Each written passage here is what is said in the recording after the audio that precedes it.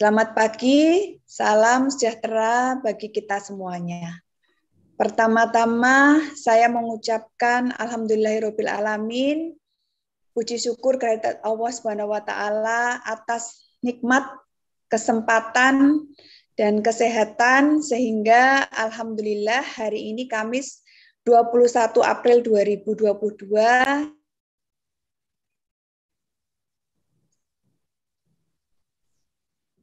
Nurse Yulia, you mute again your audio. Maybe you can unmute again. Yes, sorry. Ya, mohon maaf, Nurse Yulia, mungkin audionya bisa diaktifkan lagi.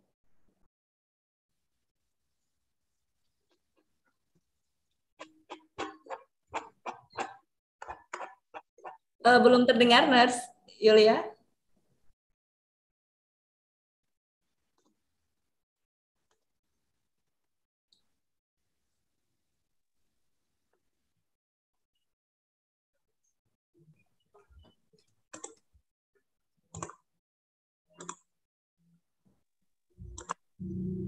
Ya, sudah, Nurse Yulia. Oke, oke, baik.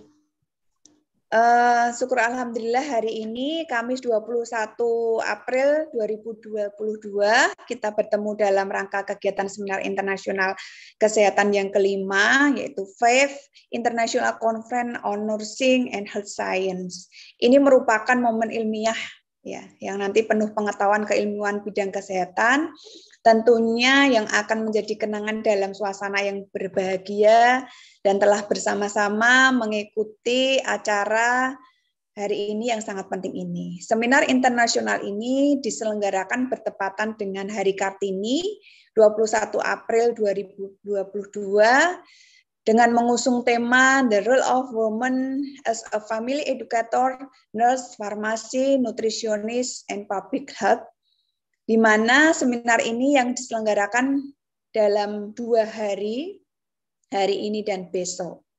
Yang tentunya hari pertama ini nanti akan dis, uh, disampaikan materi dari beberapa sumber narasumber yang berasal dari institusi dalam maupun luar negeri dan esok kita ketemu dengan kegiatan presentasi oral dari institusi dalam maupun luar negeri.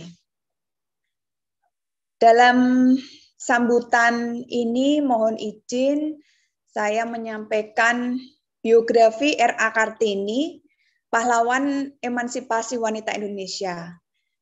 Tokoh wanita ini sangat terkenal di Indonesia, dialah Raden Ajeng Kartini atau dikenal sebagai R.A. Kartini.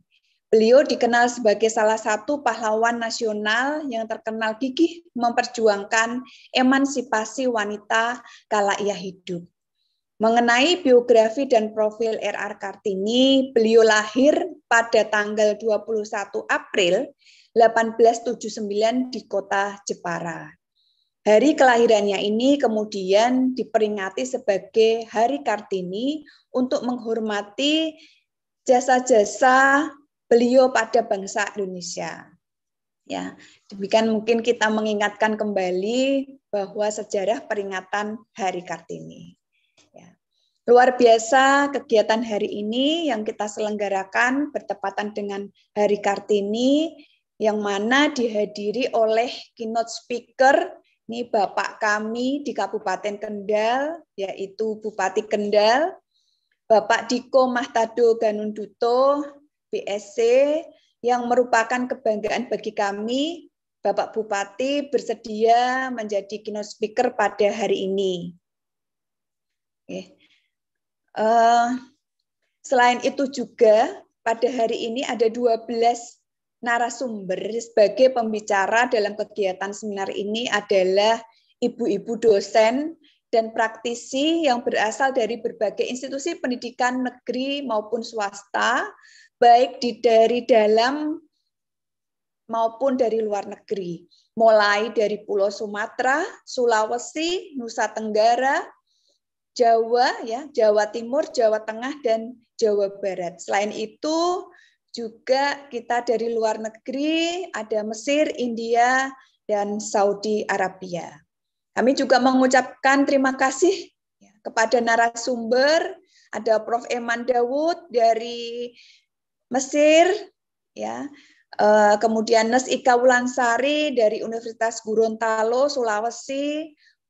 Kemudian Prof. Srimiti Mani dari India, Dr. Reda dari Mesir, ya, Cairo University, kemudian Prof. Faiza Abau dari Riyadh, Saudi Arabia, ada apoteker Hima, Himyatul Hidayah dari Universitas Buana Perjuangan Karawang, Jawa Barat, ada Ibu Evi Winingsih, MPD dari Universitas Negeri Surabaya, Jawa Timur Indonesia, kemudian Ibu Novianti Kartika Dewi, MPD Kons dari Universitas PGRI Madiun, Jawa Timur, kemudian Dr. RH Kristina SKM MKes dari Poltekkes Kemenkes Kupang, kemudian Dr.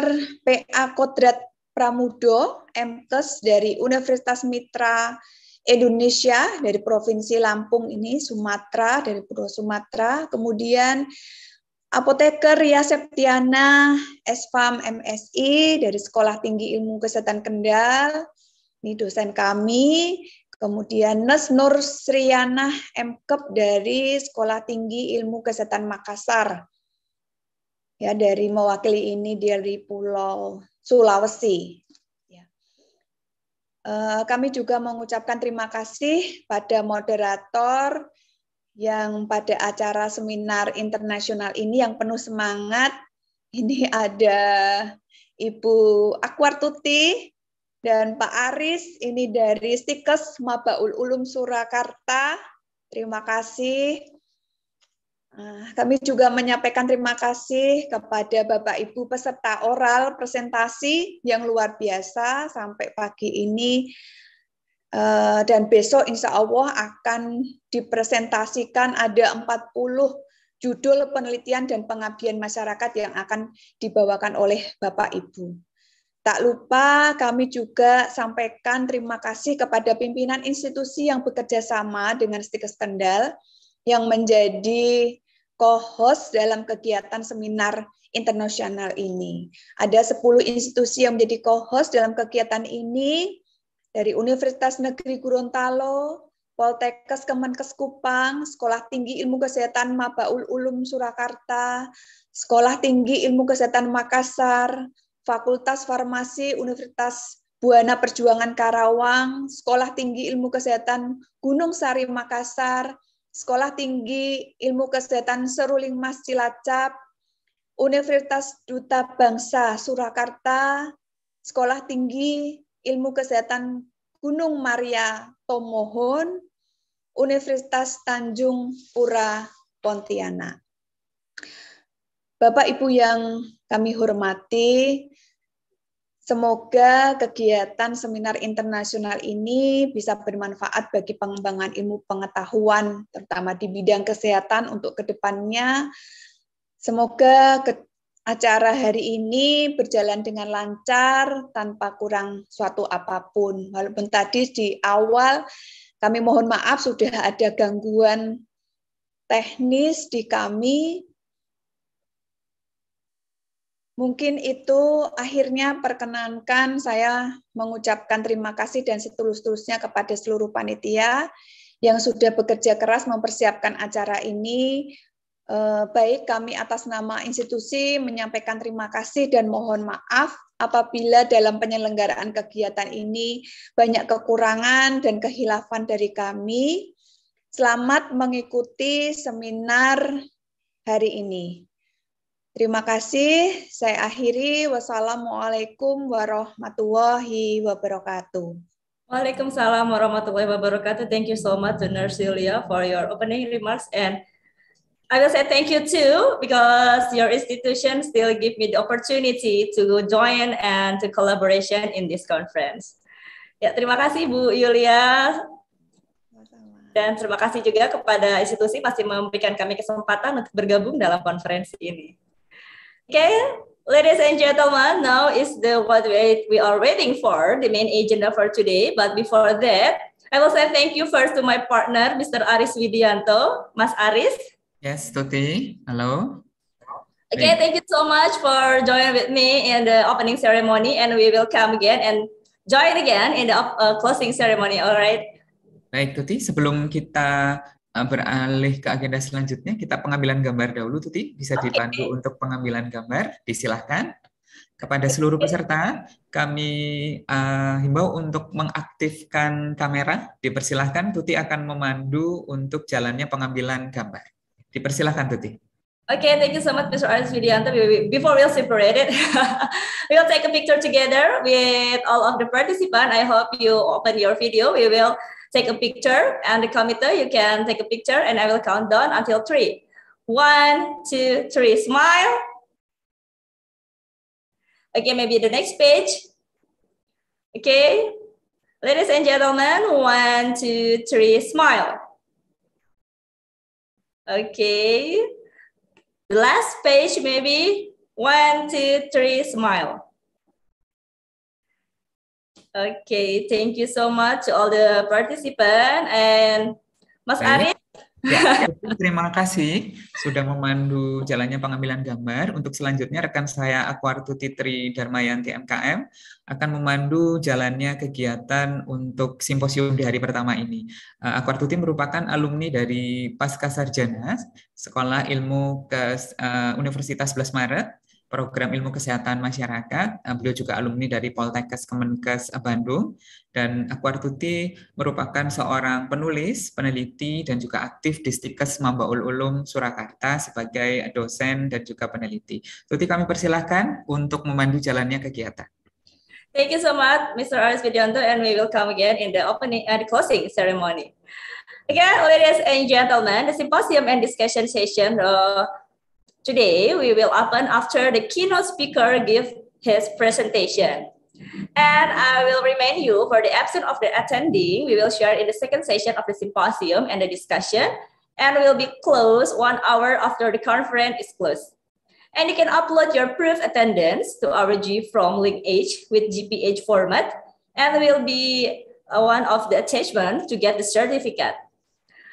Okay, ladies and gentlemen, I say it uh, before, it's an honor for us, the region of Kendal, to be able to attend in this conference today. Before we start the keynote speaker's presentation, I will greet him first. Selamat pagi, Bapak Diko. Assalamualaikum. Waalaikumsalam warahmatullahi wabarakatuh. Selamat pagi. Yes, thank you so much for your attending uh, in this conference. And it's honor for us because you are the only one, the, uh, the man speaker. All the speaker is woman. and all the speaker around the world will uh, join with us maybe in a few minutes. And we have a lot of the participants from Indonesia and also in the other country. So maybe all the participants will uh, read and also will watch your presentation about the your policy in woman emancipation and woman role in family health. And I hope and I believe it will be a role model for, for the other regency or for the other province in Indonesia. Okay, Mr. Diko, you have 30 minutes for your presentation. Mr. Diko, time okay. and place are welcome. Uh, can we show the presentation, please? Of course. Um, maybe before you say a presentation, uh, give me the uh, benefit to read your maybe a short a curriculum vitae first. Is it possible, Mr. Nico? Yes, maybe uh, the committee or maybe Mr. Nico's operator, you can share your the curriculum vitae from Mr. Dico, the region of Kendal Regency. Huh?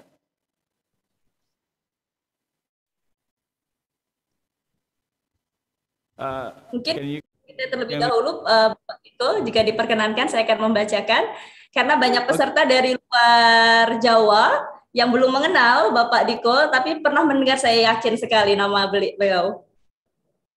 Oke, okay, sure. Oke, okay, thank you so much.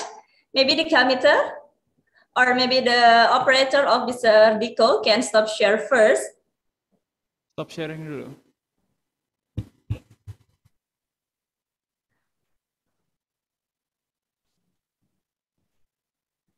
I cannot read the curriculum vitae from Mr. Dico.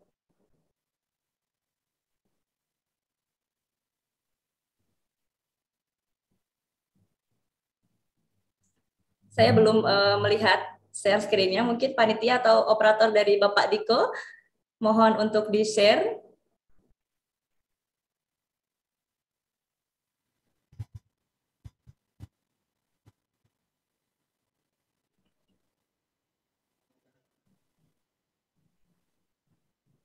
Oke, mungkin Mas Aris Widianto uh, sudah melihat PowerPoint-nya atau share screen-nya? Baik, Tuti, saya bantu share screen dari sini. Oh, mungkin ini masih ada yang share screen, mungkin sudah diakhiri terlebih dahulu, Mas Aris. Baik, untuk share screen bisa diakhiri terlebih dahulu sebelum kami melakukan share screen kurikulum vitae dari Bapak Bupati Kendal. Atau saya coba terlebih dahulu, Tuti. Apakah terlihat, Tuti? Saya belum, Mas Aris. Baik.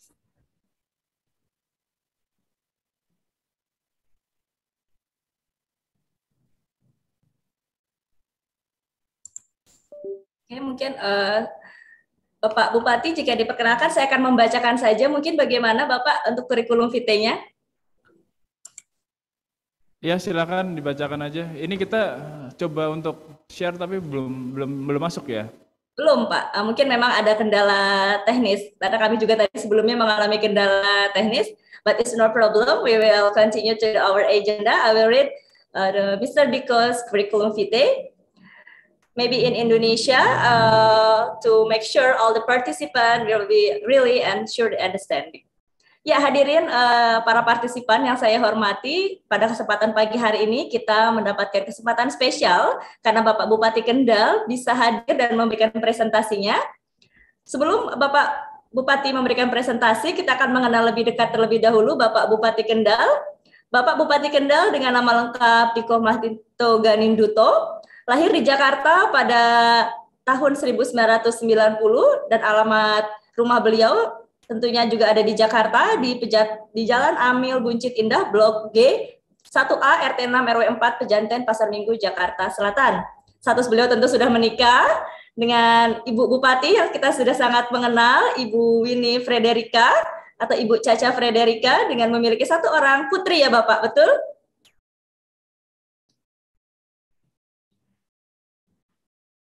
Beliau memiliki pendidikan uh, riwayat yang cukup panjang di sini di Jakarta. Beliau memulai pendidikan sekolah dasarnya di SD Islam Al Azhar Kemang Jakarta. Dilanjutkan dengan SMP Global Jaya Bintaro Tangerang. Lalu dilanjutkan dengan SMA Global Jaya Bintaro Tangerang. Dilanjutkan dengan high school di Pedoctor School Florida United States of America dan menyelesaikan program Bachelor of Science di University of Petroleum Engineering Oklahoma, United States of America pada tahun 2012. Tentunya dalam hal kepemimpinan, Bapak Bupati Kendal ini sudah tidak diragukan lagi. Selain masih berjiwa muda dan juga generasi milenial, beliau sudah memiliki banyak sekali pengalaman untuk memimpin. Ya, ini kita bisa melihat. Ya, ke bawah Mas Aris. Ya, beliau pernah menjabat sebagai direktur utama di dua perusahaan, yaitu di PT Duta Trida Utama dan juga di PT Pandu Tenaga Utama, serta menjadi komisaris di PT Duta Firza. Oke, terima kasih Mas Aris. So, pada kesempatan kali ini tentu tidak salah, beliau akan menjelaskan bagaimana kebijakan-kebijakan atau program yang sudah beliau terapkan untuk bersama menyelenggarakan dan juga menjunjung tinggi emansipasi wanita di Kabupaten Kendal. Okay, Mr. Diko, thank you so much for attending. May you have 30 minutes for presentation. Time and place are welcome.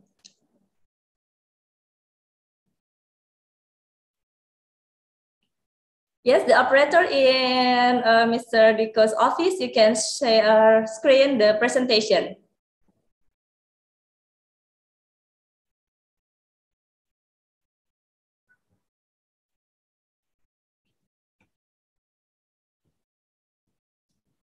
Okay, maybe uh, Mr. Rico have uh, some connection problem. Maybe I'll stay waiting for he to join again with us.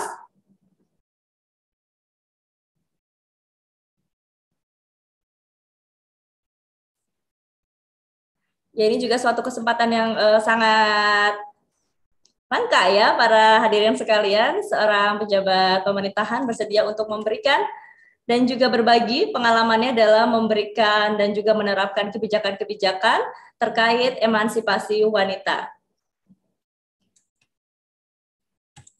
Ya, untuk mungkin menjaga kenyamanan dan juga kelancaran acara, saya ingin mengingatkan kembali dalam bahasa Indonesia untuk para hadirin, link absen akan kami share atau akan kami bagikan pada diskusi sesi kedua atau pada hampir di akhir diskusi sesi yang pertama. Dan saya juga mengingatkan untuk rekan-rekan mengisi format kehadiran ya format kehadirannya bisa berupa capture dari kehadiran rekan-rekan di jam yang sudah ditentukan tentunya lalu dikirim kepada panitia untuk syarat mendapatkan sertifikat. Dan apabila rekan-rekan belum memberikan gambar, masih akan kami buka tetap link untuk pembukaan dan juga pengiriman gambarnya hingga satu jam setelah konferensi berakhir di masing-masing hari. Untuk hari ini mungkin akan berakhir di sekitar jam 2 dan untuk hari yang kedua itu tentatif bisa berakhir sesuai dengan uh, durasi dan juga waktu presentasi di masing-masing ruangan. Ya, mungkin kita masih menunggu Bapak Bupati untuk kembali bergabung.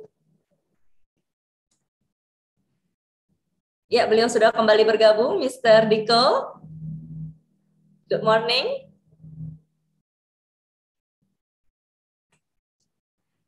Ya, mungkin beliau dan juga tim sedang mempersiapkan kembali teknik dan juga perlengkapannya. Saya juga ingin mengingatkan kembali kepada rekan-rekan, I will remind you again for the overall presentation uh, time and schedule be, uh, tomorrow. Ada beberapa syarat yang harus dipenuhi pada akhir simposium ini akan kami sampaikan dan juga nanti tolong mengganti nama, mengganti nama Bapak Ibu sekalian untuk hari kedua itu dengan format room underscore nama ya rooms underscore nama. Itu untuk mempermudah kami dalam nanti membantu Bapak Ibu sekalian masuk ke room presentasi masing-masing. Seperti itu ya. Jadi nanti akan dibantu apabila Bapak Ibu kesulitan masuk ke dalam room, tapi mengganti nama terlebih dahulu sehingga kami bisa dengan mudah mengarahkan dan juga memasukkan Bapak Ibu sekalian ke room presentasi. Dan saya juga mengingatkan untuk para presentator untuk mempersiapkan presentasi terbaiknya karena kita ini ada best presentator uh, tiga orang di setiap room jadi nanti akan mendapatkan special certificate for the best oral presentator. Jadi ada special sertifikat untuk oral presentator terbaik. Ya, jadi Bapak Ibu harap dipersiapkan. Ya, saya akan menyapa kembali mungkin Bapak Diko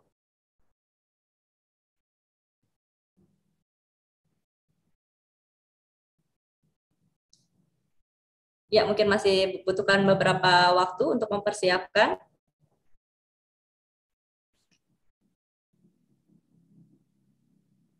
Ya, di sini juga sudah bergabung. And now we have joined Professor Eman Daud. Thank you so much, Professor, for coming and join. Yes, uh, Mr. Diko, I will see clearly your PowerPoint presentation right now. Yes, and the presentation uh, work to Okay, uh, I think uh, the operator you can share again because uh, your connection is stable and very good right now. Ya, saya sudah bisa melihat tadi um, PowerPoint presentasinya sudah bisa berjalan juga dan juga saya rasa koneksinya sudah sempurna. Oke, okay, I will greet first Mr. Diko. Bapak Bupati ini satu-satunya ya, Pak keynote speaker dan juga speaker lelaki, ya pemateri lelaki di antara seluruh wanita ya, selain Mas Aris sebagai Master of Ceremony tentunya.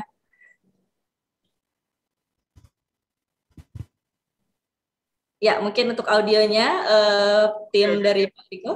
Ya, yeah. Good morning, Mr. Diko. You can hear my voice? Yes. Okay, very good. Very clearly your voice. Thank you so much. 30 minutes for your presentation. Time and place are welcome for you. Okay, thank you uh, for the time. Assalamualaikum warahmatullahi wabarakatuh. Waalaikumsalam warahmatullahi wabarakatuh. Fasting. Hopefully, this holy month can uh, go smoothly for everyone. And then also happy Kartini Day to all the women in the world, especially Kendal Regency women. Appreciate the committee of the fifth international conference on nursing and health science event. And um, I'm sure that Kendal needs more event like this to educate women as the center of a family. Next slide. We are going to talk about several things in this opportunity, such as the development direction of Kendal Regency, demographic condition, role of women in increasing family health quality, related programs in Kendal Regency, and form of support for women. Talking about the vision and mission for Kendal Regency, uh, is uh, reliable, superior, prosperous, and just. One of the mission is providing human resources of religious quality culture, physically and mentally healthy and competitive. To create that, the role of woman in a family is very important. If we illustrate family as a human body, then woman should be the heart that pumps blood through the body. This is the demographic condition of Kendal Regency with more than 1 million people, 0.64% population growth per year, and about 534,000 people within product, productive age. We can imagine that Kendal Regency has a big potential in human resources. We have to manage this potential by ensuring that children in Kendal have the ability to grow up well, both physically and mentally. Again, role of a woman, usually a mother, is a very important to realize it. And this is the demographic data about health workers in Kendal Regency. As you can see, all the professions are dominated by female workers. It is indicated that Kendal women are empowered enough to spread the kindness, not only for their families, but also for the society and people surrounding them. This is why I always appreciate health workers, especially women workers, because I know they also play another important role in their families. As we all know, woman plays very important role in the family. Uh, here is uh, such as procuring and preparing food, giving care to dependent family members, health manager of family, source of health information to the family, and educating children to become healthy and productive adult. At least this is what the uh, Indonesian uh, women usually have their uh, responsibility in the family. And then I personally think it's not an easy things to do as individual. All of those important roles cannot be done without support from other family members. Also, women have to be equipped with great knowledge and implementative skills in order to do all the same time. As a government institution, Kendal Regency always trying to support women to carry out their roles by holding programs that are educating and empowering women in Kendal. In this opportunity, I would also like to express my gratitude to have a partner like my wife to help me educate Kendal woman to do her role as PKK leader in an outstanding way. The PPKK have several programs which focuses on educating women about health issue, environment issue, encourage women to be empowered, and etc.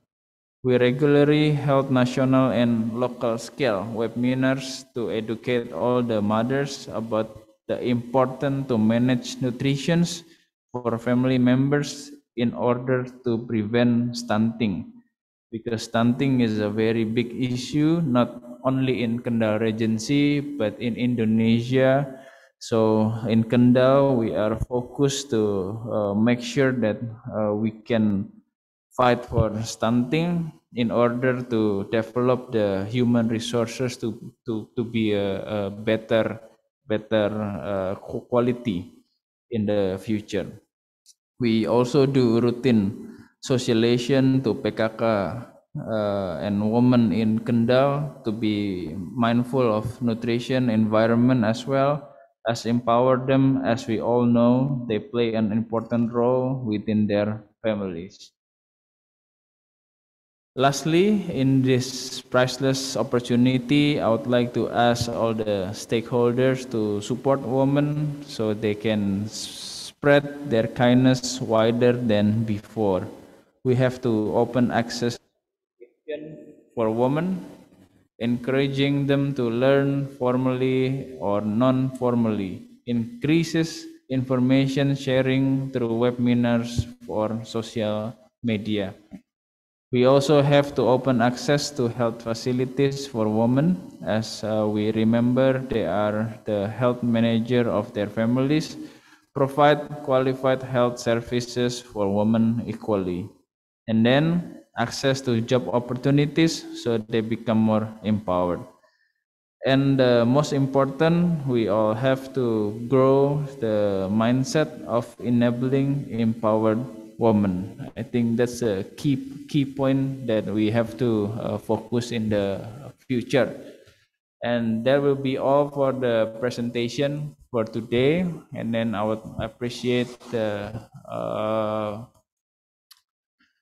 everyone that joined the webinar this morning. And then uh, hopefully this uh, webinar will give a benefit especially for Kendal people in Kendal Regency because we understand that the uh, role for a woman is uh, very important to uh, make sure that the vision and mission in Kendal uh, Regency in the government will uh, go smoothly and then uh, thank you for uh, listening to my presentation. And then it is an honor for me to be the uh, speaker of this uh, webinar. Thank you. Wassalamualaikum warahmatullahi wabarakatuh. Waalaikumsalam warahmatullahi wabarakatuh. Thank you so much, Mr. Diko. And I agree with Mr. Diko because uh, it, this is not an easy thing, but not impossible, all right? memang susah tapi bukan tidak mungkin ya Pak ya untuk kita sama-sama mengentaskan for the stunting problem and all the women and family health problem uh, yang lain-lainnya seperti itu. Yeah, well the key is we have to uh, collaborate all yeah. the stakeholders, Stakeholder. Only the government but also all the uh, society that we have to go to the uh, field. We have to see uh, in each uh, region, regency. And I know there is uh, different problems, and then we have to uh, stay together to uh, make sure that we can solve the problem in every uh, regency. Yes, also also also we have to collaborate in and learning from the regency and other regency what we would do and what we need and what's their policy. Maybe can application and maybe uh, applicate it in our agency and we can share how to solve the problem. And your wife um, contribution, I think, is more important because a woman is a key as a one, one of the key person for family health, for family resilience, and for regency resilience, absolutely in this pandemic uh, time. Maybe next time we will have um, opportunity to discuss with your wife. Is it possible, Mr. Diko? Just uh, anytime, anytime okay, thank you so much, Mr. Diko. And we have um, Miss uh, Professor Eman, Professor Eman uh, already here from the other country. Professor Eman, good morning. Ya, Mr. Diko, uh, ini sudah ada salah satu pemateri luar negeri kita Good sudah morning. Yes, Professor Eman. Good okay. morning. Yes, I am here. Best yeah. morning. Yes, maybe you can uh, see Mr. Rico's presentation is a lot of the problem in Indonesia, especially in stunting for uh, and woman, and still need still need a woman's rules to make sure all the health problem, especially stunting and the other problem, we need a woman's role. Is the same in your country, maybe in your agency too? It's the same. Women are women where, wherever they are. Okay. ternyata sama ya Pak Diko. Ini same problem with maybe some uh, country in, around the world. That's true. yes, thank you so much, Professor Eman, for joining from the first, uh, from the beginning of the conference and watching the Mr. Diko's presentation. Yeah. Again, we will, yes, and we will want to see and hear your presentation too. And Mr. Diko, before we uh, ended your time and your session, maybe we can take a picture together first. Definitely, yes. Ya, mungkin Bapak Diko, uh, kita bisa mengambil gambar terlebih dahulu mungkin. Ya, panitia bisa dipin. Pak Diko, uh, saya dan juga Prof. Eman, ya. Oke. Okay. Ya, Prof. Eman dari pagi Pak Diko sudah melihat dan juga mendengarkan presentasi. Thank you, Prof. Emma, for Thank you. And now in your country is uh, morning, evening, or maybe afternoon, Professor Eman? Oh, it's actually 5 a.m. Just finished the Fajr prayers. Oh, 5 a.m. Oh my God. Thank you so much. Ini baru pagi. okay, maybe take a picture together, ladies and gentlemen. Open your video. We will take a picture with Professor Eman and also with the region of Kendal Regency, Mr. Diko. One, two, three, smile. Okay, maybe the next page, uh, committee, you can documentation. One, two, three, smile. Okay, thank you so much. Thank you. Terima kasih Bapak Diko atas waktu yang sudah diberikan. Seperti tadi ini sudah janji Bapak Diko memberikan kita kesempatan untuk berbincang apabila nanti kita ingin berbicara langsung dengan Ibu ya, Ibu Bupatinya untuk tentu saja sebagai perempuan pasti banyak nih Pak. Kalau perempuan itu yang dibicarakan banyak biasanya. Nanti ya, di... saya, uh, ya. Bagaimana Pak Diko? Nanti di jadwal aja insya Allah bisa dijadwalkan. Siap tentunya. Nih karena Stikers Kendal uh, sangat aktif Pak Diko dalam setiap bulan mengadakan international conference bahkan lebih aktif dari universitas-universitas besar. Jadi saya salah satu orang yang sangat mengapresiasi uh, Stikers Kendal ini Pak. Jadi nanti tolong dijaga ya Pak. Ini salah satu aset Stikersnya ini Pak. Ya, terima kasih Pak Diko. Uh, selamat melanjutkan aktivitasnya. Wassalamualaikum warahmatullahi wabarakatuh.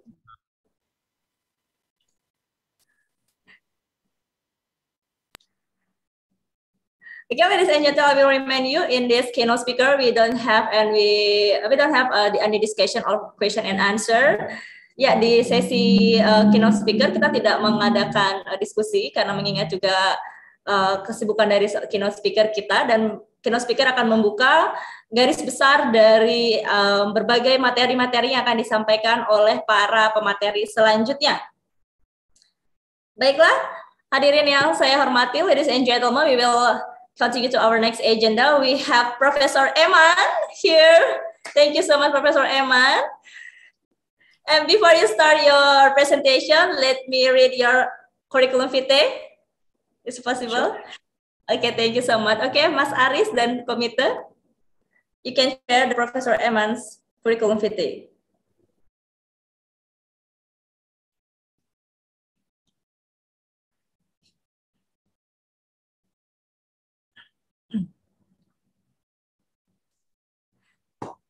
Yeah, ladies and gentlemen, it's not the first time we have um, and we see Professor Eman uh, Dawood in this conference, but we still need their ex uh, uh, we need, still need her experience. We still need uh, your experience, Professor Eman, now and in the future.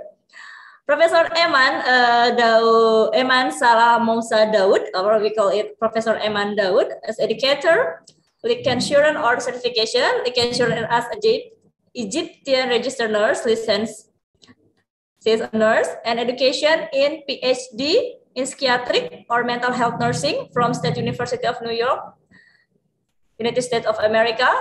She is Master of Psychiatric or Mental Health Nursing and uh, graduate from Bachelor of Nursing Science in Tanta University, Egypt. And you, you can read the employment profile. Uh, sebelumnya Mas Aris di atas. yeah, stop. She is a professor in psychiatric and mental health nursing from Menovia University, Faculty of Nursing. And also, she is associate professor in King Saudi bin Abdul Aziz University in Riyadh, chairperson scholarship unit, associate professor, um, maybe now as a professor. bawah Mas Aris.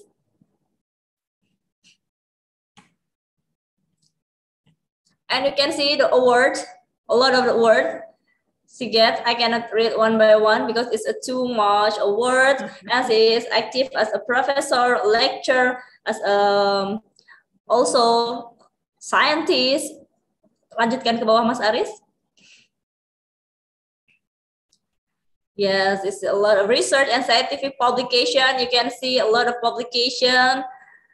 She, she have research and also grant and also the achievement, supervised master, and presentation. She is active as a keynote speaker, speaker, all the participant in all around conference. Okay, you can see that a lot of any reviewer too. Okay, I think a lot of your experience, I cannot read one by one, Professor Eman Daud, but we are waiting for your presentation and your expert. Okay. Thank okay. you. Yes, Professor Emmanuel, 20 minutes for your presentation. Time and place are yours. Uh, do you see my screen? Yes, I can see your screen clearly, Professor Eman. Okay, good morning and uh, assalamu alaikum warahmatullahi wabarakatuh. Good morning or good afternoon, wherever uh, you are joining us. Um, it's again my honor to be part of your conference as usual and uh, looking for a great successful conference ahead, inshallah. Uh, I will uh, start with my presentation and I will have some time for uh, any question any of the audience might have uh, I started preparing my presentation and I found some quotes. No one actually can deny or can um, uh, cannot recognize the role of the woman uh, all over the globe. So I uh, found some quotes that really I um, felt proud while I'm preparing the presentation and while I'm reading those quotes. Uh, the first quote saying is that women are the real architects of the society, which really is. We are integral part, essential part for the development of any society globally and uh, I have my um, experience, and um, I lived a little bit um, yani, uh, of times that really can make me able to judge the experience of the woman in Egypt, in the United States, and in Saudi Arabia. So like multicultural person who uh, lived the experience of Egyptian women, American women, and the Saudi uh, women. Uh, so um, actually to, um, it's, it's not an easy task to be um, a woman because to be um, a woman, you must think like a man, you have to act like a lady, you have to look like a young girl, and then you have to work like a horse. And this is actually expressing my personal life, actually. So uh, to go um, globally, according to the United Nations statistics, uh, the recent statistics in 2021, uh, there are uh, 3.97 billion male in the world, representing 50.42% of the world population, while the rest, 49.58% uh, of the world population are women. Uh, when you are looking for the statistics um, globally. Um, in most region uh, of the world, female are more than male with the exception of the two heavy populated countries, which are China and India. So if you excluded China and India, actually we will have more female globally compared to male. Um, as we all as female, I see most of the audience and most of the participants in the conference uh, are female, and I am sure we all share um, uh, many of this information we are acknowledging that we as female are the key to sustainable development and the quality of life in the family which is the building block of all societies and the communities and the countries on large. And the varieties of the women role um, assume in the family are countless. I'm just listing but it's not the whole thing but we act as a daughter, a sister, a wife, a mother, a leader, an administrator, manager of the family income, as an educator for our family members, as pharmacist sometimes, a nutritionist sometimes, organizer, director, recreator, economist, disciplinarian person for our kids and our family. We work as a teacher, health officer, artist, and the queen of the family at, at the same time. So can you imagine those roles and all those roles and we uh, some of us actually might need to demonstrate it all. This is just within the family. And in addition we still majority of women nowadays have to work outside to um, help in the economical status of the family. So this is just a part in the family in addition to her role as an employed person or her contribution to the society. Um, I came across the terminology superwoman, which is often referred to uh, uh, the double burdened woman with the responsibility to fulfill her family requirements and her career obligation, which actually I consider majority of us as superwoman. Um, what does it mean to be a woman? It, to be a woman, it requires to uh, you to be uh, able to be powerful and assertive, but at the same time, you need to be kind and um, uh, helpful for others. It means to be compassionate and vulnerable toward those we love, our family, our kids, our our loved ones, without feeling weak for doing so.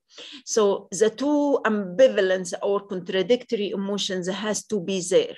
It means striving for our goals, even in the face of the hardship and the difficulties we might encounter along uh, the way throughout our life. And again, this point really applicable to majority of us. So I just listed just a quite bit of uh, qualities a good woman because the word good is something the objective. We cannot really what is good for me doesn't have to be good for everyone. So in general and according to the um, literature uh, there, it said the qualities of a good woman, including being honest and trustworthy, uh, authentic and genuine, independent as defined by own culture because independency varies from a, a culture to another. So we have to go within the cultural determinants where we live. Intelligence and uh, curious, compassionate and forgiving, confident, supportive, empathetic. Those just a few of the qualities that has to be, that have to be there for a woman to be good enough uh, based on the literature. Again, the core of the conference is about women rule. And as I introduced, and um, I'm expecting most of the, of the presenters, if not everyone, will talk about the multiple rule we assume. Nowadays, actually, um, uh, women continue to balance working outside home with their domestic responsibilities inside their homes. In addition, um, to be wife, mother, um, daughter, um, um, uh, like caregiver of her parents, and all those responsibilities. Most of women nowadays have to work outside for the um, economic independence. And really, most of us are doing all, and the terminology doing it all has become very valued social norm in most cultures globally. So you have to work inside and out. Um, I'm just um, uh, wanted to explain that expectations that others have of a woman in any um, women's um, in any of her roles might really be different from her own expectations and might even conflict with the, her goal as an uh, as an individual within the community there are many variables personal familial societies the personality itself the family support and if it's there or not the societal support and if it's there or not.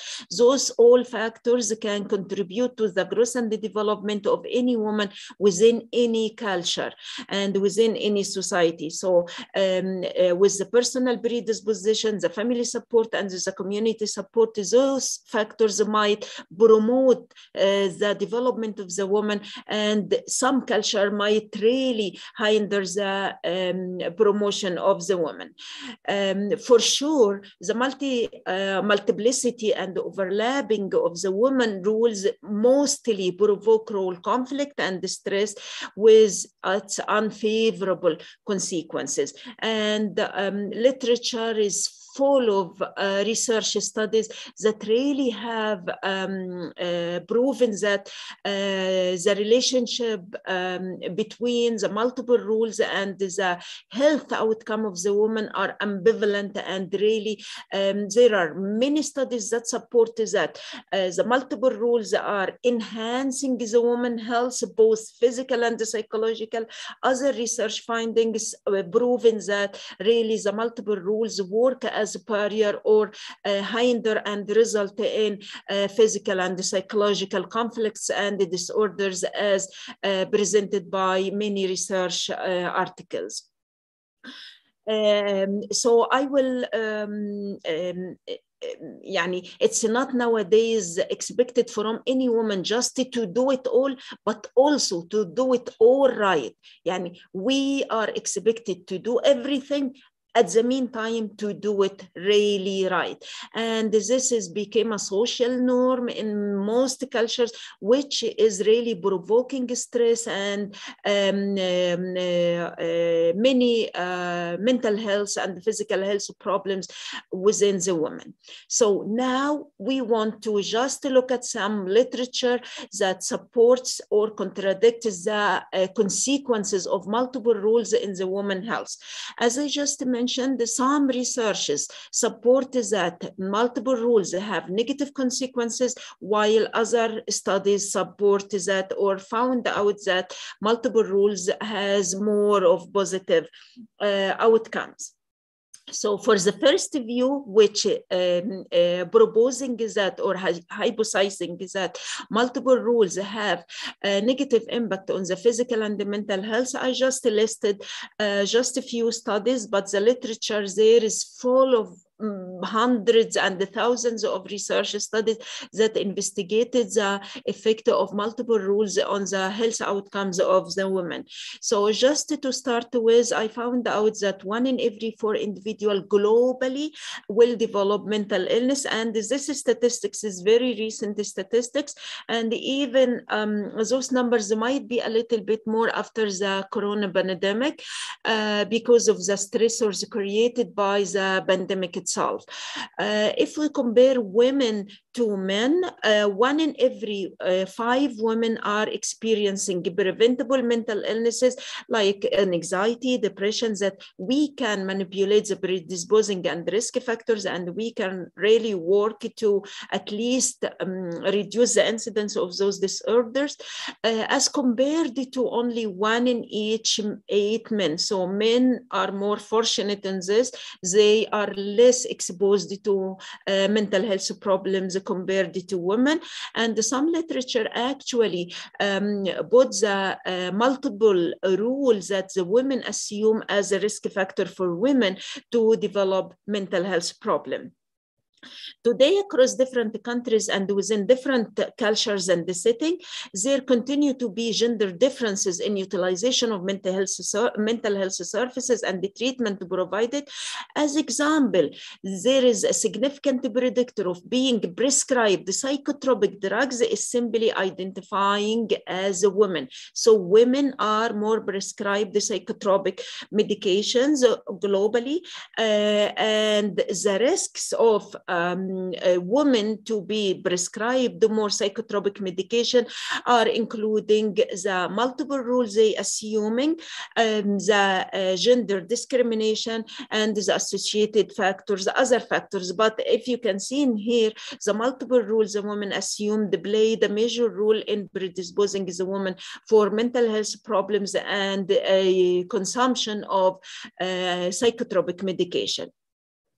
According to uh, the analysis results of employment status of married women with children, the health of employed women was worse. So because of she has multiple roles, she uh, is employed, so she has a job, in addition to her uh, basic role as a woman who is married and have children. Um, uh, so um, women um, unmarried women um, um, the health related, uh, the self health related uh, health of unmarried women without a job was poor. Depression was high, and the married working uh, women were most stressed. So, again, the multiple role of a woman created more stress and predisposed her or put her at risk for more depression and stress. A study on Korean uh, married women found that women rearing children who were involved in simple labor, simple work, and the sales service job were heavily influenced by multiple rule burden and those in child age families with professional career were significantly affected by multiple rule attachment so again multiple rules has important um, uh, or um, يعني considerable risk of exposing the woman to uh, more stressful and more uh, mental health problem I actually have uh, done a research study with uh, one of my colleagues uh, to compare depression and anxiety between housewife and employed pregnant woman.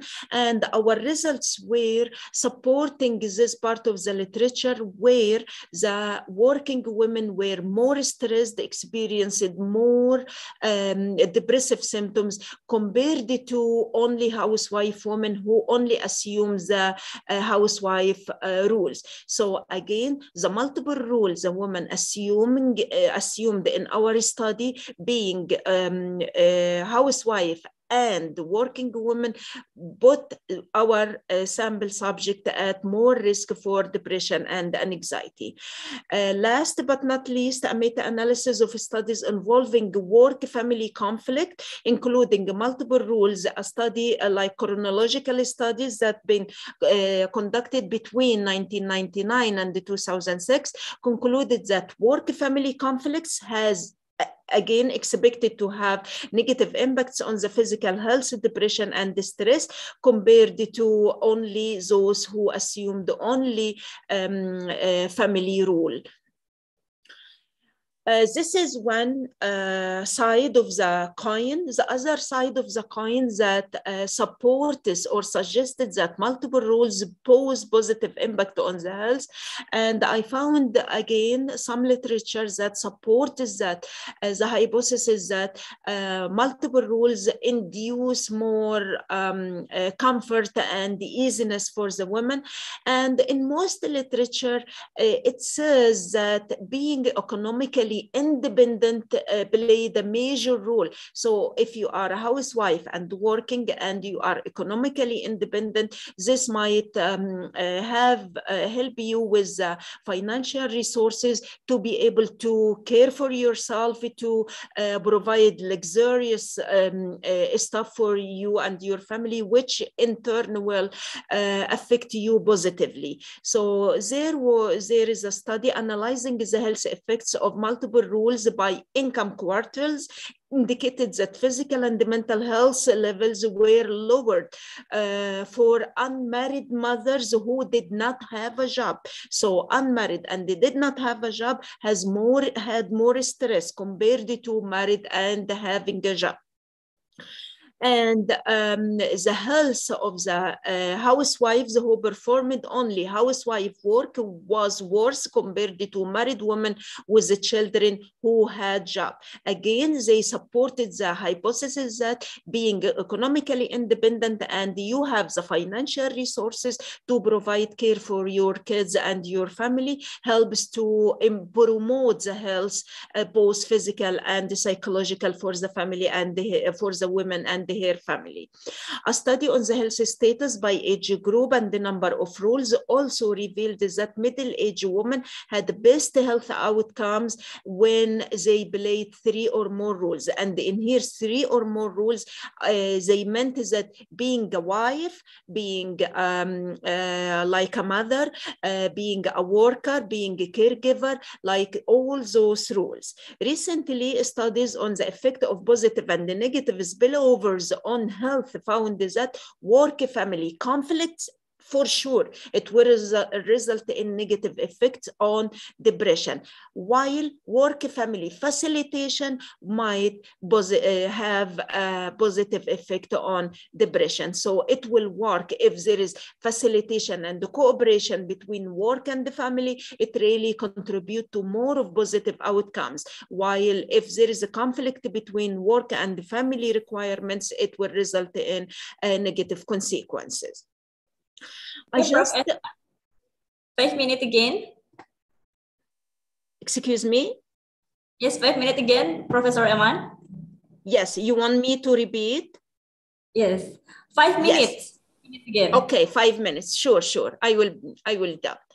Uh, I just want you to imagine with me a 30 year old pregnant working wife who is a mother of three children. One of them has intellectual disability. Another child has type 1 diabetes. Her husband just lost his job due to substance use.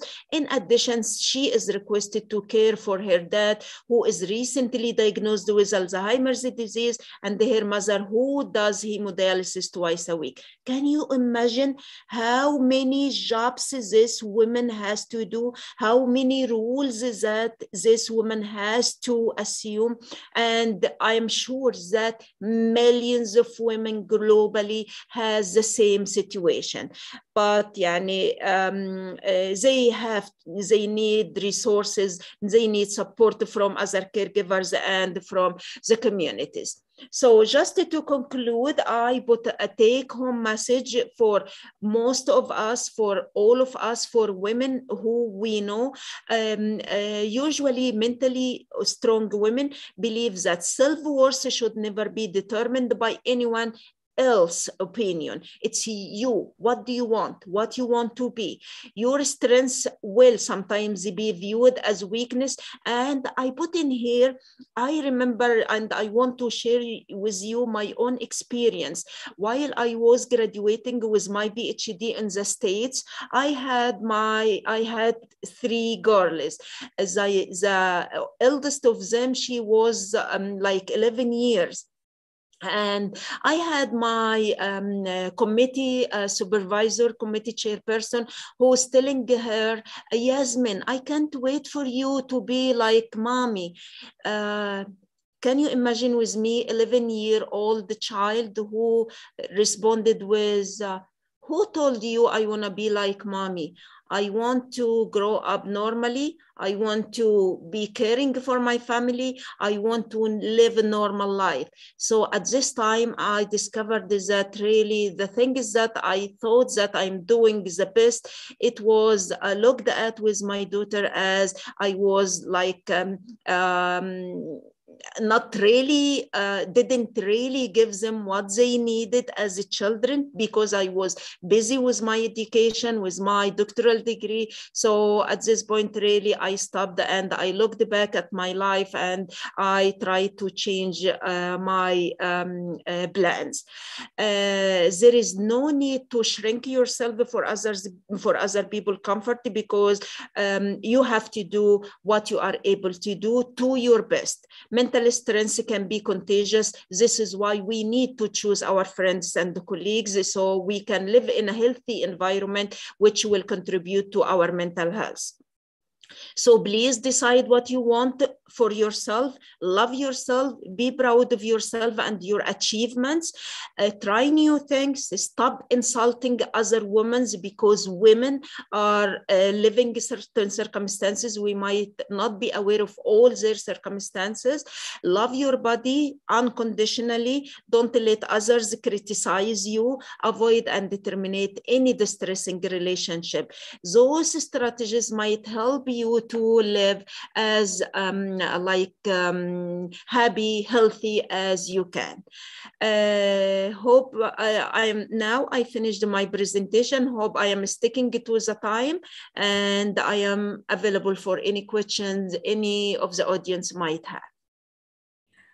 Yes, thank you so much, Professor Eman, for your presentation. And I think it's a very important and I first time heard about your paper about superwoman. yes. Indonesia, in Indonesia, we have a lot of superwoman too. Can imagine uh, her husband lost of uh, his job and they still have a children. Maybe one of the or two children have a special ability or special need. Uh, I think it's very crucial, very uh, hard or time to the to woman. But we have Yes. That's it true. I just mentioned that women are women all over the world and especially nowadays with uh, uh, like um, uh, liberty and going out to work in all cultures i think in all cultures globally nowadays this puts more burden and more responsibility so definitely there are billions of superwomen there globally globally. And we have one question from Miss Livana uh, about the superwoman. Is superwoman is a personal chat to me. Do you and your team propose a program or policy to your government to pay attention to superwoman? Because in Indonesia we have uh, also um, uh, there are many superwomen. Yes, um, this is our rule now is, um, you know, we have the Ministry of Labor, which is really concerned about all labor and workforce within uh, our uh, country. And there are many programs out there that really supporting those superwomen.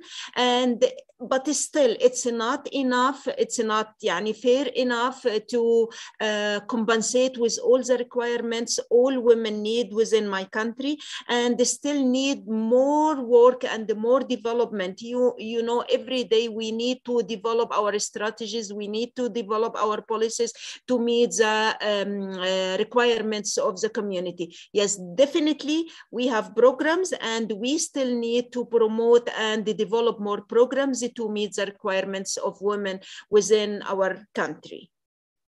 Okay, I think in Indonesia must uh, doing some like your uh, country do. And we, I, I think I am very interesting. I will learn your paper about the superwoman. Maybe in the next time we can have a collaboration about the how we can uh, help the superwoman, superwoman around the world. yes, yes, we can do so. Believe yes. me, with support, with support from the surroundings, including family, including loved ones, including the community, the government. Believe me, a superwoman would do more perfect. Yes. Just to give them the resources, we are uh, strong to do it. Yes, if you can help Superwoman, we can build a super generation. I believe Yes. that. okay, thank you so much, Professor Eman Dawood, for your time and your um, presentation is very awesome, and we learned something new from you. And before you maybe have your uh, activity again, we can take a picture together, and we can give you certificate symbolic with uh, take a picture, and we can send your certificate maybe by email. Okay. Sure. Thank you so much. It's my Yeah. honor as usual and uh, looking for a great conference and webinar ahead. Okay, thank you so much. Maybe you can uh, stop your share scare, uh, screen so we can take a picture with your certificate too. Sure.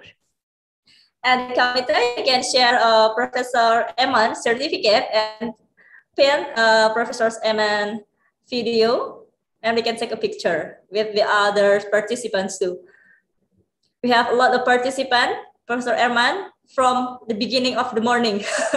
Yes. Iya panitia eh, mohon di eh, share sertifikat Prof Eman dan juga videonya sehingga kita bisa mengambil gambar. Okay, maybe we, we just need a time to share your certificate. Maybe take a picture first. Okay, Professor Eman and all the participants, open your video and take a picture. One, two, three, smile. Okay. Okay, today I wear my traditional or my, what is it, uh, national uniform, kebaya, Professor Eman. You can, you know that kebaya? yes. yes, to make sure we uh, support uh, all the women and we support the woman emancipation in Indonesia. Start when I was very child when I'm in elementary school. If every 21 April, we must wear our traditional costume. Something like that. Great. Great. Okay, thank you so much, Professor Eman, uh, for your time. Happy fasting. Wassalamualaikum warahmatullahi wabarakatuh. Thank you so much for the opportunity and uh, we'll see you soon, inshallah. Happy Yes. Ramadan for everyone. Yes, I hope so. Thank you so Thank much. you. Thank you. Alaikum salam.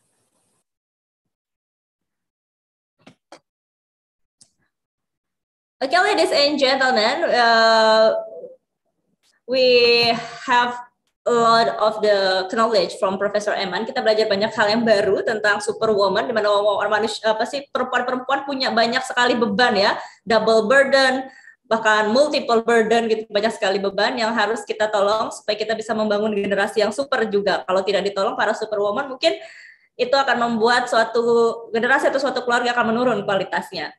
Oke, kita akan melanjut kepada pemateri yang kedua. We want to continue to the next uh, our distinguished speaker, Miss Ika Wulansari.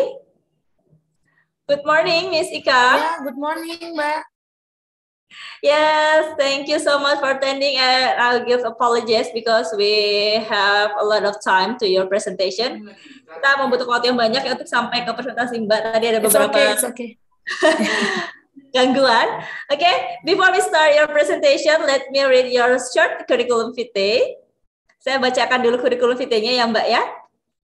Iya, Mungkin Mbak. uh, panitia bisa di-sharekan kurikulum vitae dari Bu Ika Wulansari.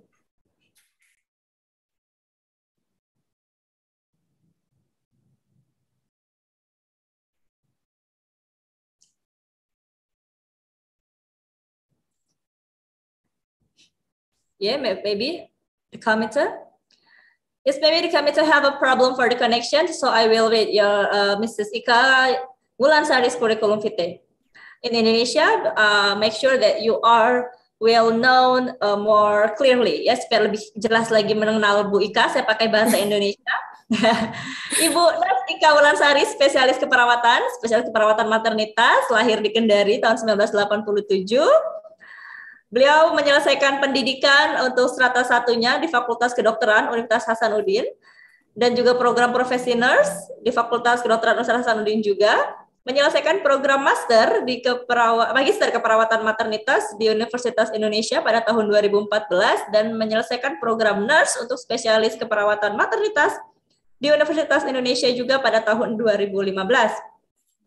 Pengalaman kerja beliau sejak tahun 2010 hingga 2012 sebagai staf dan juga dosen di Sekolah Tinggi Kesehatan Mandala Waluyo Kendari, Sulawesi Tenggara. Dan sejak tahun 2015 hingga saat ini, beliau menjabat sebagai staf dosen di jurusan keperawatan Fakultas Olahraga dan Kesehatan Universitas Negeri Gorontalo. Yes. Tentunya untuk kegiatan internasional beliau ini sudah sangat banyak sekali, baik sebagai partisipan, speaker, chairman, presenter, dan juga sebagai tentunya penulis dan juga peneliti ilmiah. Beliau juga sudah memiliki berbagai pengalaman sebagai reviewer dan juga mengirim berbagai pengalaman memiliki berbagai pengalaman dalam menulis pengabdian masyarakat tentunya dan juga publikasi-publikasi artikelnya juga sudah tidak usah dipertanyakan lagi. Ini Bu Ika sangat aktif sekali, hampir setiap tahun ini saya lihat mengeluarkan uh, karya-karyanya seperti itu. Ya, yeah. ladies and gentlemen, we have 20 minutes to uh, learn and juga and now um, give our have the most important information from Nurse Ika Wulansari. Nurse Ika Wulansari, 20 minutes for your presentation. Time and place are yours. Thank you, Mbak Akwari. And I will share my screen. Of course.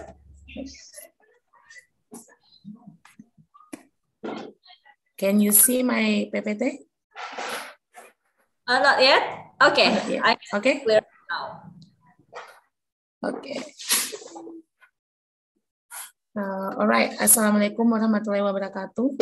Uh, first of all, I would like to say uh, thanks to Allah to give me opportunity to this morning, and thanks to uh, Mr. Diko as, regi as region of Kendal region, and Prof. Uh, Eman uh, from Egypt, Committee of Conference, uh, Mbak Aquari, dan uh, and all participants in this uh, web Zoominar right now.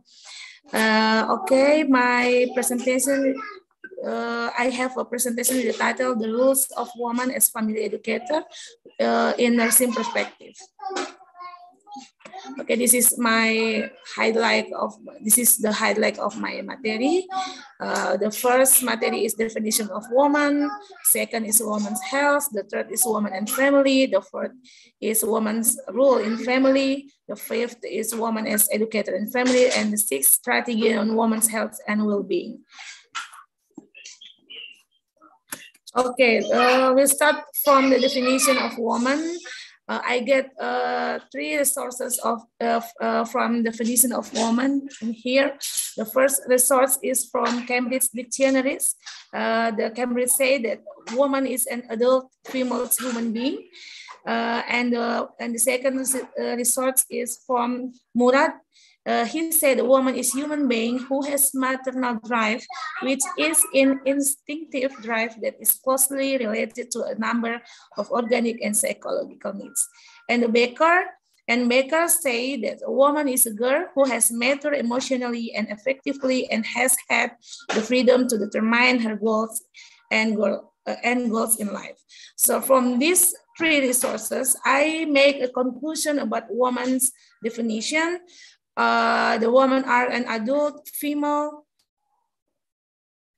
Sorry. The woman are an adult female human being who has a mother feeling and has ability and emotional and have a freedom to choose her life goals. So this make a different uh, different definition be, uh, be, between girls and women. So the the woman have a maturity uh, to uh, to have uh, ability in emotional and freedom to choose her life goals. So uh, this is one position and condition in the world. And now I think a woman is a very have is uh, have a very important rules or important position to contribute in the world. Right now you can see the uh, woman can contribute to life and economic development, contribute to health and education of the family, and uh, for education, progress in achieving universal primary education. Although we know right now many women in the world maybe uh, they have uh, less ability or for take uh, education, primary education, but the number for the woman in the world to take primary education is uh, uh, rise every year.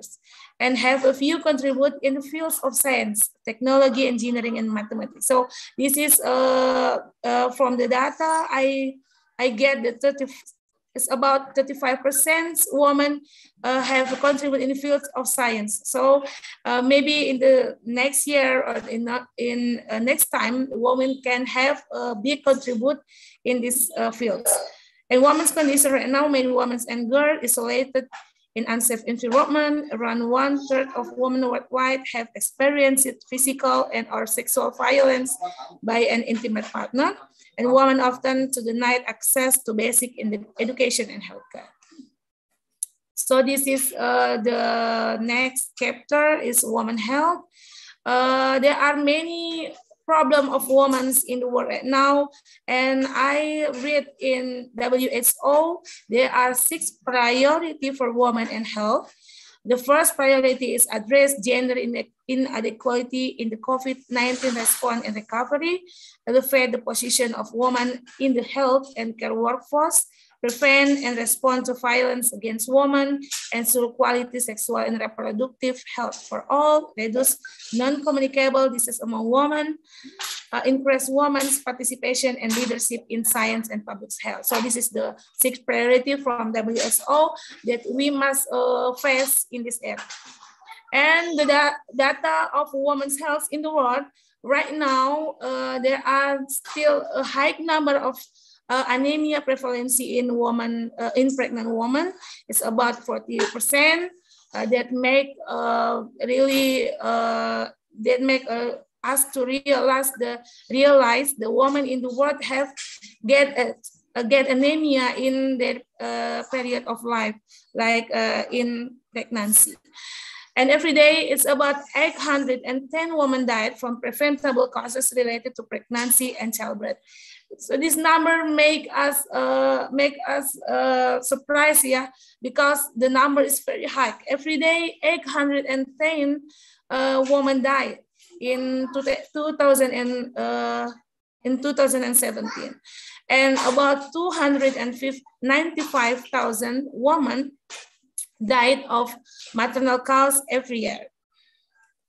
So socio-cultural factor that prevent women and girls to benefit uh, from quality health service and attaining the best possible level of health include an equal power relationship between men and women because until now maybe uh, we still uh, have um, faced this uh, problem. Social norms that decrease education and employment opportunities because maybe many company of uh, uh, feel need a man than a woman in their uh, for their employee. And exclusive focus on a woman's reproductive, reproductive rules and potential or actual experience of physical, sexual, and emotional violence.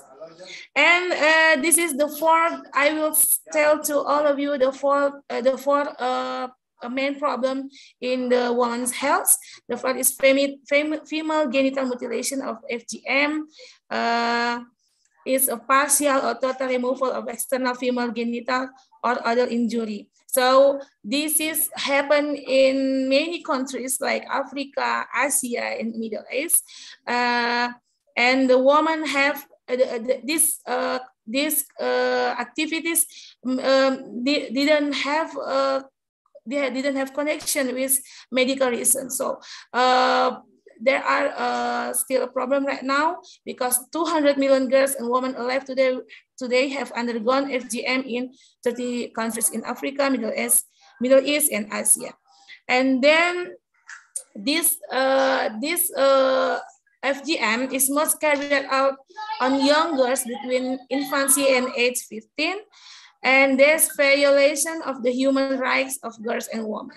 The treatment of health complication of FGM in 27 high prevalence countries is estimated to cost 1.4 billion USD per year and is projected to rise to 2.3 billion USD by 2040 if no action is taken. And the second problem is adolescent pregnancy. Approximately 12 million girls aged 15 until 19 years at least 200 and I'm sorry, 777 thousand girls under 15 years give birth each year in developing, in developing regions. At least 10 million unintended pregnancies occur each year among adolescent girls aged 15 until 19 years in, develop, in developing world. And there are many complications, of course, during pregnancy and childbirth in this uh, age. And and they have uh, they face a higher risk of eclampsia, puerperal endometritis, systemic infection than women at uh, in 20 to 24 years. And the babies of adolescent women, mothers face higher risk of low birth weight, preterm delivery, and severe neonatal condition. And the third uh, problem is maternal mortality. Every day in 2017, like uh, 17, like what I said before, uh, approximately 110 women died from preventable causes related to pregnancy and childbirth. And then 94% of all maternal deaths occur in low and low and middle income countries. Young adults aged 10 until 14 face a higher risk of complication and death as a result of pregnancy than other women. And skill care before, during, and after childbirth can save life of women and newborns. And this is the last problem uh, from uh, for a woman is violence against violence against women is the right the the incident is really rise right now. Uh, this happened because particularly intimate partner violence and sexual violence is a major public health problem and a violation of human of women human rights. And uh, approximately is is occur in one one in three of women worldwide have been subjected to either physical and or and or sexual intimate partner violence and non-partner sexual violence in their lifetime. Okay. Next, so many women become pregnant and give birth, then typically become their child primary caregiver, need special attention from all parties, and the role of nurse is very important to uh, to improve health. Yeah, five minutes so, again. Yeah. Okay. Okay, And next we are moved to women's and family. Uh, women's uh, and family, women's in family have a major uh, role in the family because uh, uh, women have many multiple roles in the family, like uh, what uh, Professor uh, Dawood says before. So a family formation of family structure have a different structure between previous era and today. And there are many changes in the family formation. The first is the age of first marriage now raising much faster. And there are many family types right now. Maybe uh, before we, we just hear a nuclear family or uh, like that and uh, a traditional family. But right now there are many types of family in the world, maybe like uh, anti like teenage mother uh, family, uh, homeless family, and communal family, and the others. Increasing female labor participation and better career opportunity for women. And woman role in family, you can see the picture in this in your screen. Uh, when we when we enter the new life as a woman in a married life, we have a new role as a woman in the family. You can see in this picture, uh, the woman take care of uh, uh, doing uh, cooking, take care of their baby, and they and she is uh, uh, do a job too. And woman's role in the family have many roles, like I said before, like domestic work, home or family care, children raising, education children, and right now many women, uh, many women get a job work, so they uh, they uh, take care of their family and they get a job too. So this make a woman have many have an important role in family from a nursing perspective of woman role in family, uh, in nursing theory, we know that there are family rules from each family position. There are eight rules associated with the position of spouse or partner. So this is the rule of the partner in the family. The first rule is provider, housekeeper, child care, socialization, sexual, therapeutic, recre recreational, and kinship. And woman rules as provider, I will uh, explain uh, maybe three of the rule of the uh, parents, uh, especially for women. Women's roles as, as provider has significant change in the past few decades. Many family need more than one income to meet basic need because many uh, need it in their family. So they have, uh, they must have uh, two or more uh, income to meet the basic need. Women take the opportunity to work with the purpose to fulfill family needs and housekeeper and child care rules, women experience significant rules strain in balancing provider and other family roles. Women who work outside the home still perform 80% of child care and household duties. So although the women uh, take a job in outside the house, but they still have 80% uh, of childcare and household duties because uh, many husbands just always uh, take uh, when they take children they always uh, always make their children playing with them. But but for basic need for the uh, children is still in a woman uh, woman hands. Women still are primary in meeting healthcare needs of all family members including children and men in socialization rule, the rule expectation have become more egalitarian over the past few decades, ways children learn to interact with others, care for themselves, create boundaries for relationship with, with extended family, peer, or other, and act as citizen. Parent uh, rules stop teaching, guiding, directing, disciplining, and counseling children, and mother assume the large share of the responsibility for children's socialization. And when uh, one of the family member get sick for the sick role, care the uh, the woman still care the family member when they got sick, even though they uh, get a job outside the from outside the home. Female individual in our society still provide the majority of care required when family member become sick or injured and woman is educator in family. Woman is educated in family. Traditionally, women have been given the role of education in family with the great responsibility of raising human beings with values and attitude that help them in their individual and social life.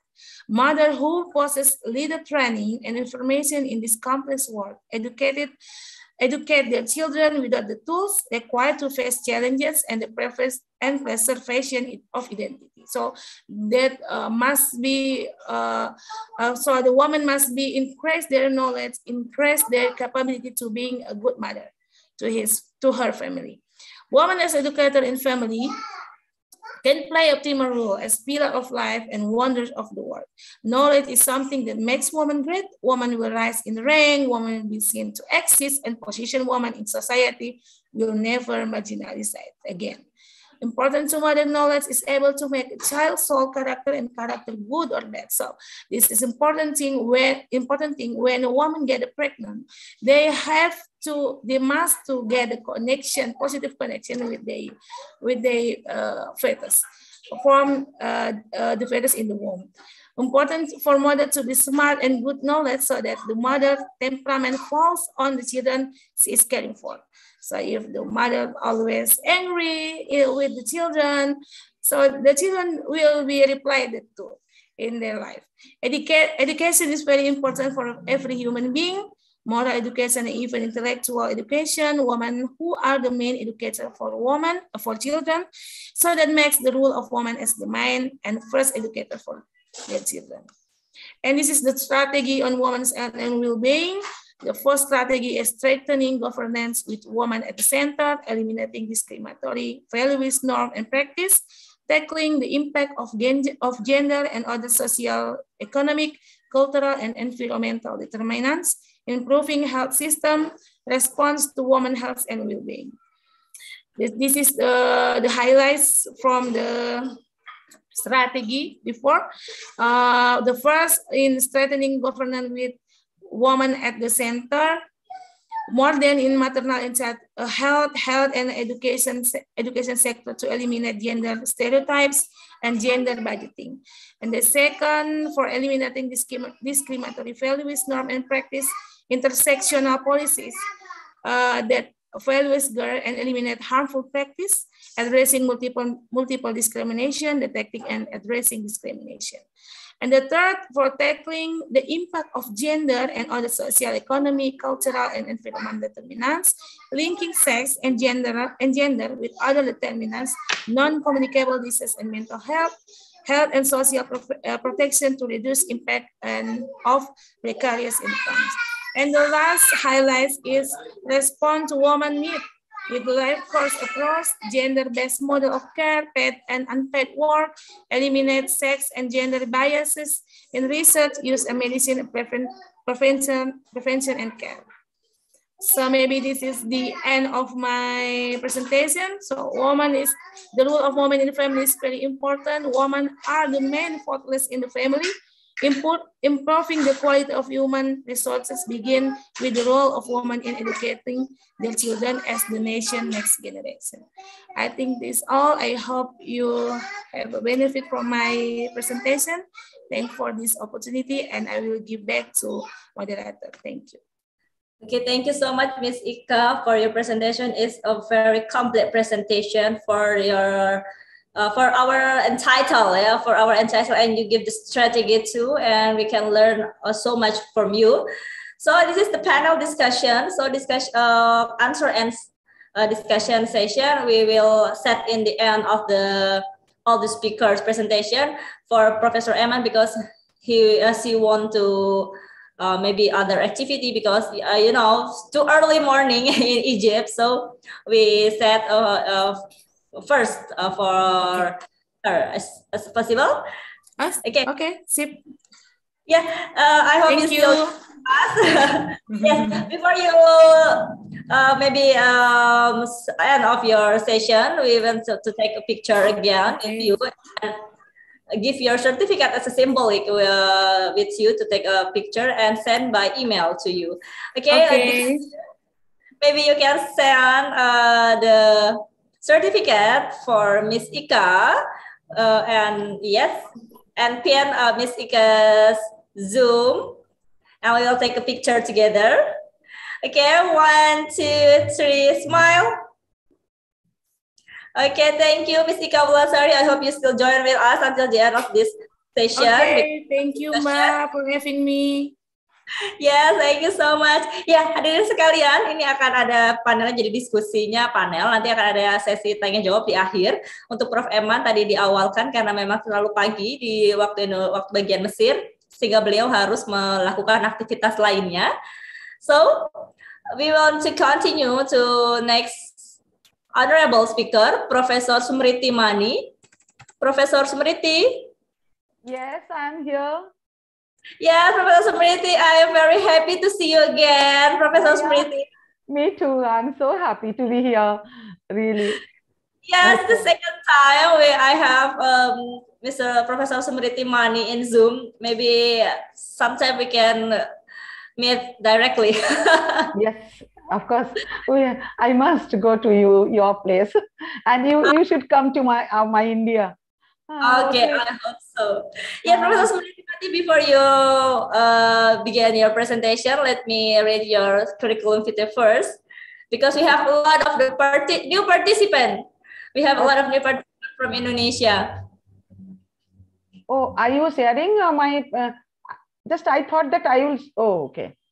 Yeah, for uh, just for curriculum vitae and for uh, your presentation, you can share first. If you have a connection good, you can share your by yourself. But you have if you have a problem, you can Uh, just I want. uh No Okay. need to tell so many things because all the speakers we are going, we are publishing so many things, and we are attached to so many organizations, and we are leading.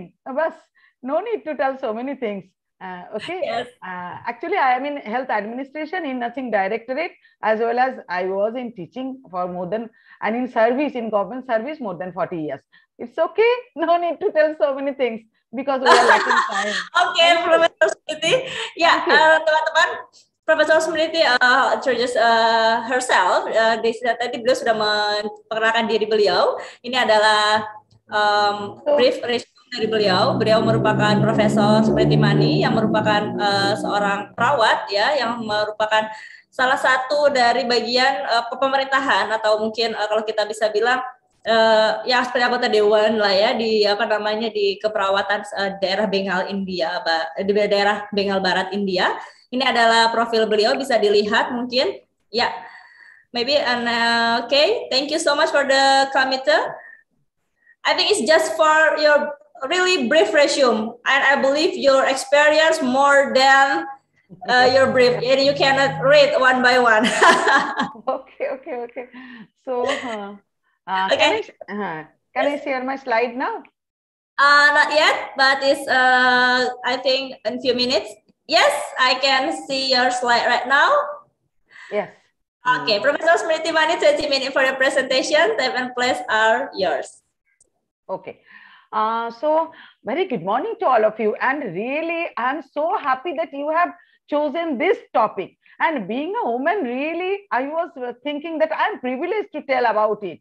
Uh, so my previous speakers, they have also told that various uh, multiple role of women. And not only that, um, um, Professor Daud has told that uh, uh superwoman. Really, I like that term also. Yes, we will go for that only uh, because uh, I want to tell, think like a queen here, particularly, I'm telling about the queen. And a queen is not afraid to fail. Failure is another stepping stone to greatness. Yes, we are women. We are great. We can conquer the world. And as we are doing. So we, we know it very well that we are women are the pioneers of the nation. Indian uh, culture also. Yes. Excuse me, you are a full screen right now or no? Yeah, it's full screen. I cannot read your full screen. I'm still just read your presentation first, not the full screen. Yeah, I'm in uh, introduction part. Mm -hmm. You can okay. change the maybe the slide. Okay, okay, I will do it. So women are the pioneers of the nation. And you don't know, Indian culture also attaches great importance to women from the very beginning, from our ancient time also. And we have seen that the uh, comprising, this is the women are comprising half of the world population. Uh, according to a report of Secretary General of United Nations, we have seen that the women constitute 50% of the human resources and the greatest human resource next only to man having great potentialities. Yes, we do believe that and we are doing also. In 21st century, the women expanded their roles and positions. Yes.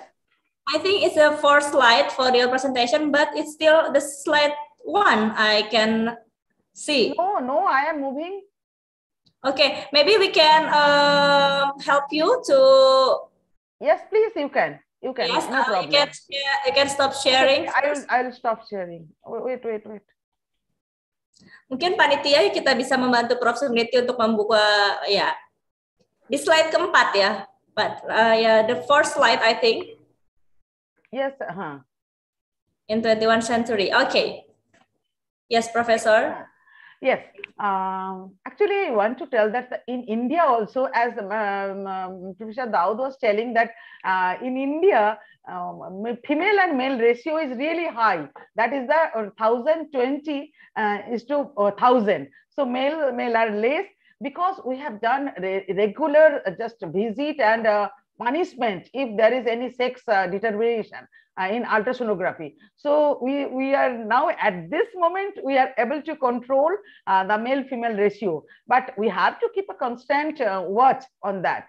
So in 21st century, we have, we have seen that the women expanded their roles and positions, areas like independence, and uh, not only that decision making really uh, our uh, um, uh, you can think about our indira gandhi so she just uh, in whole all over country, and uh, she has really reigned. And not only that, military combat and least labor ends because really women are rocking all over all countries.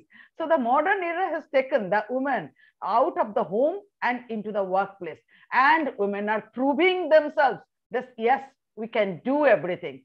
So um, next, uh, next.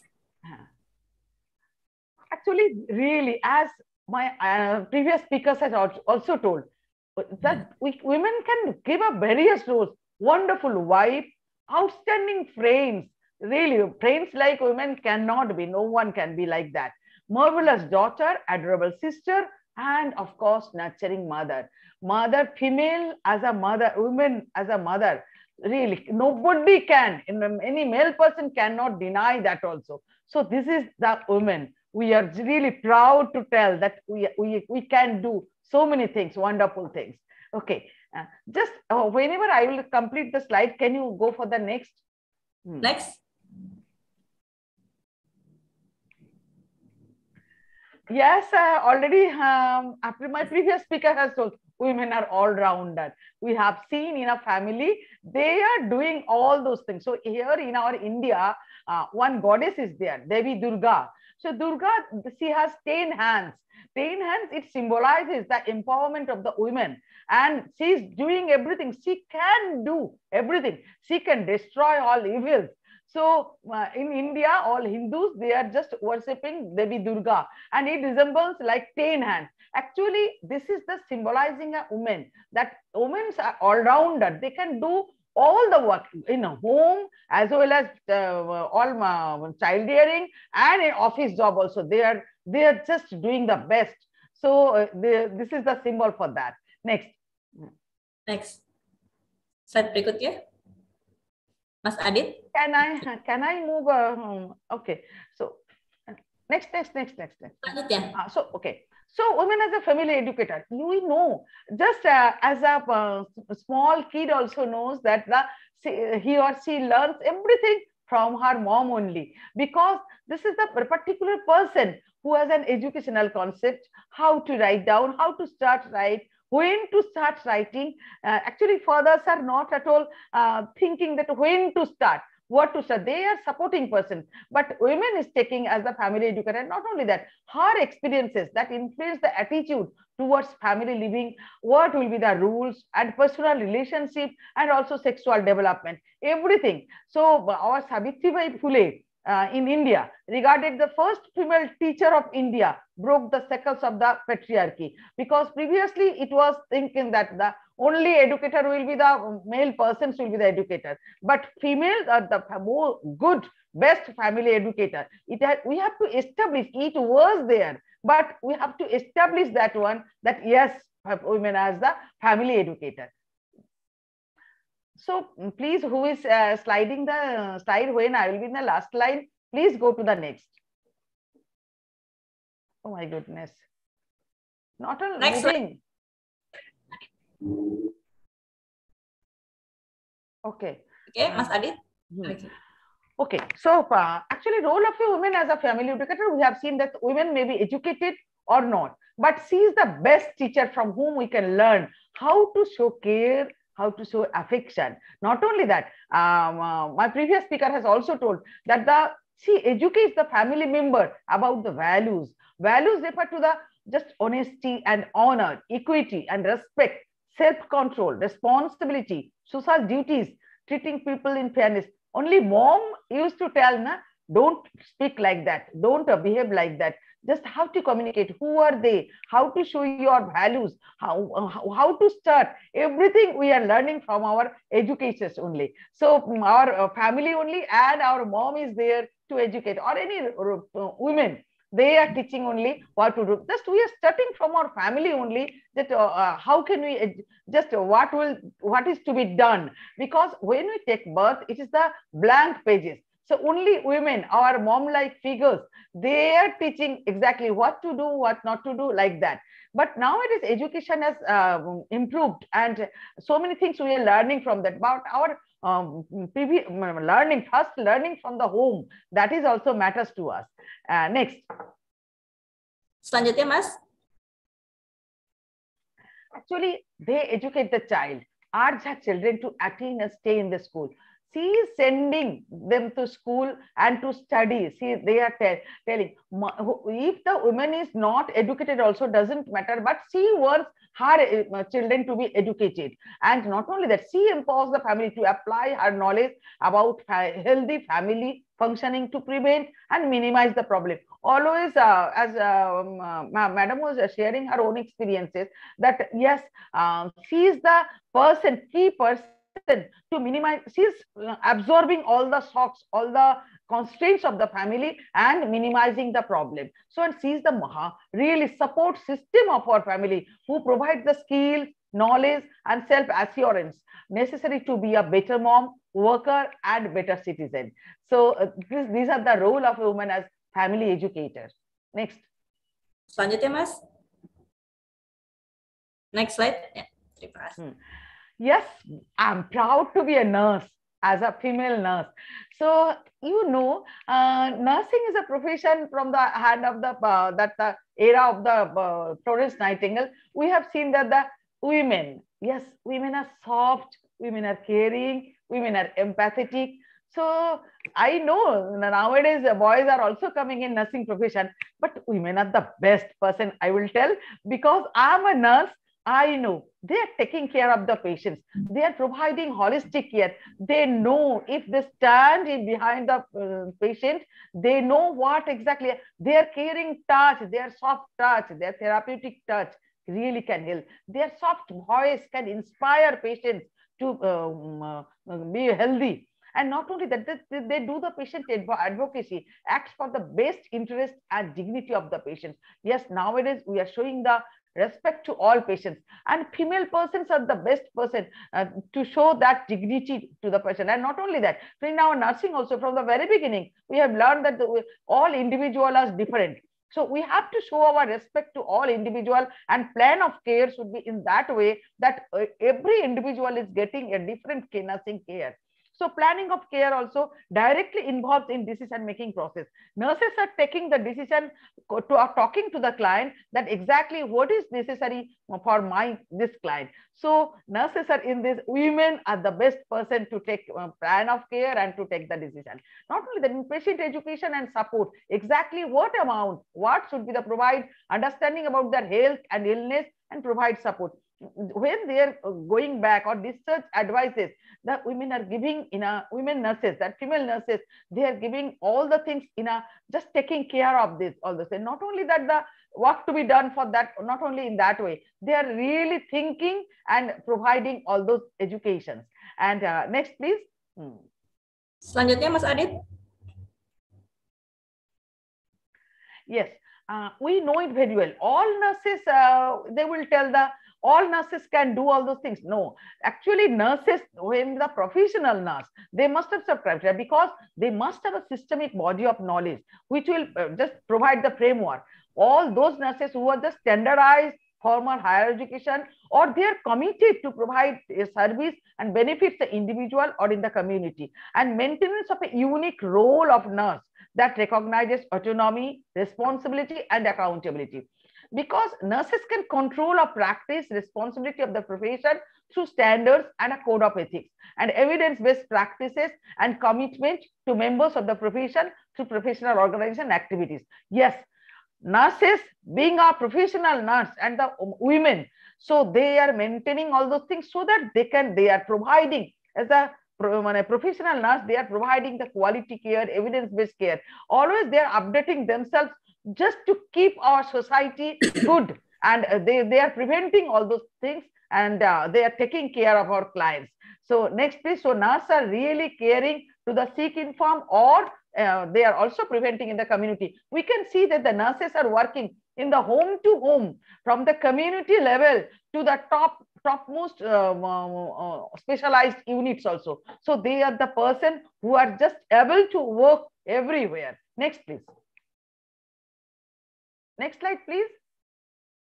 Selanjutnya, Mas Adit. Okay. Yes, Florence Nightingale rightly said that uh, she was a female. She was telling that we all, we are when we all are dead and gone, leaders will arise. Yes, our we want that our female um, female nurses will arise and the leaders who will really continue just their experience in hard practical work, difficulties, and joys of organizing nursing reforms. And really, nurses, female nurses, I'll tell that they will lead far beyond anything uh, she has done. So, Florence Nightingale also dreamed that, and we are also being a nurse, female nurse, we are trying to do that. Thank you. Next, uh, next slide, please. Selanjutnya, Mas Adit. Uh, yes, women as a nurse in a family. What do you think? Are not they a good nurse in a family? Yes, they are a good nurse in a family also because they are the sentries. They watch over and protect family members. They are the healer. Have you seen mother? She doesn't know, but if something happened, na, she is there first to run and give the care. Care for the body, care for the mind, care for the spirit, and improve the health. I know all the family members when they are feeling something, they, they are going to their mom and taking the lap of the woman to take the mental rest.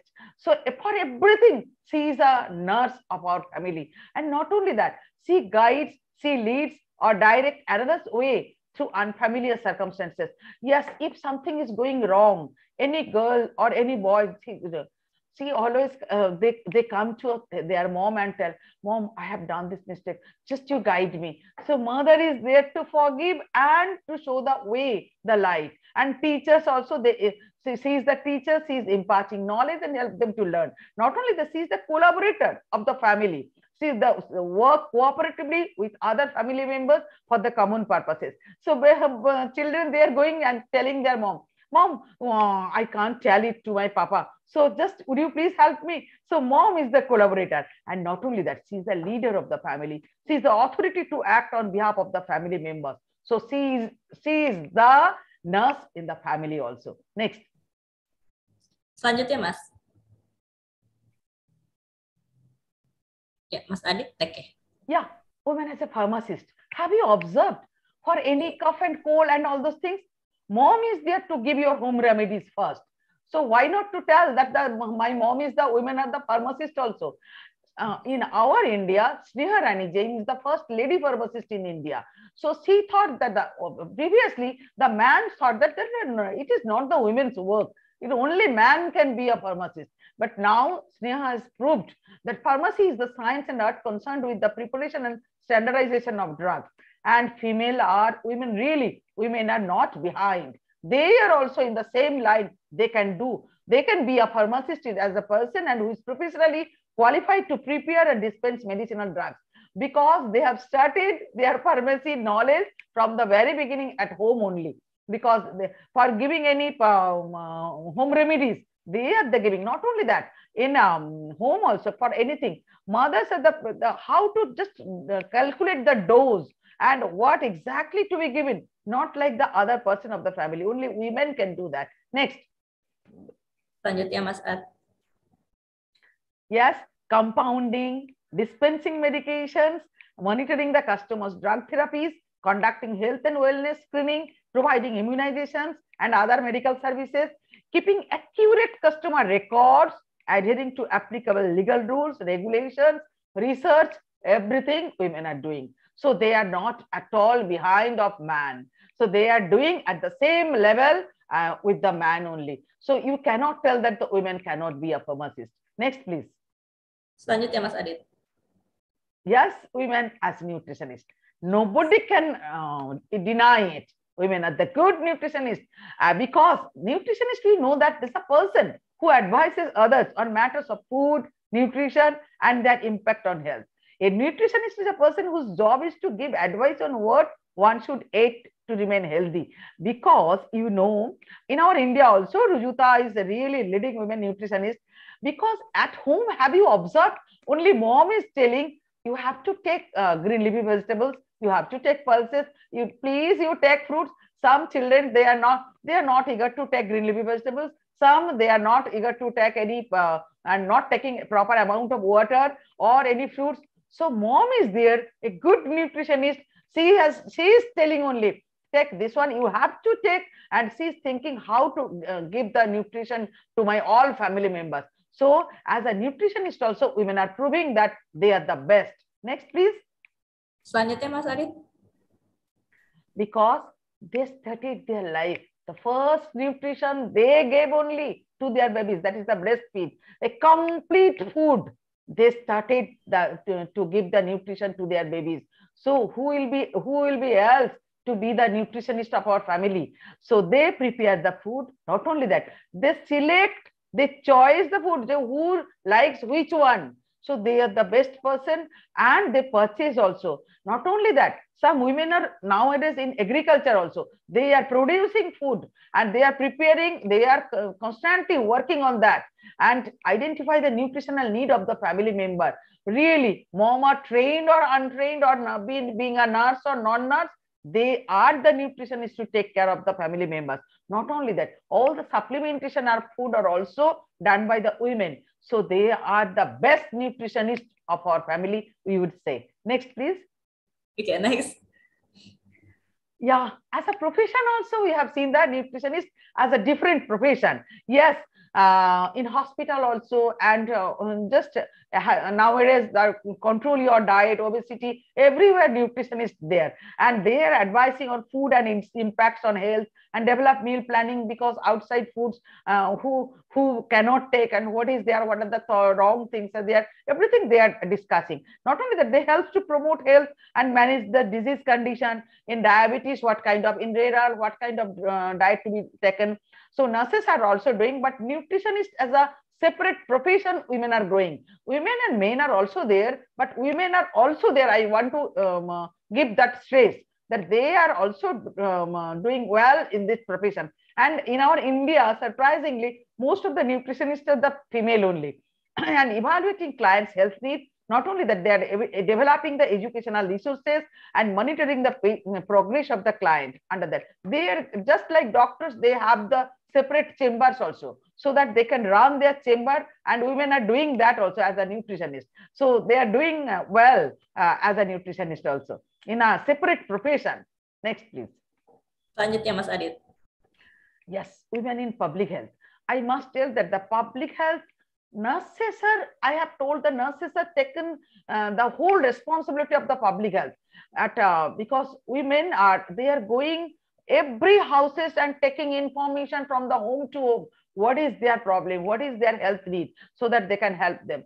It is public health promotes and protects the health of the people and the communities where they live.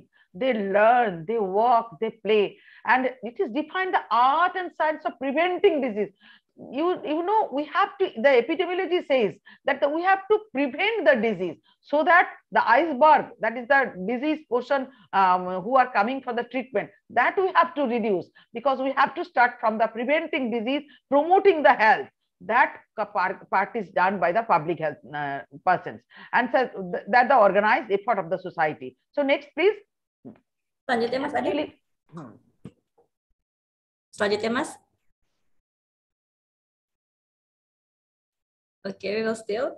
Maybe Professor Smriti, you have five minutes again. Okay, so uh, in public health, starting from family, that is the women at home only, they are giving the doing the right survey and telling that the what food producer or preparations all those things the, the role of uh, women also here in public health starting from the family also not only that, that they are the educators for maintenance of good health and nurses are also going to the field they are doing the visiting diet survey and taking what are the lacking so that they are correlating with our health and the uh, what is the need of that family. So teaching and monitoring the hygiene and primary caretaker of the dependent. So they act as a family health manager. So not only that they are acting as a socializing agent also. Because if the um, nurses are also going but the women in a family they are the communicating they are the collaborative person to the nurses and they are uh, discussing that how can i take care of my family? So they are the family health manager also nurses are really doing a uh, lot of work in the public health because uh, all the communicable diseases, non-communicable diseases, everything is under control and they are doing all those things. So prevention and promoting health, if we are doing, we are um, giving pressurize on that, we are concentrating on those so that the disease is uh, low, the overloading of the disease will reduce and uh, India is uh, just trying to do that. Next, please. Selanjutnya, Mas. Yes, uh, we have to protect and improve the health of the people and the community. Not only that, healthy lifestyles. All those non-communicable disease, hypertension and uh, diabetes, all those things, this is the lifestyle. So who will take care? Nurses are uh, not there in 24 hours. So women only, they are able to take care. They, they have to change the uh, lifestyle of the family members. So promoting healthy lifestyles and reaching, researching the disease and injury prevention, detecting and preventing and responding to infectious diseases, only women can do. So it is their role also. Not only that, protecting the health of the entire population. If I protect my family, and Mm. all the families are protected in a society. So ultimately, we are protecting the whole population so that we can do the uh, um, our mortality and morbidity rate will reduce and the country will proceed. So this is the really this is a, a very good role uh, of the women in public health. Next, next, please. Yes, uh, I'm uh, going to come uh, uh, just finish my topic. Before that, I want to tell need for the women empowerment. I have seen that so many countries, Madam has also told, my previous speaker has told, so many countries, they are not uh, empowering women. So because we have to empower women, otherwise uh, they will be given the opportunity to do the job in the industries and feel comfortable, work uh, harassment, work situation harassment, sexual harassment, all those things to be reduced. There must be, I, I am a committee member that uh, internal com committee. So in workplace also we have to say, see women she cannot do it so this type of discrimination should not be there and not only that we have to encourage them to take up higher education and business activities so that women are no longer subordinate to their families or to the husband wishes i did a study that we have seen that in which areas women empowerment is not there we have seen that the in um, uh, family planning methods women are not taking the whole response whole decision so here, male persons are the decision maker. So in the, those areas, we have to uh, take care. And if women are higher educated, then they have their own empowerment. They can take their own decision. Then only it will be improved. But can communicate with their family members in a way where both sides are heard. And at the individual level also, we should start respecting and honoring women. As previous uh, madam was telling, that yes, being a woman, we have to respect my girl child, my children, and my seniors, so that uh, if, uh, we always used to tell in our India that start from your home only. Then only start giving opportunities to equal to men. So if you are not giving the equalities in your family, gender equalities, so how can you expect society will give so start from your home only, giving the uh, opportunity to equal the girl and boys so that it will uh, slowly, slowly it will improve. India government has taken so many schemes. That is the Beti Bachao, Beti Padhao Yojana uh, and uh, Mahila Shakti Kendra, support to training and employment programs for women. Shukonya Samriddhi Yojana. These are the central government, uh, government of India has taken and our state government in West Bengal. We have taken so many strategies. What you know to prevent the teenage pregnancy, uh, our chief minister, what she has done, that one uh, Prakolpo, that, uh, that means the a certain amount of money is kept uh, in her bank and um, one bicycle is given to her so that she will go to school until and unless she is uh, just completing her higher education, at least higher, um, higher secondary. So she will not be able to touch that money. After that also again she is doing graduation so uh, for her marriage also, they are getting some amount of money. Like that, we are just ever trying to prevent the teenage pregnancy and teenage marriage also. So, and uh, uh if we are doing, really we uh, empower our women, then it is possible to do that. And there are really, in our state also, we have taken so many strategies to prevent it. Uh, and next slide, please. Last one. Yes. In which areas we have to empower? socially we have to empower yes uh, just i have told now from our home we have to start and socially we have to give the honor respect and we have to work so many things. Education also. So if you are also uneducated but don't let your children your girl child to be uneducated. So just take care educational side. Education only can bring the changes amongst the women.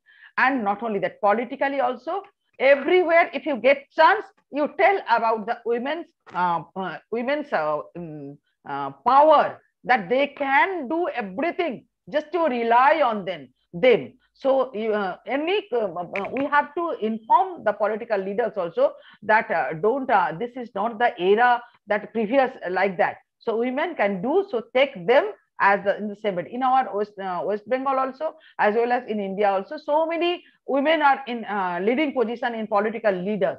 So really, uh, we are trying to do that. Not only that, psychologically, psychologically you have to boost up. And as madam was telling the mental health of the women will be taken care. She will do everything and nobody is there to take care of them. Uh, because all society you have to think about the women also. Because then only we will be able to take uh, take care of you so thank you very much. Thank you organizers. You have chosen uh, so many things wanted to tell so many research also i have done. But uh, really uh, it's a good topic. So many things everybody can tell uh, because this is the topic only where we are really free to tell and we are happy to tell. Thank you very much for choosing such a topic. Thank you. Thank you very much.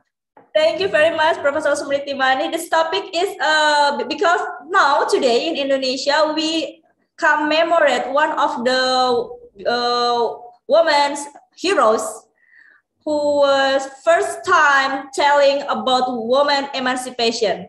So yeah, so so we we use the traditional uh, Indonesian custom and also we have entitled our theme about the uh, woman's role and also as you know women have a role as a educator, nurse, and nutritionist in pharmacy inside and outside of family.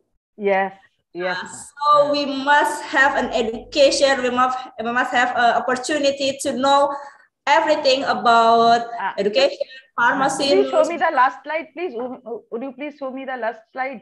Oh yeah. Okay. Last, last slide, slide terakhir dari Dokter uh, Prof. Smriti mungkin bisa ditampilkan.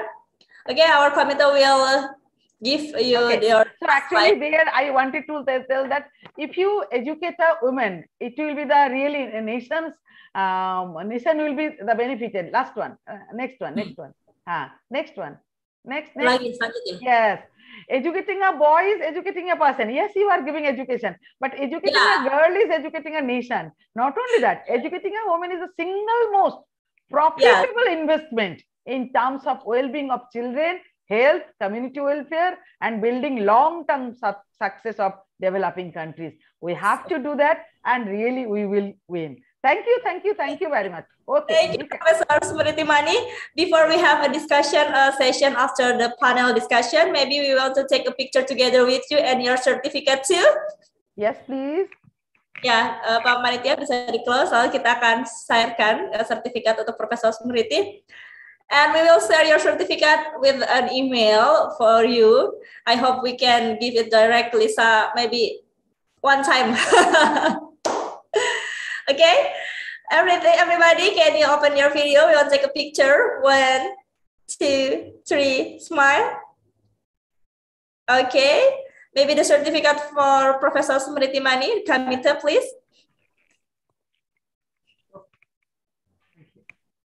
Yes, this is the certificate for you, Professor Smriti. So we want to take a picture again with your certificate. One, two, three, smile. Okay, thank you so much. Thank you, Professor Smriti. I hope you will still join with us until the end of the session. Okay, thank you. Uh, good morning, Professor Smriti. And we want to continue to our distinguished uh, speaker, Dr. Reda Abdul Shadi. I will greet her first, Prophet Dr. Reda. Good morning. Good morning, Dr. Reda. You? Alaikum assalam wabarakatuh. Can you share my presentation from your side? Because I have problem in uh, sharing. Oh, um, uh, we will help you to share your presentation, maybe. Because I cannot uh, see your presentation right now.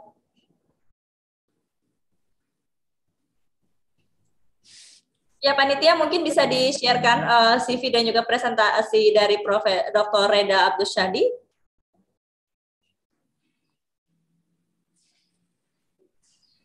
Yes, Dr. Reda, you yeah. can your CV first. Yeah, maybe before we start your presentation, I will read your briefly resume or curriculum vitae in Indonesia make sure that all the participants will know you better. Ya, hadirin sekalian, ini Dr. Reda Muhammad Nabil Abdusyadi, berusia 42 tahun. Beliau sekarang berasal dari Cairo University, Mesir. Dan sekarang beliau posisinya adalah sebagai Assistant Professor in Maternal and Newborn Health Nursing at College of Applied Medical Medicine at Sagra University and lecture in maternity from Faculty of Nursing Cairo University. Beliau memiliki spesialisasi sebagai ahli maternal dan juga bayi baru lahir, kesehatan bayi baru lahir atau kesehatan ibu dan anak ya mungkin di Indonesia. Dan beliau telah meluluskan, telah selesai melakukan pendidikan, tentunya bisa dilihat di sini. Sebelumnya beliau juga bersama atau sudah mendapatkan scholarship for two years from Case Western Reserve University from United States of America and for doctoral degree beliau menyelesaikan program doktornya tahun 2011. Sekarang beliau juga merupakan seorang editorial dan juga member dari Journal of British Microbiological Research dan reviewer di berbagai jurnal. Di sini ada 1, 2, 3, 4, 5, 6, 7 jurnal yang tentunya jurnal ini sudah merupakan hmm. jurnal internasional bereputasi. Oke, terima kasih panitia untuk CV-nya. Oke, nah ini juga ada profesional artikel beliau. Di sini banyak sekali artikel yang sudah beliau keluarkan. Dan tentunya kegiatan-kegiatan workshop sebagai pembicara, sebagai juga beliau uh, anggota research dan juga publikasi-publikasinya juga sudah sangat banyak sekali. Jadi kita tidak lagi harus khawatir karena kita sudah bertemu dengan salah satu ahli dalam bidang ibu dan juga bayi baru lahir atau ibu dan anak. Ya, ini sertifikat-sertifikat keahlian dan juga sertifikat untuk kespesialisasian dan profesionalitasan beliau. Oke, okay, I will greet again Professor uh, Dr. Reda. Yes. Yes. Happy fasting, Dr. Reda. You still have fasting? Thank you, Baka. Uh, can I share? Can you share my presentation because I I I, ha I don't have access. Of course, of course, Dr. Reda. Oke, okay, Pak Nitya, ada share uh, presentasinya sekarang? Okay, Dr. Reda Abdushadi, you have uh, 20 minutes for your presentation. After that, we have a discussion and uh, question answer session because the discussion will be panel. Yeah, we will share your presentation with uh, our committee. Ya, mungkin bisa dicari terlebih dahulu, panitia. Um, uh, Dr. Reda, maybe you can uh, you you give us your newest presentation or no? Uh, I because sent it to Dr. Amal. I sent to Dr. Amal Dawood yesterday. My presentations. Because we don't have your newest presentation here. We don't have your file. Can I talk without the uh, slide show because I, I don't know how to share? I have a problem in uh, my laptop. Oh, you have a problem in your laptops. Yes. Uh, because we, we, we just have your curriculum vitae. We don't have your PowerPoint presentation. I sent it yesterday for Dr. Amal Dawood. Or maybe Dr. Amal Dawood forgetting about your presentation our committee tell me that we don't have it right now. Mm. But it's, it's don't worry, you can uh, start with your without the presentation because after this conference, we will share all of the PowerPoint presentation to all the participants. It's okay, no problem, Dr. Reda. Oh, thank okay? you. Yes, okay. Start? Yes, of course. 20 minutes, Dr. Reda, time and place are welcome for you. Thank you. Uh, thank you for uh, organization the committee. Thank you, Dr. Amal, for giving me this chance to chair in uh, your conference. Uh, my presentations, uh, I will continue the role of the, the woman as a educator and counselor, uh, the effect of mobile app application on pregnant woman knowledge, attitude, and practice toward COVID-19. the nurse have a role to increase the awareness regarding the COVID-19 and how to the woman have a knowledge regarding that. The coronavirus is a pandemic global health crisis. The pregnant women are the considered to be a high risk group for severe acute respiratory syndrome. The potential adverse effect of virus on maternal and perinatal outcomes are concerned. One of the, the best way to avoid this potential adverse effect is provide women with knowledge to improve her awareness. Pregnant women also at risk for severe illness, morbidity, mortality, as observed in cases other related to coronavirus infections, uh, the Middle East respiratory syndrome, and other viral infections. Uh, it's noted that the pregnant women are more susceptible to developing severe cases of viral respiratory infections, uh, acquired infection to hospital, experience reduced lung infun- function, increased oxygen consumption, uh, educations and access to information uh, at this stage are highly valued by pregnant women. Moreover, when it is provided in optimal circumstance and from the safe source uh, by professional nurse, the mobile-based application is more effective and cost-effective than other systems because it supports pregnant women from their home or place, calls for review, advising, interactive. Mobile application is the highest, uh, the price hope to provide accurate practice knowledge by nurses who have a key role in the management of pregnant women during pandemic crisis. Uh, so the, the key here is the woman has a role as educator. The nurse have a role to give the, the chance for the pregnant woman to take knowledge and uh, improve her practice and change her behavior to accommodate and uh, to provide her safe uh, environment or safe pregnancy outcome. Uh, as a result, it's important to provide pregnant women with the most up-to-date information on COVID-19 to prevent obstetrical complications. Pregnant women should be educated about personal hygiene, basic inf- infections preventions, and control measures, and how to care for persons suspected for having COVID-19 as safely as possible. This study uh, is uh, conducted at the Manian University Hospital in Egypt, in Qasr Al Aini, uh, to evaluate the instruction organized sessions via mobile based applications for woman knowledge, practice, and attitude toward the, COVID 19. A quasi experimental study was utilized for this, uh, for, for this study. Uh, about 200 pregnant women, regardless of gestational age, were recruited. Uh, there are three tools uh, structure interviewing, knowledge practice attitudes assessment questionnaire, uh, and uh, pregnant woman satisfaction regarding instruction methods. Our result from this study, uh, the mean age of the pregnant woman, 27.05. a majority of the women had high educations and working and were living in urban area in Egypt. Uh, from this study, uh, the source of knowledge regarding uh, COVID-19, Uh, about uh, nearly half of the study sample uh, take this source from TV and social media.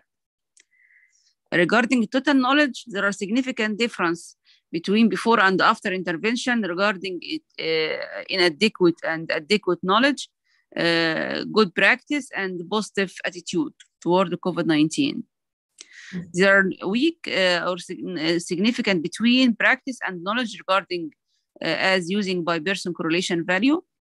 Are relationship between knowledge of practice and attitude toward COVID-19. This finding support research hypothesis that pregnant women who receive instruction organized sessions via mobile-based applications who can use by the nurse show the positive effect on level of knowledge, practice, and attitude as compared before interventions. Uh, the following recommendations, continuous follow-up support is required to sustain new knowledge and practice.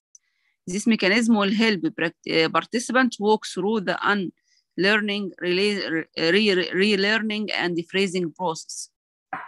Ante antenatal health care, especially nurses, should have a plan, a plan to communicate online with pregnant women to manage such as these crisis situations. To facilitate the outbreak management of COVID-19 in Egypt, there is an urgent need to increase the public awareness of COVID-19 at this critical moment through social media by professional health team members with scientific knowledge. Telehealth technology can be a cost-effective means to slow the spread of the virus and to lessen the pressure on the hospital capacity by operating as a possible filter, keeping those with moderate symptoms at home while uh, routine more severe cases to hospital.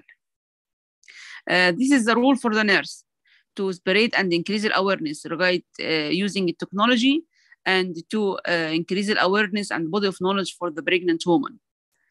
Thank you very much.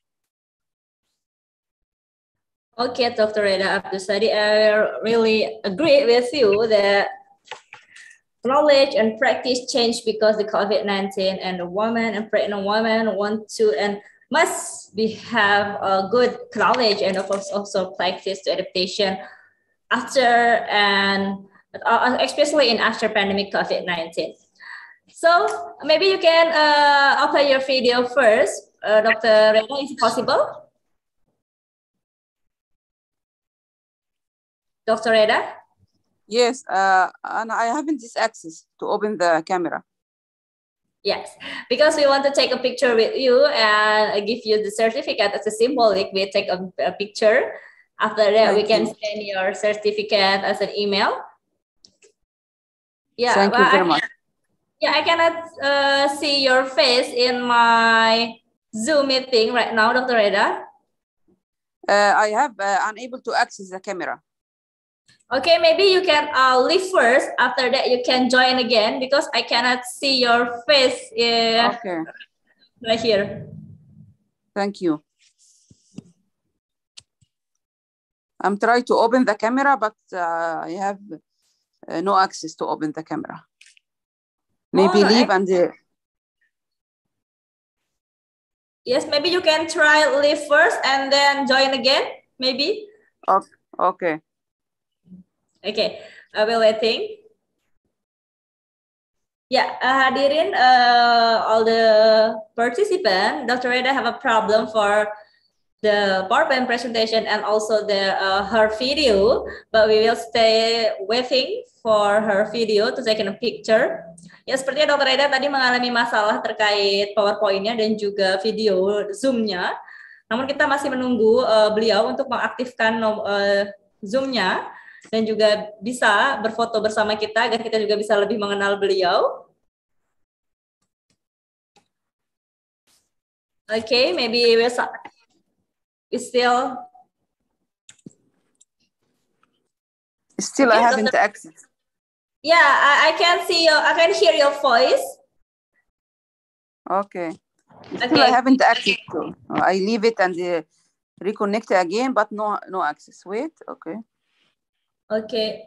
Okay, maybe still have a problem uh, for the connection uh, between you and I in Indonesia, but it's no problem. We will take a picture with your certificate first. Mungkin sertifikatnya bisa di-sharekan, panitia. Yes, Dr. Reda, this is your certificate uh, for this conference. I hope I can give it directly one time, maybe. Thank you very much. Thank you. yes. I will try really- to open my. Yes, I really have you here is an honor to me, and be- because I cannot see your face, it means that you must be attend again, maybe in next conference. Okay. Inshallah. Okay. Thank you. Okay, ladies and gentlemen, we'll take a picture with Dr. Reda's certificate. Okay, one, two, three, smile. Okay, thank you so much, Dr. Reda. Happy fasting. I hope you're still healthy and we can meet again in other conference. Yes, wassalamualaikum warahmatullahi wabarakatuh. Waalaikum Waalaikum assalam wa rahmatullahi wa barakatuh. Thank you. Thank you very much, Dr. Reda. And I hope you still join with us because we have a discussion and the question answer session Okay. after the panel discussion. We just still have two uh, distinguished speaker again, Professor Faiza and Apotheker Himyatul. Okay, uh, maybe, uh, ladies and gentlemen, we will continue to the next speaker, Professor Faiza. But before that, I will check it first. Her attendance. Professor Faiza.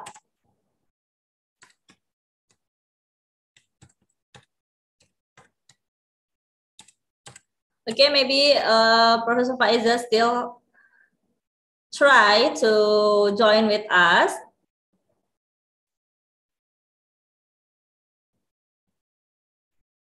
We want to next to the our speaker, Apotheker Himyatul. She is already here. Miss Himyatul. Good morning. Ya, sepertinya uh, Profesor Faiza masih membutuhkan waktu untuk bergabung bersama kita. Selanjutnya kita akan ya, do, do, ya Ibu Himyatul. Iya, kita akan menyapa pemateri kita yang selanjutnya yaitu Ibu Himyatul, apoteker Himyatul Hidayah. Selamat pagi. Ya, selamat pagi Bu Ya, selamat pagi Bu Himyatul. Salam sehat selalu. Ya, salam sehat selalu. Ya, mungkin ada double suara dari itu apa sih namanya dari Zoom mungkin Ibu nanti bisa dicoba cek lagi untuk soundnya. Ya, sebelum kita memasuki materi dari Ibu Himyatul, saya akan membacakan terlebih dahulu kurikulum vitae beliau. Mungkin panitia bisa di-share. Before we continue to the presentation from Mrs. Himyatul, I will read her resume or her curriculum vitae.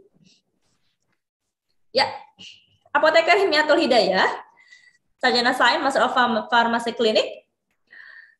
Beliau lahir di Ujung Pandang tahun 1970. Beliau sudah berkeluarga dan memiliki lima orang anak. Beliau saat ini tinggal di Kabupaten Karawang. Sama ini Ibu dengan saya ya, ada di daerah Jawa Barat ya. Di Perumahan Citra Permai Mandiri Regency, Jalan Kristal, di sini di Kecamatan Kota Baru, Kabupaten Karawang. Beliau juga mencantumkan telepon dan juga alamat email pribadi jika para peserta ingin menanyakan atau berdiskusi terkait kepakaran beliau secara farmasi melalui media sosial. Oke, okay, next. Pendidikan beliau ditamatkan untuk sarjana sainsnya dari Universitas Hasanuddin tahun 1995, serta pendidikan apoteker di Universitas Hasanuddin pada tahun 1996, lalu mengambil magister farmasi klinis di Universitas Muhammadiyah Surakarta pada tahun 2018 untuk riwayat pekerjaan beliau, sejak 2012 hingga 2014 sebagai pengajar kimia di Kuala Lumpur, Malaysia, lalu kembali ke Indonesia tahun 2014 hingga 2018 sebagai dosen di Universitas Darussalam di Gontor, Ponorogo, Jawa Timur. Dilanjutkan pada tahun itu pula hingga tahun 2021 beliau juga sebagai seorang apoteker penanggung jawab di Apotek Latansa Gontor, Ponorogo, Jawa Timur. Dan sejak 2018 hingga saat ini Beliau merupakan staf dosen di Universitas Buana Perjuangan Karawang. Berikut adalah penelitian dan juga publikasi beliau dimulai dari tahun 2022 hingga dua tahun ke bawahnya ini saya yakin banyak sekali. Di antaranya adalah tentang sun protection factor activity of black glutinous rice imugel extract ya dan juga beberapa lagi terkait identifikasi potensial obat-obat pasien hipertensi. Next, panitia. Bisa sih. Ya, oke. Okay. Tentunya Ibu Himyatul sudah memulai karir profesionalnya. Bahkan saat saya masih sangat kecil ini, Bu. Saya masih bayi. Ibu sudah memulai karir profesional. Nah, ya, oke. Okay. Ini adalah PowerPoint Ibu Himyatul. Betul, Ibu? Iya, betul. Okay, I can see clearly your PowerPoint and now I can hear clearly your voice. Ya, sekarang saya sudah bisa melihat uh, PowerPoint dengan jelas. Begitupun suara Ibu sudah sedikit terjelas lagi. Ya, sudah sangat jelas terdengar di sini. Baik, Ibu ya. Himiatul, 20 menit waktu yang diberikan. 60 minute for your presentation. Miss Himiatul Hidayah, time and place are welcome. Ya, terima kasih Ibu Tuti. Ya. Ya, mohon maaf ya, jadi dengan Zoom kamera ini ada trouble jadi warnanya ataupun kurang jelas mungkin di para hadirin semuanya. Tidak masalah Ibu. Bismillahirrahmanirrahim. Assalamualaikum warahmatullahi wabarakatuh. Waalaikumsalam warahmatullahi wabarakatuh. Bapak Ibu sekalian yang saya hormati, izinkan saya memaparkan materi ini dalam bahasa dengan judul The Role of Women as Pharmacy pada webinar 5 International Conference on Nursing and Health Science. Materi yang akan saya sampaikan merupakan wacana yang bersifat terbuka dan semoga dapat menjadi gagasan bagi hadirin untuk melakukan riset yang metodologik terkait sejauh mana peran gender dalam profesi kesehatan, terutama farmasis. Topik ini akan menjadi menarik ketika melihat fakta bahwa profesi cukup diminati oleh kaum wanita. Sekarang pertanyaannya adalah, apa yang mendorong wanita tertarik untuk menjadi bagian dari profesi ini? Pertanyaan kedua, apa kekurangan dan kelebihan peran wanita dibanding dengan pria? Pemaparan pada kesempatan ini tidak bermaksud untuk menjawab pertanyaan karena membutuhkan penelitian lebih lanjut.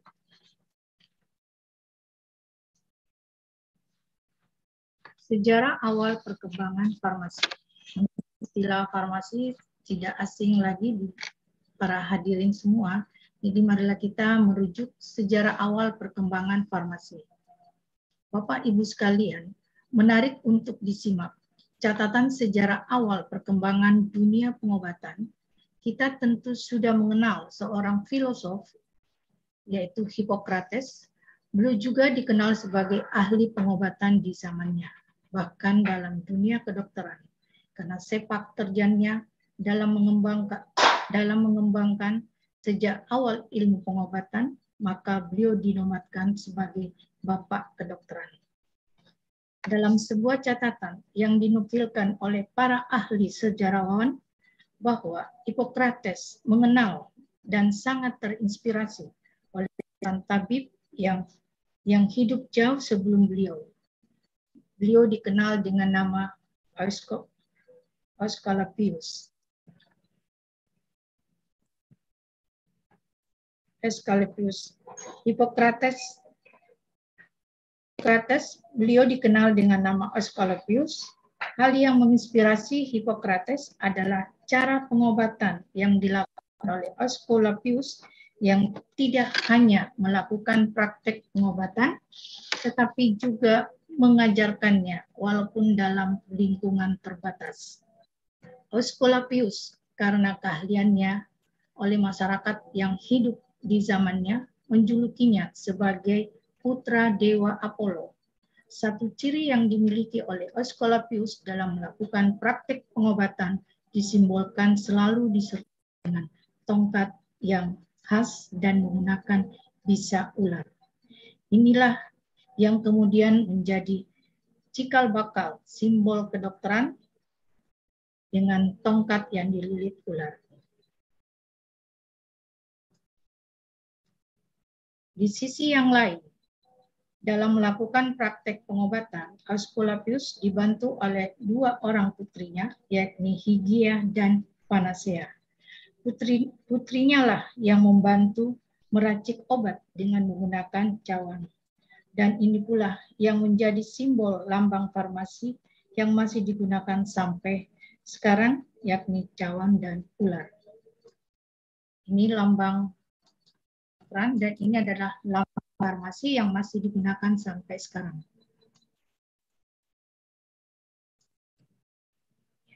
Apa perang wanita sebagai farmasis? Di sini kita akan kaji terlebih dahulu pengertian daripada apoteker berdasarkan Permenkes tahun 2011. Menurut Permenkes tahun 2011, apoteker adalah sarjana farmasi yang telah lulus pendidikan profesi dan telah mengucapkan sumpah berdasarkan peraturan perundang-undangan yang berlaku dan berhak melakukan pekerjaan kefarmasian di Indonesia sebagai apoteker. Selain itu, apoteker adalah seseorang yang mempunyai keahlian dan kewenangan di bidang kefarmasian, baik di apotik, rumah sakit, industri, pendidikan, dan bidang lain yang masih berkaitan dengan bidang kefarmasian. Apa saja yang dilakukan oleh seorang farmasis? Ini pada gambar pertama, ini farmasis yang berprofesi di apotik ataupun dikenal dengan istilah farmasi komunitas. Di sini peran farmasi dalam hal ini apoteker sebagai penanggung jawab apotik Di sini dia akan memberikan informasi ataupun edukasi terkait penggunaan obat.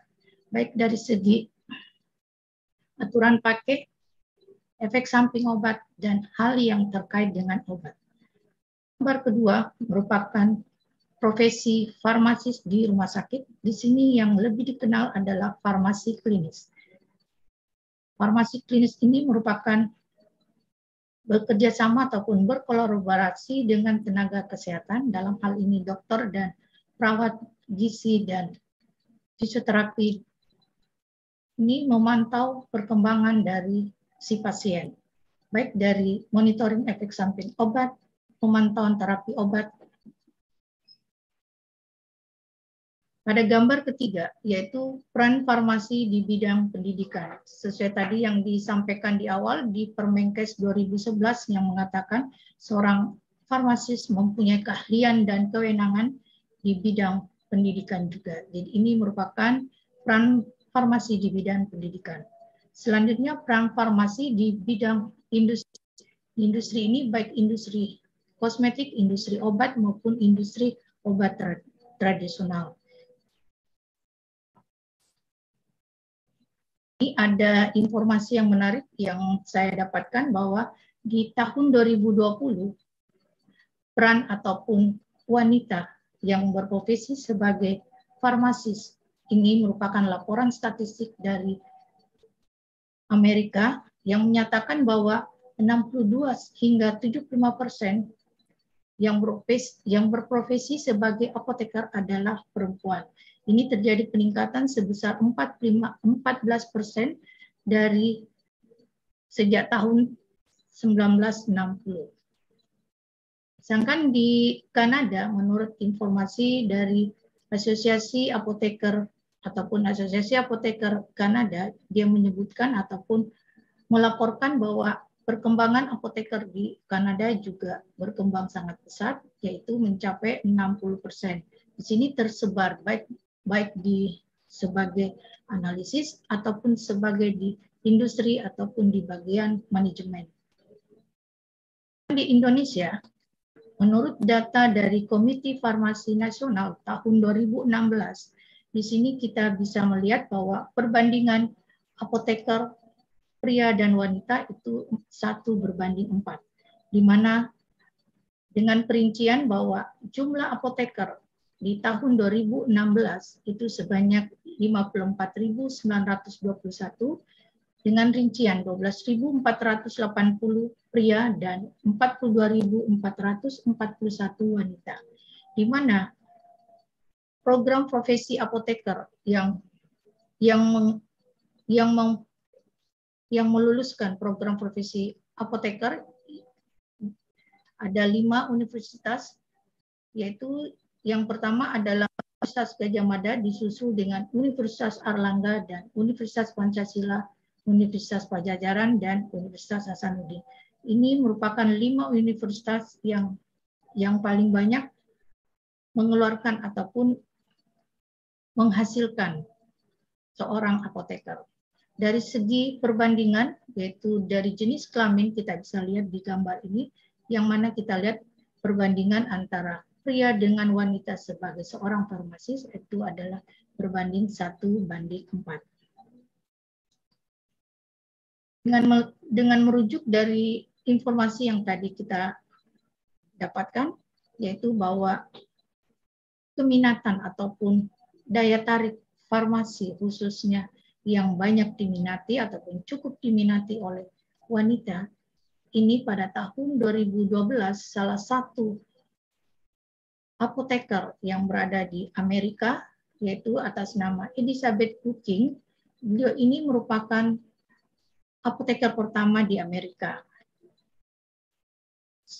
Asosiasi apoteker di Amerika menobatkan Ibu Elizabeth Cooking ini sebagai inspirasi beberapa wanita ya untuk ataupun termotivasi untuk menggapai impiannya sebagai seorang apoteker dan merupakan sebagai apoteker pertama di Amerika. Menariknya bahwa pada sejak tahun 2018, 2018 itu di setiap tanggal 12 Oktober ini dijadikan ataupun dideklarasikan Hari Apoteker Wanita di Amerika. Ini di diprakarsai oleh pemimpin organisasi atas nama Farmasis Mom yang diketuai oleh Susana Soliman. Di sini beliau terinspirasi dengan Elizabeth Booking, yang di mana Elizabeth Booking ini merupakan apoteker pertama dengan mempunyai 12 anak, tetapi mampu dia menekuni bidang profesinya, yaitu apoteker dengan mengurus keluarganya. Makanya pada tanggal setiap 12 Oktober diperingati sebagai Hari Apoteker Wanita. Jadi ini terinspirasi dari jumlah anak dari Elizabeth Putih. Ada beberapa jurnal ataupun penelitian yang telah dilakukan, baik yang ada di Kanada ataupun di Amerika, ini terkait dengan masalah gender, yaitu apa ada hubungan antara gender dengan kepuasan profesi ataupun kepuasan pekerjaan ataupun dengan aspek yang mendukung mengapa wanita lebih banyak dibandingkan dengan pria yang tertarik sebagai seorang farmasis. Ini suatu penelitian diadakan di universitas di Kanada. Di sini di universitas ini metode yang digunakan yaitu dengan menggunakan kuesioner di mana yang digunakan adalah respondennya adalah mahasiswa angkatan pertama dengan angkatan keempat. Adapun abstrak yang ditampilkan di sini dilihat latar belakangnya yaitu mengapa perempuan tertarik ya ataupun lebih luas dari profesi apoteker ini karena dia bisa menggabungkan antara profesi apoteker dengan urusan keluarga. Jadi sesuai tadi yang apa yang disampaikan oleh Ibu Elizabeth. Adapun tujuan dari penelitian ini yaitu untuk mengidentifikasi identifikasi sikap dan keyakinan mahasiswa farmasi terkait isu yang tadi yang disampaikan bahwa peluang ataupun proporsi wanita lebih besar dibanding pria.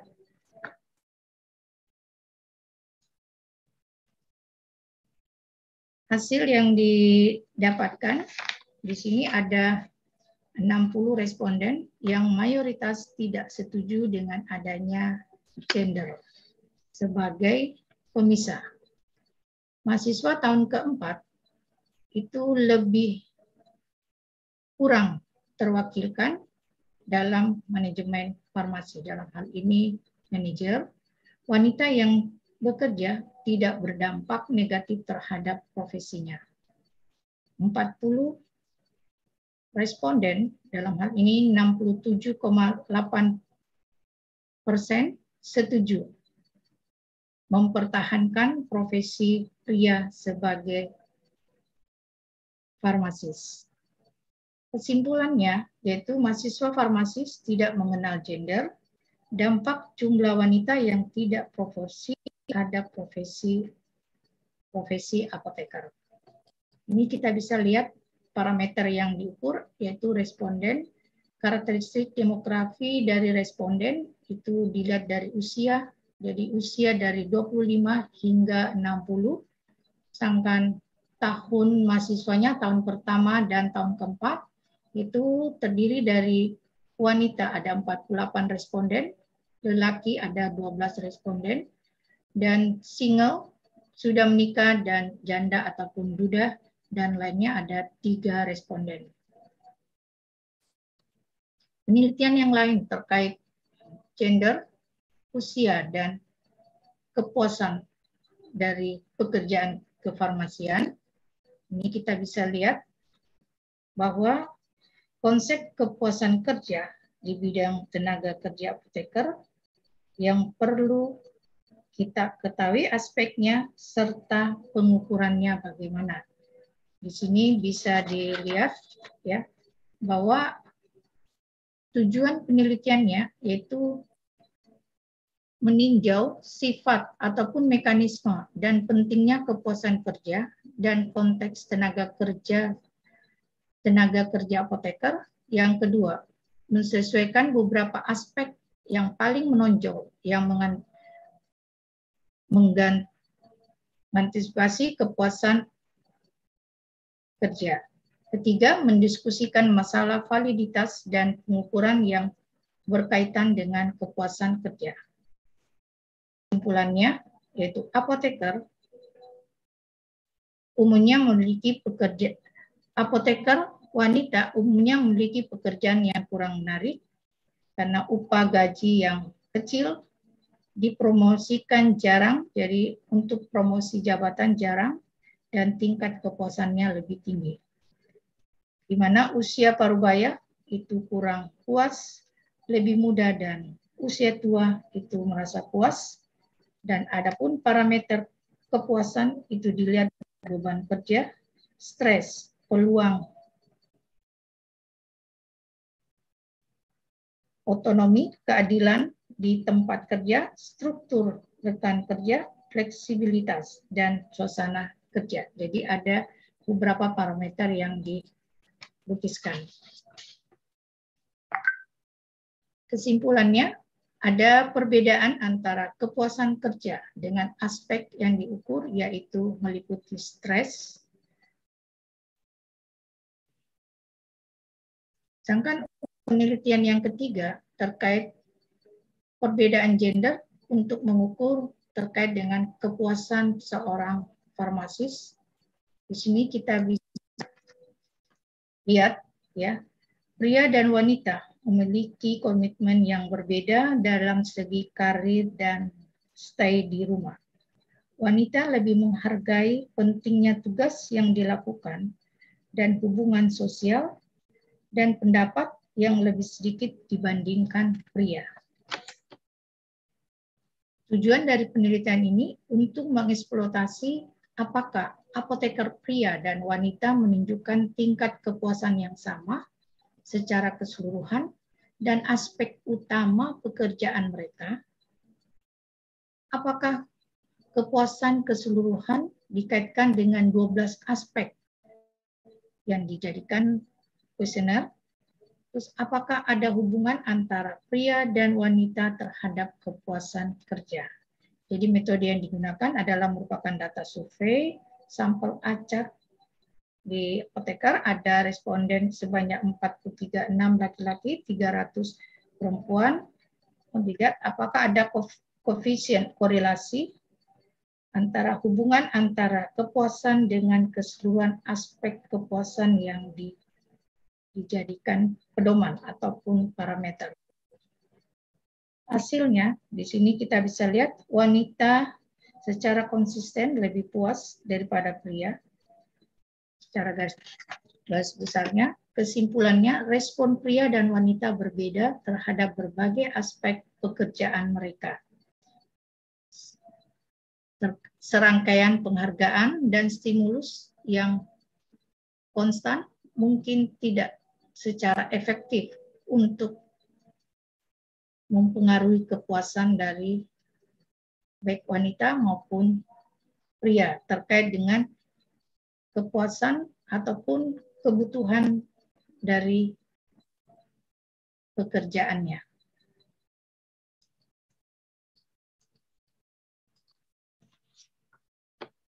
Kesimpulan dari materi, materi ini kesimpulan apa yang telah saya sampaikan pada pemaparan ini berpulang pada bagaimana masing-masing memandang kelebihan dan kekurangan para wanita dalam profesi ini.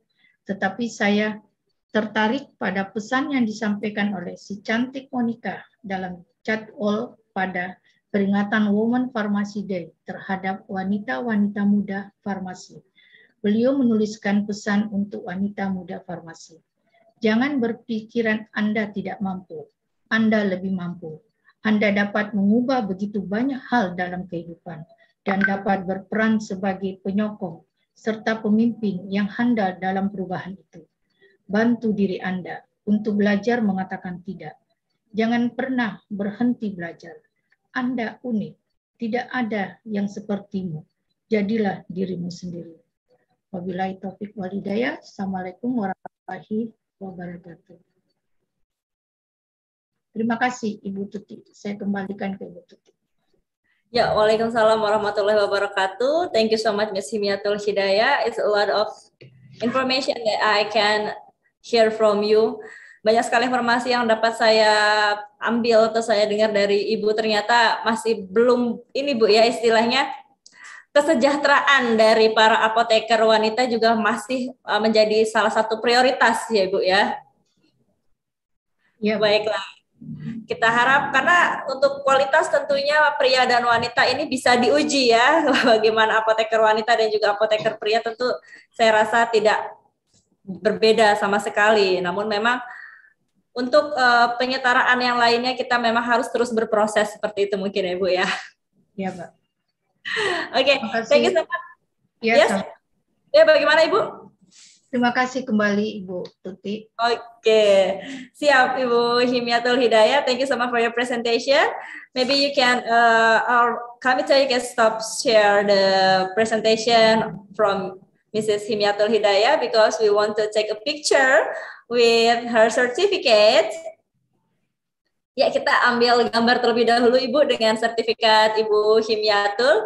Mungkin suatu saat nanti kita bisa konferensinya langsung begitu ya Bu ya, bisa ketemu langsung, memberikan langsung. Ya. Oke, okay, maybe Yulia. Okay, maybe Nurse Julia still have uh, trouble in the connection. So, uh, baik Ibu Himiatul, uh, bisa dibuka lagi Bu Himiatul uh, videonya. Karena kita akan mengambil gambar.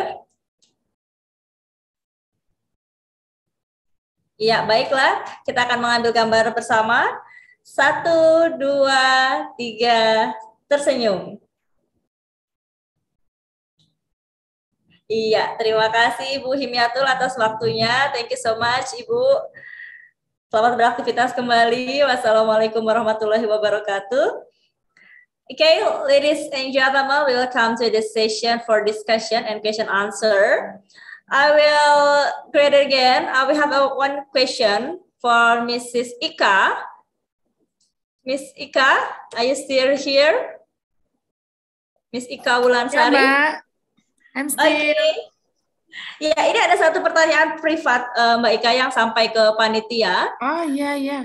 Uh, terkait bagaimana wanita untuk mengatasi berbagai masalah mentalnya, baik secara profesional ataupun di dalam keluarga? Adakah saran bagi wanita yang memiliki banyak beban, oh, double burden ya, double burden. Oh. Jadi bagaimana perempuan bisa mengatasi masalahnya baik sebagai seorang educator, nurse atau farmasis mental terkait kesehatan mental di dalam ataupun di luar dari keluarga karena wanita harus berperan sebagai profesional baik dalam ataupun di luar keluarga. Baik, bagaimana Mbak Ika? Saran-sarannya begitu mungkin ya. In ya. Indonesia, Mbak, enggak apa-apa. Oh, Oh, no problem. Oke, okay, oke. Okay. Uh, eh, baik, Mbak. Jadi uh, sarannya karena memang sekarang mental health itu masih lagi happening banget, banyak kejadian yang missing uh, yang tidak mungkin kita tidak sadari bahwa keluarga terdekat kita mengalami ya. Nah, untuk para perempuan, karena saya juga mengalami ini, maksudnya saya sebagai mother, kemudian bekerja, kemudian jadi wife juga, jadi uh, perannya semuanya dikerjakan jadi jangan sampai kita kehilangan waktu untuk diri kita sendiri. Kemudian harus menikmati semua peran kita karena semakin dianggap uh, itu sebuah beban maka semakin berat bebannya sebenarnya. Tapi kalau kita enjoy di dalam uh, melaksanakan peran kita sebagai perempuan, insya Allah tidak akan ada rasa uh, sebagai beban gitu ya. Kalau jenuh mungkin ya ada. Kapan ya bisa pergi jalan-jalan, kapan ya bisa punya me time gitu. Tapi sebenarnya bisa dilakukan asal bisa dikomunikasikan juga dengan pasangan ya. Karena memang eh, pasangan juga sangat berperan penting gitu. Kalau misalnya mau keluar rumah mau pergi jalan-jalan dulu berapa jam boleh disampaikan ke pasangan kita. Mau saya ini ingin ke salon dulu nih gitu. Jadi disampaikan aja ke pasangannya. Kemudian jangan sampai tidak berkomunikasi, apalagi kalau memang sudah punya uh, banyak uh, rasa beban ya, beban yang berat di dalam dirinya sendiri, itu harusnya open communication with uh, pasangannya. Jangan sampai nanti pasangannya nggak tahu ini kenapa ujuk-ujuk kok sering marah-marah ke anak, kenapa ujuk-ujuk sini. Jadi itu semuanya harus dikomunikasikan pasangan. Ya. Kemudian uh, bisa juga uh, dari laki-laki ya karena sebagai pasangan perempuan di sini itu juga harus peka dengan kondisi dari perempuan. Begitu banyak peran yang harus mereka hadapi sehingga pasangan juga berperan penting untuk bisa uh, mengurangi bebannya. Misalnya berbagi pekerjaan rumah, berbagi uh, mengurus anak, itu semuanya bisa dikomunikasikan dengan pasangan. Jadi kalau uh, semuanya ini bisa dilaksanakan, saya rasa bisa mengatasi sih Mbak masalah-masalah itu. Kalaupun sudah punya masalah silakan komunikasi dengan orang yang tepat gitu ya. Bisa ke sahabat atau misalnya punya eh, koneksi ke pelayanan kesehatan silahkan gitu untuk terbuka berbicara. Saya punya masalah kayaknya kok kalau malam susah tidur karena kelelahan banyak pikiran. Kayaknya kok eh, rasanya saya kalau di rumah rasanya gampang marah itu bisa dikomunikasikan dan nanti bisa dapat terapi dari orang yang tepat tersebut gitu. Jadi jangan eh, takut untuk speak up dengan orang dan eh, dengan orang yang tepat. Dan juga harus tahu kalau memang kita tidak bisa kalau kita memang tidak bisa menjadi semuanya ya. Jadi kadang-kadang harus tahu batasan juga. Oh iya sekarang ini jadi ibu ya mungkin banyak kekurangan. Jadi kalau misalnya banyak yang kasih komentar-komentar ya kita terima saja yang namanya manusia tidak yang sempurna gitu. Jadi kadang-kadang oh anaknya kayaknya anaknya kayaknya apa ya badannya kurus misalnya ya. Ya namanya juga sambil bekerja sambil urus anak ya. Itu yang penting tetap dalam kondisi uh, yang sehat. Maksudnya dalam batas normal berat badan anak sih nggak usah terlalu dipikirkan gitu yang yang seperti seperti itu. Jadi kurang lebih seperti itu sih mbak karena ini pengalaman pribadi juga. Iya betul betul. Ini ya. juga sepertinya memang banyak pertanyaan pengalaman pribadi begitu ya, ya. Baik, uh, maybe we can, uh, kalau boleh saya saring dari jawaban yang disampaikan Ibu Ika Wulansari, maybe yang pertama adalah kita harus mengetahui ya cara menyembuhkan diri kita. So search how to healing yourself. Ya, kita harus mencari tahu cara bagaimana menyembuhkan diri kita. Selanjutnya kita juga harus be an extrovert maybe. Having a good communication with your partner, with your family, or with everyone you believe. Jadi kita harus membuka komunikasi kepada suami, kepada siapa pun ya orang yang kita percaya begitu. And kalau kita butuh bantuan jangan takut kata Bu Ika karena memang pasti yang namanya beban ganda itu menimbulkan beban mental. You have an extra burden, you have a double burden, so your mental will be down. It's normal, it's no problem. Find someone can treat you or can give you a treatment, maybe a professional, maybe your family, so so you can find it Ya, jadi kita harus mencari, jangan diam saja itu eh, ibu-ibu sekalian atau para uh, wanita yang mengalami masalah hal-hal yang demikian. Dan ini yang keempat yang saya rasa penting ini, Mbak. Penting sekali benar.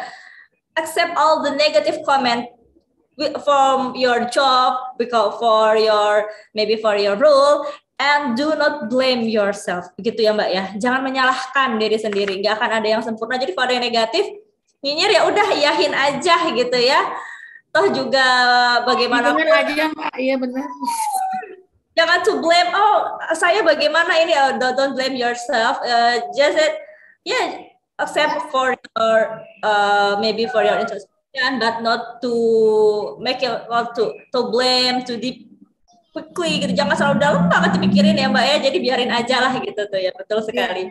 Harus deal with myself. Jadi berdamai dengan diri kita sendiri.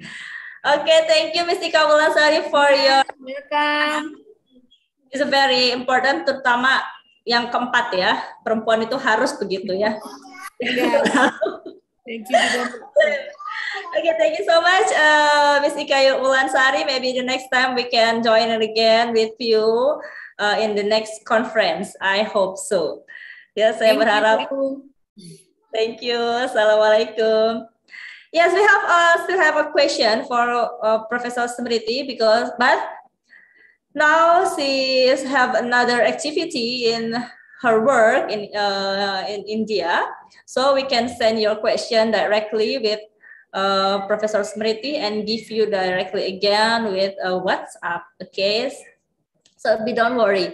And we still have a question for Miss Himyatul. Ibu Himyatul masih bergabung bersama kami. Oke, okay, Ibu Himyatul. Maybe, ya, Mbak. Ya. ya, ini ada pertanyaan Ibu Himyatul terkait dengan uh, presentasi yang Ibu sampaikan. Direct question uh, from the participant to the committee. Ini pertanyaan uh, secara pribadi langsung.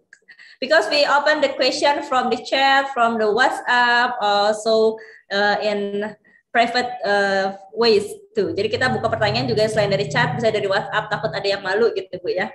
Nah, ini ada pertanyaan dari pemaparan Ibu tadi, disampaikan bahwa memang istilahnya kesejahteraan itu untuk para apoteker perempuan itu masih belum. Adakah rencana kebijakan atau rencana aksi tindakan dari ikatan asosiasi profesi untuk mengatasi hal ini? Oke, monggo Bu. Ya, ya, makasih Bu Tuti. Ya, ya. terkait ya. dari pertanyaan tadi, ya, jadi pada prinsipnya akan di ini ya di akan ditindaklanjuti dari hasil beberapa penelitian terkait dengan kesejahteraan dari wanita sebagai seorang farmasis. Demikian Bu Tuti.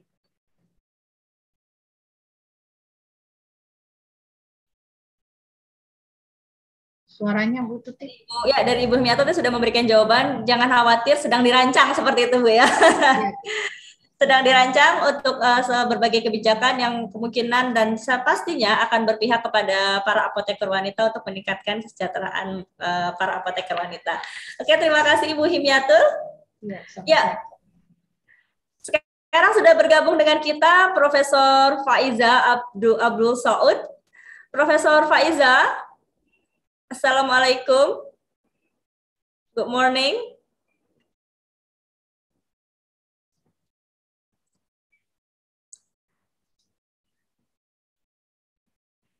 Ya, Profesor Faiza.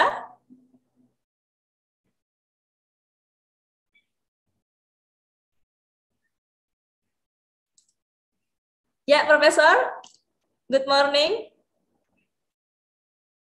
I can see your face, Professor, before it.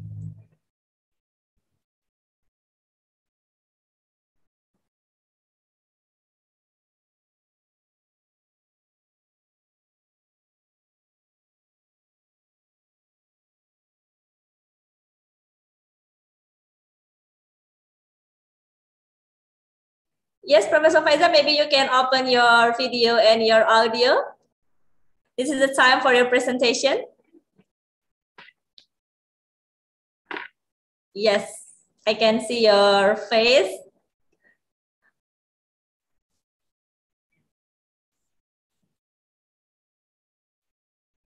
Yeah, ladies and gentlemen, maybe Professor Faiza want to prepare their connection and also their presentation. I will remind you, we will apologize for the longer schedule.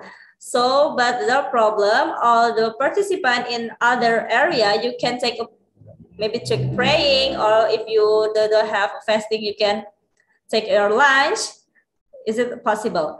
Ya, kami memohon maaf atas terjadinya keterlambatan schedule. Mungkin untuk para peserta di wilayah lain waktu Indonesia lain, waktu Indonesia Timur atau waktu Indonesia Tengah dapat melaksanakan sholat ataupun bagi yang uh, tidak menjalankan ibadah puasa dapat uh, makan terlebih dahulu. Halo, Dr. Profesor Faiza. Assalamualaikum. Waalaikumsalam warahmatullahi wabarakatuh. Did you hear me? Yes, I can hear your voice clearly and I can see your face too. Thank you. Yes, Good thank morning, you so much. Everyone. Good morning, Professor Faiza. Thank you so much for joining with us. It's still early morning in your country, all right? Yes, it is early morning. Yes, it's early morning. Thank you so much. It's an honor to us to have you here. And thank you for your time to us for this conference. Maybe thank before... You, uh, yes, Professor Faiza? Yes, please. Uh, first of all, I would like to thank all to invite me to be a participant in this uh, great uh, conference. I see uh, the participants from uh, worldwide. I'm yes. so happy to be with uh, you and join to, to today with you. Uh, actually, my uh, talk today about my uh, uh, research. Uh, Yes. So uh, I will start to presenting. I don't know. You can show off the presentation from your side.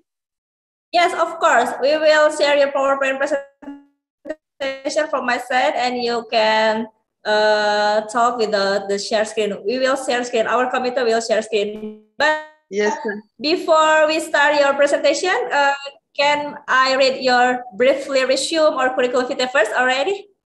Yes. Yeah, because please. uh, our participant want to know you.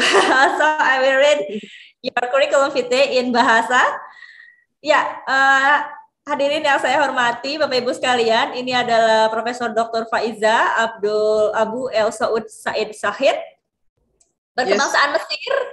Beliau berkebangsaan Mesir dan sekarang eh, tinggal di Saudi Arabia. Menyelesaikan pendidikan sarjananya dari eh, sarjana keperawatan dari Nursing College of Nursing Cairo University dan menyelesaikan pendidikan masternya pada bidangan keperawatan komunitas di College of Nursing Minufia in Egypt Em, dan menyelesaikan program doktornya juga di komuni- komunitas nursing atau di perawatan komunitas dari universitas yang sama. Oke, next uh, panitia. Beliau Yes. ini juga sebagai seorang profesor. Yes, you can see ya teman-teman bisa lihat professional work experience as a lecturer, clinical instructor, and total experience 30 years. It's the same like my years, 30. Since I child Profesor Faiza do the professional work. Jadi saya masih bayi, Profesor Faiza sudah bekerja secara profesional. Ya, beliau sekarang adalah Assistant Professor in Community Health Nursing, Minuvia University College of Nursing, 2010 until now, and Associate Professor, Professor in RAK Medical and Health Science University, RAK College of Nursing, and Applied Science University, Faculty of Allied Medical Science, Department of Nursing in Jordan. Okay, next. Maybe a lot of uh, experience. I can read one by one. Professor, you can see uh, all the participants, full professor from College of Nursing, Department of Community Health Nursing, Minofia University, Egypt. Until now, okay, you have a lot of experience as a professor, as a scientist, as a speaker, over 30 years. Yeah, you can see that all the participant sangat tentunya sudah sangat experience sekali, sudah sangat kepakar sekali dalam bidang perawatan komunitas. Oke, thank you, Komite. You can uh, start share screen, uh, Professor Faiza presentation, maybe Komite. Yes, please. Yes.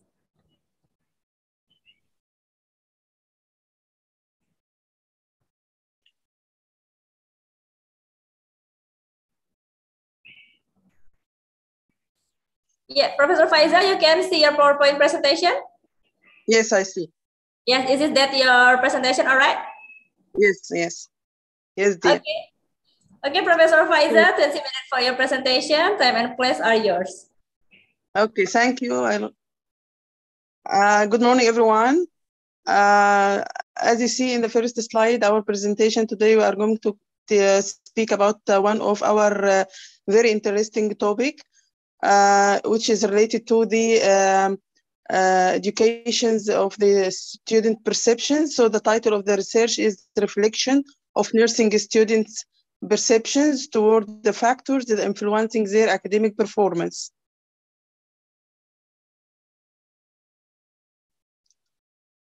the aim of this uh, research next to assess the nursing student perceptions toward the factor influencing their academic performance Next, Mas Adit. yes so as you see here is the aim of the research actually our research is aiming to assess the nursing student perceptions toward the factors influencing their academic performance. Next. The research questions, we have uh, four research questions as you see. First of uh, these questions, we are asking about what is the level of influence of different uh, success factors on the academic performance of the nursing students. The second questions, which is subschedule, and the items of the success factors has highest influence on their academic performance. And the third questions, we are asking about what is the level of influence of the different failure factors on the academic performance of nursing students.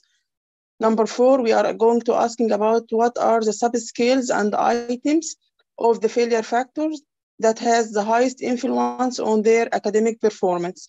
So through the result, we get, alhamdulillah, all this answering for this question.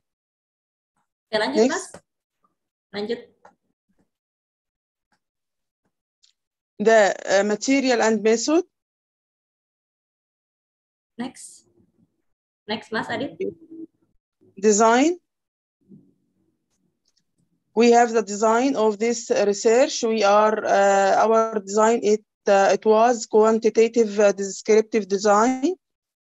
Uh, it was used to describe the nursing uh, student perceptions toward the factors that influencing their academic performance.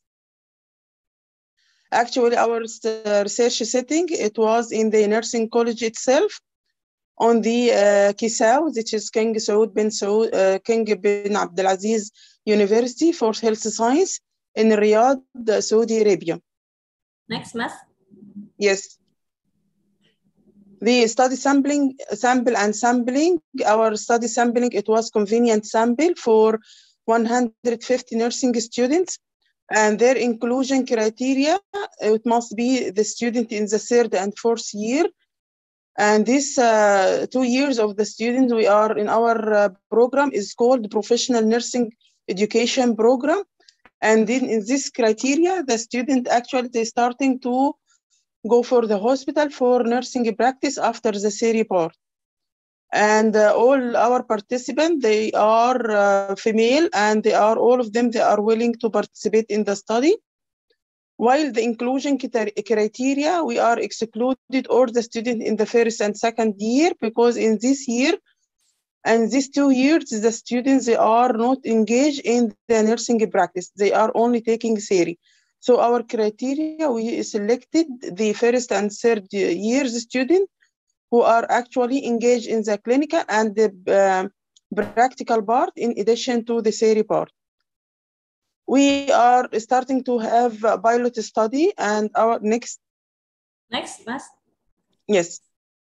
Uh, the pilot study we are starting to select from these uh, uh, stu- students in the first and, and the third and fourth year. We selected 13 students. Six students was from the uh, third year and seven from the fourth year and this pilot study are excluded from the total sample we are conducting pilot study actually to assess the visibility and applicability of our questionnaire before starting the data collection.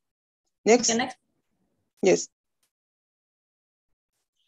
Before starting our questionnaire, as you know that we have ethical consideration, we have to conduct, uh, we have to follow before we are going to conducting our research. So first, we are uh, starting our studies after we are conducting uh, the approval or after we getting the approval from the IRB in the uh, uh, KMARC in our university. And then we are informing all our respondents about the purpose of the research and we informing them that their participation in research, it is voluntary participations and you have rights to withdrawal from the research at any time without plenty. And also we are sure the students that we have confidentiality and security of their personal data. Next. Next, Mas. Yes, please. Yeah. Next. The research tool. Next, And please. consideration. Next, Mas. Yes. Visual tools. Okay. The research tools, uh, our uh, tools, it is the self-reporting questionnaire. It is divided into two parts. The first part, it was considering for the socio-demographic characteristic. As you see, it our uh, research questionnaires, it is involving about their age, their gender, their nationality, their uh, marital status, their admission qualification when they are joining to the university, their English level skills and English barriers. We are also asking them about the last GPA in the college. Next. The second part in the tool, it was related to the uh, success and failure scale. Uh, as you see here, our uh, second part, it is success scale. It was divided into four subscales and it has uh, 38 elements. Uh, while the failure scale, it was sub, uh, it was in, uh, involve uh, six subscales and uh, 41 uh, items. This is this scale. It actually um, validated. It was it was validated questionnaires and internal consistency for the success uh, success scale. It was uh, uh, 0.927 while the internal uh, consistent confidentiality for the failure uh, attribute subscales, it was uh, 093. So the, uh, this our questionnaire, it is actually validated. Next. Selanjutnya Mas Adit. Yes. The scoring and interpretations for this scale, as you see, uh, our scale, it was uh, uh, Likert scales. It is uh, actually for four points. We are asking the student about all these uh, uh, 41 elements for uh, and 38 one uh, 30 38 elements for success and 41 for failure and each one of these elements the students they are going to answer to what extent this element is influencing in their academic performance either by is uh, not influencing or slightly influencing or fairly influencing or very influencing so each one of them, it is uh, getting a score. If the students answering not influencing or slightly influencing, it will be answer. It will be grading uh, uh, mean average score is low influence. If the students selecting the fairly influence and very influence, it means that their average score it will high. It will it, this item it will has high influence in their academic performance. Next. As you see here, our star, uh, slides, uh, uh, uh, we are going to show off the uh, socio-demographic data of our study uh, respondent. our mean age for our respondent, they are Uh, uh, 21 years uh, because they are actually in the third year and fourth year in our college. So the mean age is around 22 years. Uh, their gender, all of them, they are female, and uh, their nationality, all of them, they are Saudi, uh, because our colleges are only accepting the Saudi students. their marital status, most of them, they are single, not married. as you see, 98.1.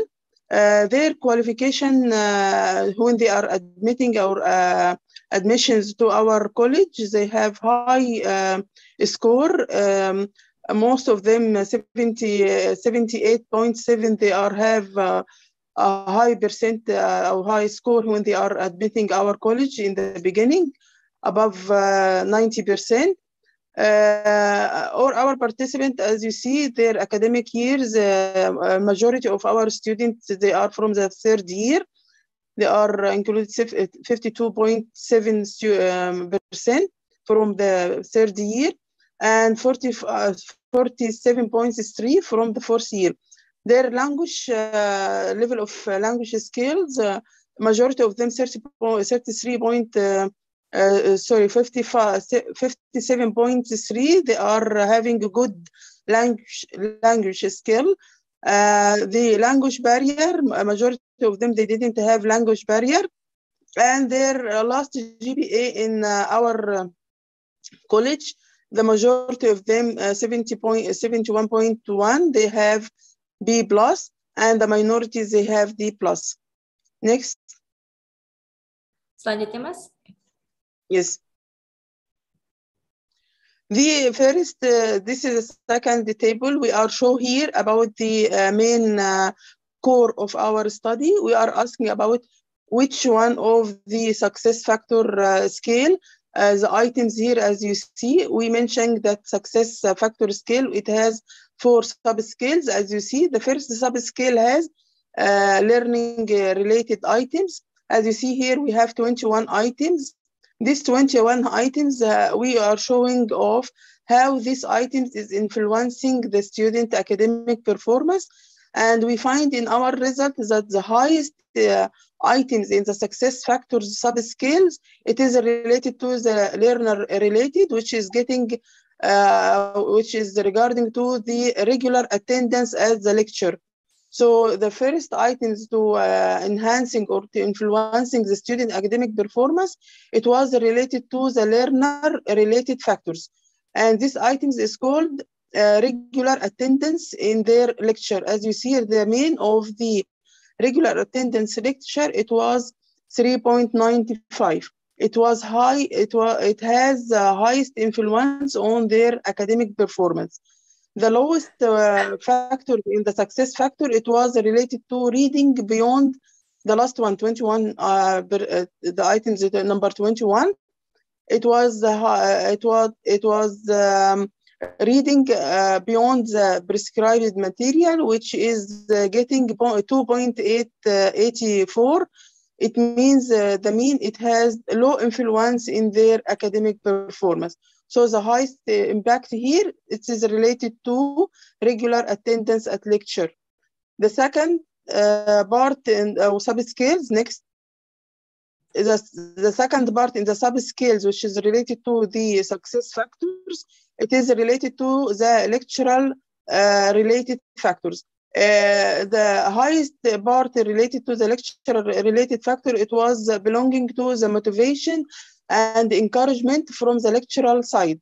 So the student reporting that their motivations that they are receiving from their teachers, it was having high influence on their academic performance. As you see here in the list, which is related to the lecture in the screen, the highest impact is uh, related to the motivations. The lowest impact, it was related to the information if the class is canceled. So it is not having a high influence on their academic performance. Thanks. The third, yes, the third subscales here, it is related to the uh, learner resources uh, factors. The highest influence is uh, related to applic applicability of the course content of the lecture notes and the slides through the uh, Blackboard, Blackboard uh, learners, which is getting mean 3.22. Uh, while the uh, lowest percent in the uh, learning resources, it was related to the regular use of the library.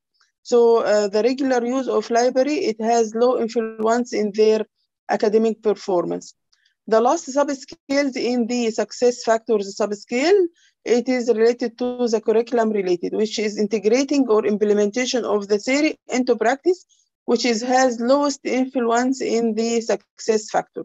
So here we are getting by this uh, uh, table the, the mainly highest uh, element in related to the success factor is regular attendance in the class. Uh, the, this is the first item. The second item, it was uh, related to the motivation of the, uh, the teacher to the student during the class.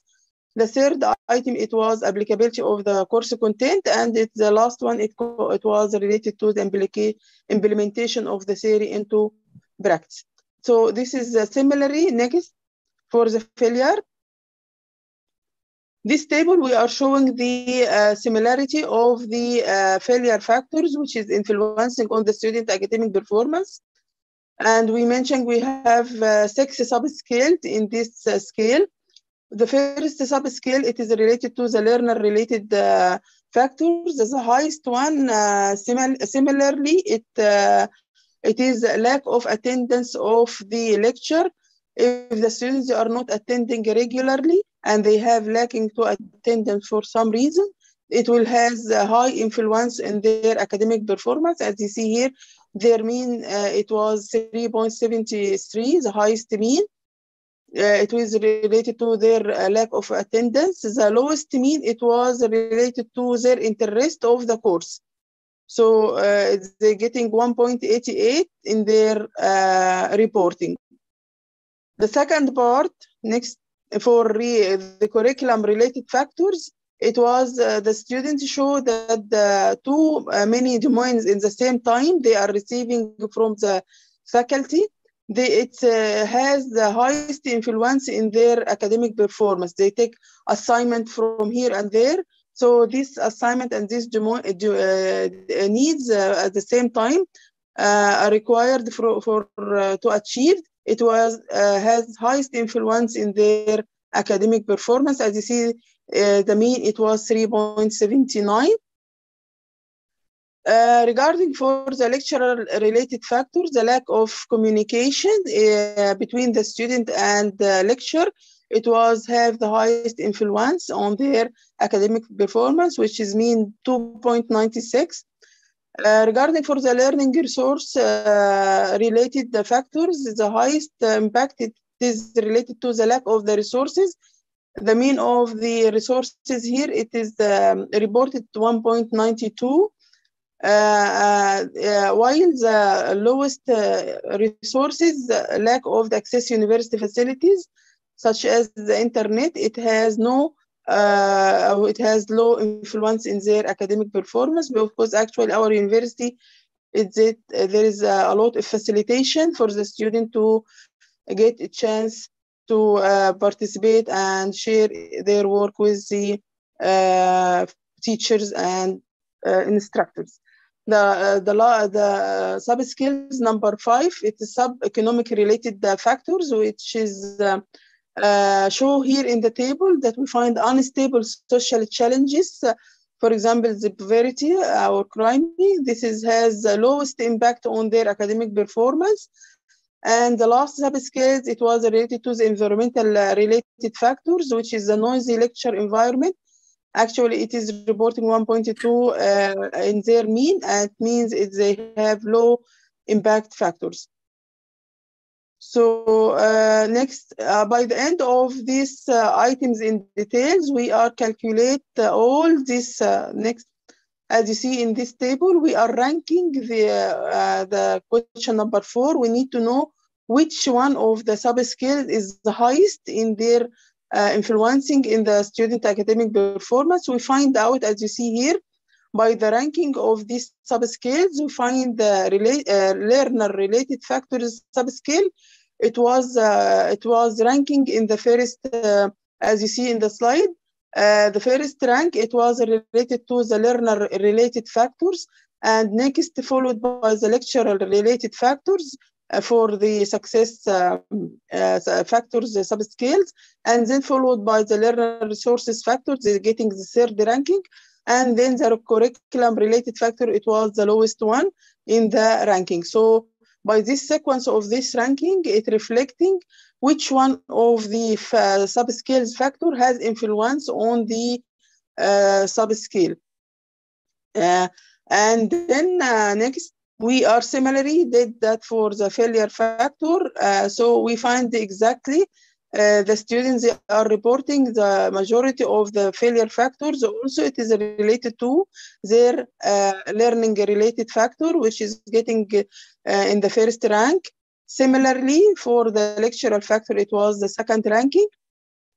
And then curriculum, and then learning resources, and then environmental. The last uh, uh, sub-skills factors influencing the students in their performance, it was related uh, socio-economic uh, related factor. Okay, next, Master. Yes, please. Uh, lastly, we when we are finishing our result here, we find out certain limitation in our current study. The first limitation we are facing during the study that our study sampling it is small, uh, so we are encouraging the further studies to increase the sample size. And the second one, we are uh, in our study, it was uh, the gender related. Uh, so our study only conducting on the female. So we are encouraging for the further research to be conducting in both gender. So we can find the differences between the gender for their perceptions and what is the factors is influencing their perceptions during the academic performance. Conclusions, our, uh, yes, please, next. So based on our result, we are found uh, that our um, uh, highest factor influencing the student in their academic performance, it was related to the learner related factor, which is getting uh, the first rank in both success and failure factor. So oh, most of the students they, uh, focus on their uh, learner related factor in their reporting, uh, which is the highest and the first rank factor influencing in both either by success factor or failure factor. The second uh, point in the, the conclusion, the most related uh, learner related item is the highest greater impact on all our students' uh, academic performance. next. Lanjutnya Mas Adit. Yes. Recommendations, the last uh, slide here, we are recommended all the university administrators and all the uh, lecture or instructors and all the academic uh, advisor, advisor or counselor should be carry out more study and more study about the student academic performance factor and focusing in their study about the skills which is helping the students how to overcome or to minimizing this factor which is contributing their academic performance negatively. By this slide, we reach to the end, and, uh, and thank you a lot, and thank you uh, too much for their uh, give me this chance to share our uh, study in uh, your conference. Thank you a lot. Thank you so much, Professor Faiza. Maybe your resume, your result for your uh, based on your research, of course, must be related to us in Indonesia, learner related, and most of the students uh, have a, something like problem like your uh, result, stress, cannot meet the learner lecture, make the, every, I think when we meet in Zoom is very different. When we meet directly, all right, the maybe for your information and for the communication it must be good when you come or when you see your lecture directly based, uh, rather than uh, on zoom i think it's a very most important problem of course yes we are, we are actually all of us uh, we are facing challenges when we are using the uh, Zoom and virtual session with the student rather are to facing the, and communicate with them directly. Yes. I really agree with you. Before you go to your uh, another activity, can we take a picture together? And we want to take a picture with your certificate and we will send you by email. Maybe the committee, you can share Professor Faiza's certificate and take a picture.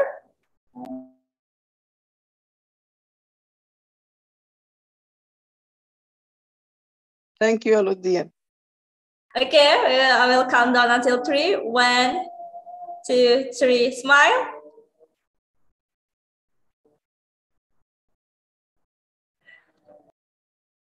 Okay, thank you, Professor Faiza. You have a special thanks too uh, from Professor Amel Daud. Thanks, Dr. Faizi. Thank you, thank you, thank you. See you. Thank you again. Yeah, Okay, I have uh, one question, uh, Professor Faiza from Amin. Yes, yes, I have a question for you during the COVID-19 pandemic, such as last year. It turned out that there was an increase in the economic sector, but there was also an increase in the public trust sector.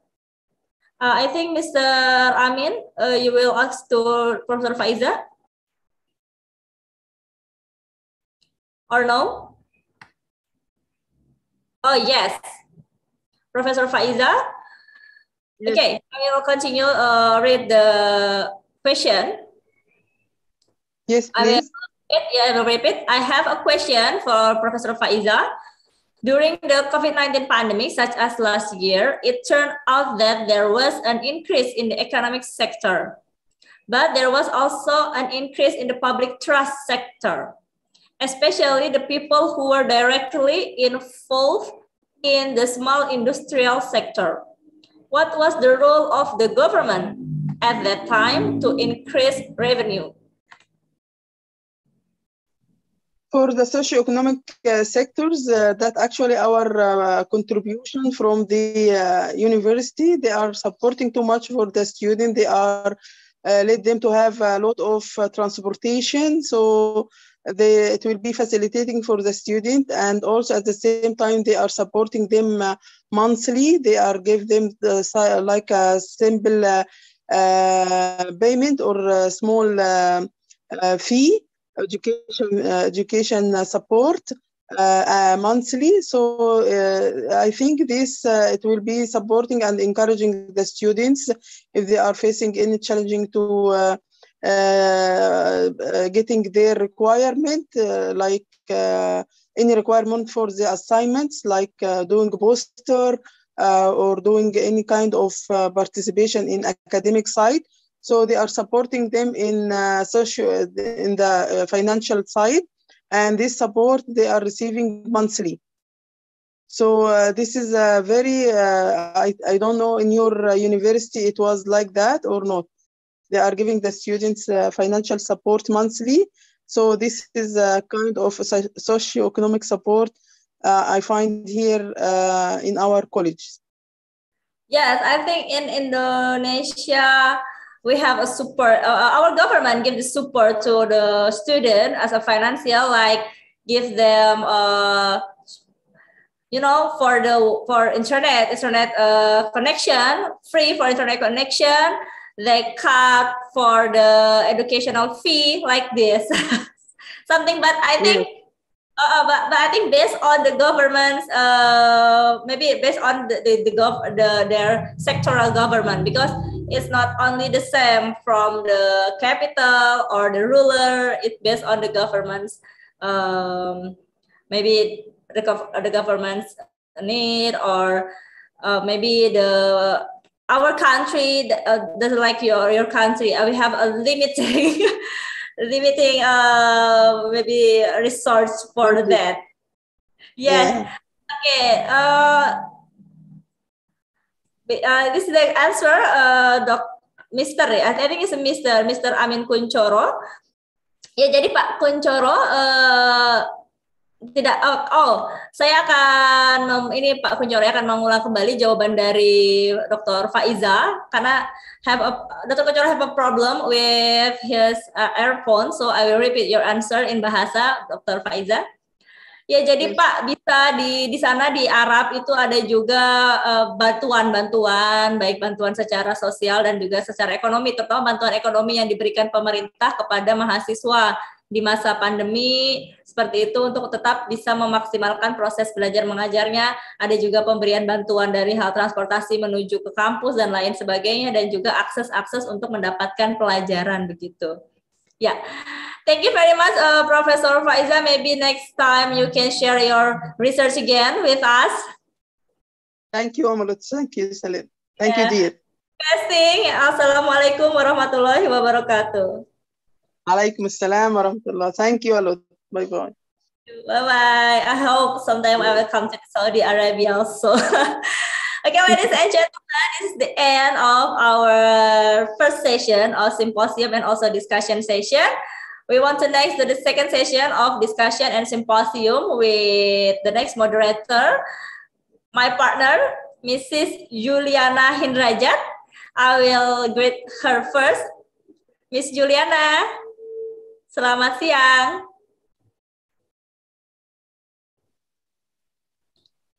Mbak Yuliana, selamat siang.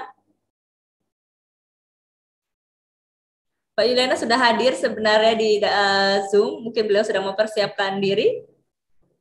Kita akan melanjutkan sesi kedua, mungkin Bapak Ibu yang berada di lain uh, wilayah Indonesia bisa menyesuaikan untuk istirahat dan juga uh, mungkin kalau yang tidak menjalankan ibadah puasa bisa menikmati santap siangnya. Ya mungkin sambil menunggu kesediaan Mbak Yuliana, panitia bisa diputarkan terlebih dahulu mungkin profil. Kita akan sedikit break terlebih dahulu.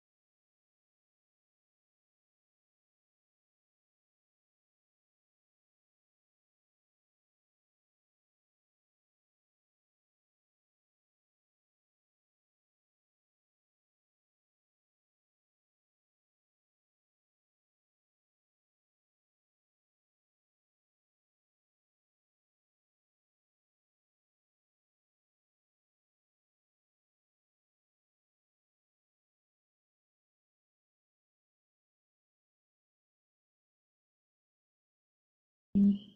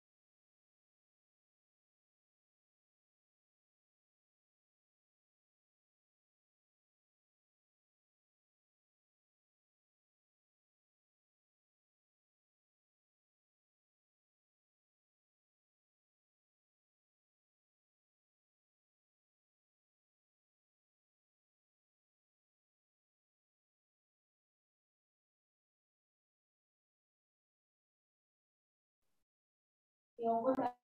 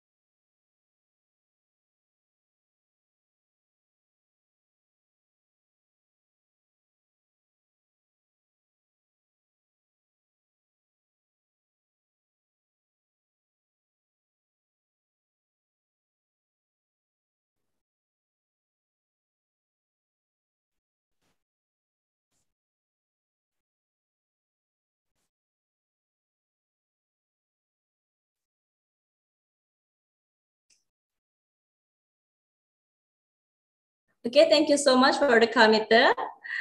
Ladies and gentlemen, we will come to the second session of symposium and discussion. Will be led by Mrs. Juliana Hindrajat. Miss Juliana. Assalamualaikum warahmatullahi wabarakatuh. Halo. Selamat siang.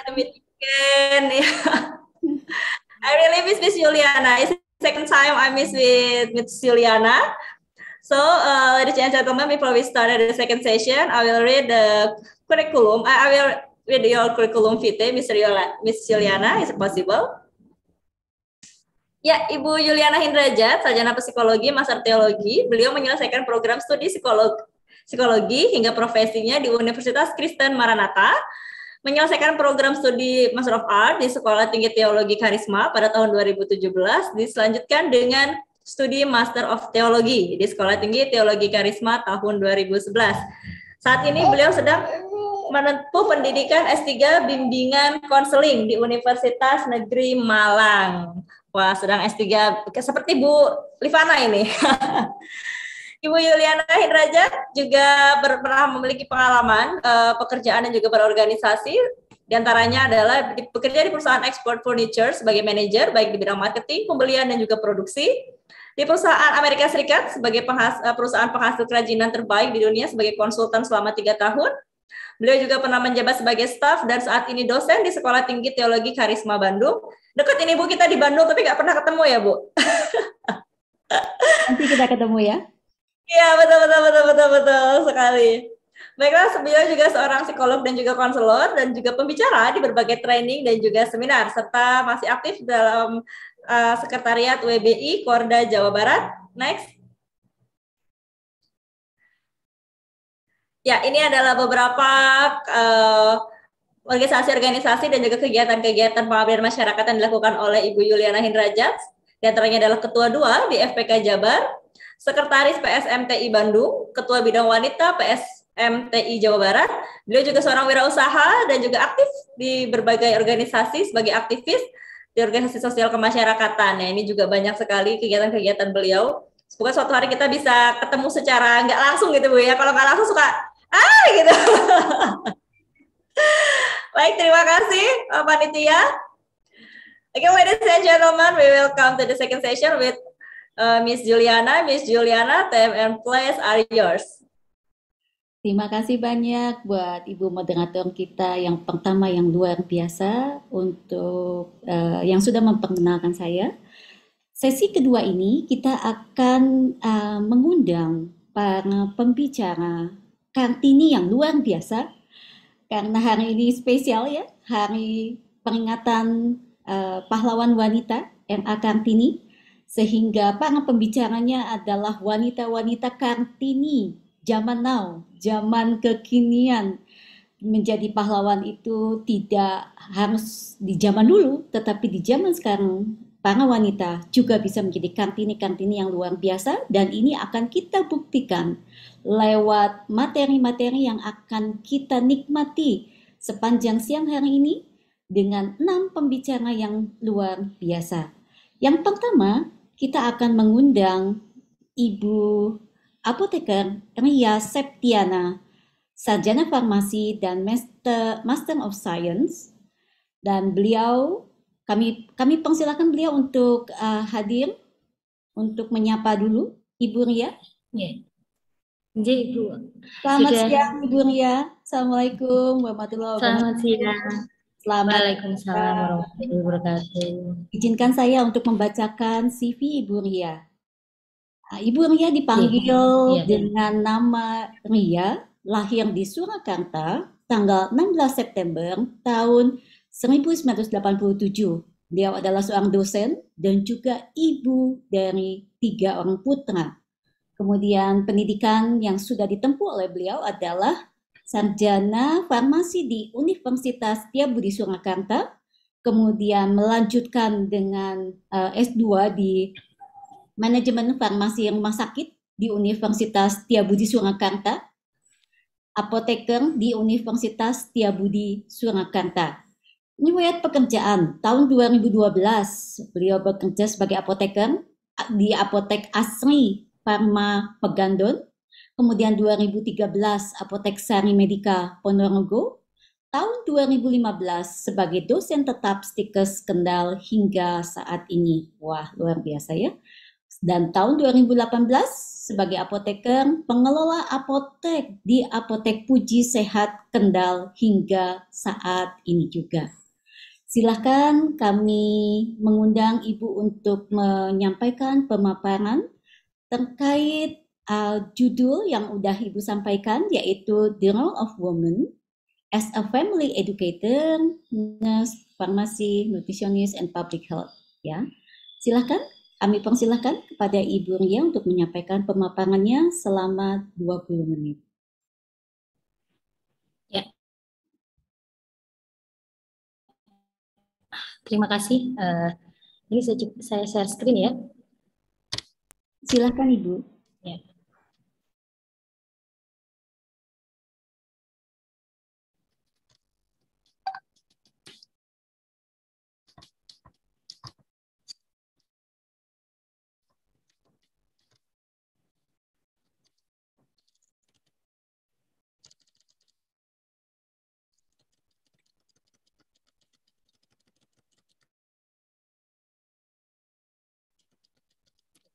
Eh, Alhamdulillah Bila alamin ya. Eh, sebelumnya saya mengucapkan terima kasih yang sebesar-besarnya atas kesempatan yang telah diberikan kepada saya eh, berada di sini bersama ibu-ibu. Kebetulan ini di Kendal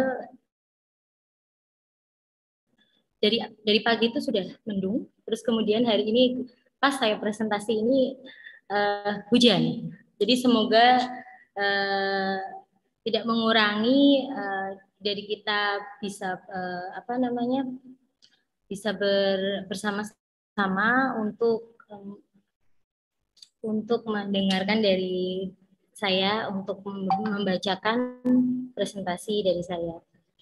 Terima kasih atas kesempatannya. Yang hari ini akan saya sampaikan adalah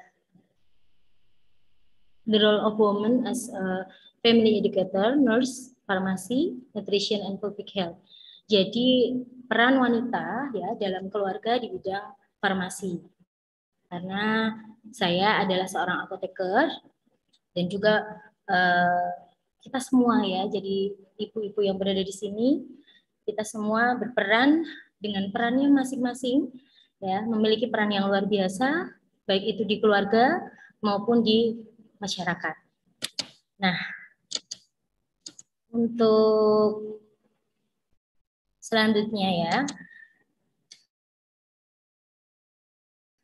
eh, hal yang paling bisa kita lakukan, yang paling sederhana ya di hubungan di bidang kefarmasian ya, karena kita bekerja eh, di bidang kefarmasian, yang bisa dilakukan adalah kita peran di lingkungan keluarga yaitu melakukan swamedikasi. Swamedikasi itu adalah upaya yang paling banyak digunakan masyarakat untuk mengatasi keluhan atau gejala penyakit sebelum mereka memutuskan untuk mencari pertolongan pertama ke fasilitas kesehatan.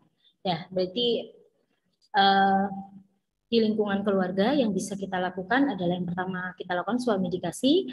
Kita tahu dulu berdasarkan dari gejalanya apa yang dihadapi oleh keluarga kita. Jadi bisa kebetulan saya adalah seorang ibu ya, jadi bisa dari anak, bisa dari pasangan, bisa dari keluarga, entah itu nenek atau kakek gitu ya. Jadi hal yang bisa kita lakukan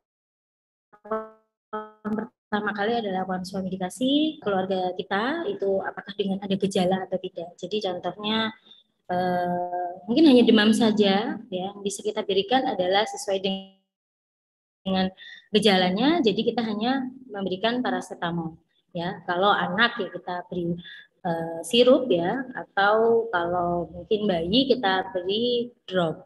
Jadi kita sesuaikan bisa sesuai dengan berat badan, bisa juga sesuai dengan uh, usia. Ya.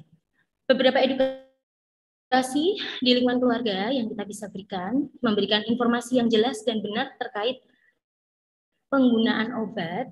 Ya, saya beri contoh simpel adalah uh, seringnya kita diberi obat antibiotik ya dari resep dokter. Nah, ketika obat sirup antibiotik itu kita buka ya, segelnya kita buka, itu batas maksimal penggunaan itu adalah tidak boleh lebih dari tujuh hari. Jadi dalam waktu tiga hari penggunaan obat itu uh, harus dihabiskan karena itu adalah sediaan antibiotik. Ditakutkan kalau kita eh, penggunaan antibiotik tidak dihabiskan itu menjadi resisten, kebal. Jadi ketika nanti kita diberi obat lagi uh, oleh dokter ya atau kita mendapatkan uh, pengobatan yang baru itu uh, kalau kita diberi pengobatan itu justru malah tidak tapi yang tepat ya. Uh, seperti itu. Jadi memang antibiotik harus dihabiskan. Kemudian uh, memang batas maksimal pemberian antibiotik adalah diberi tiga hari. Jenis dan jumlah obat harus berdasarkan pada kerasionalan ya, kerasionalan penggunaan obat. Jadi memberikan obat itu uh, ada jenisnya. Untuk uh, anak ya, atau untuk anak-anak atau untuk uh, balita atau bayi itu kita bisa dipuyer ya, digerus seperti itu.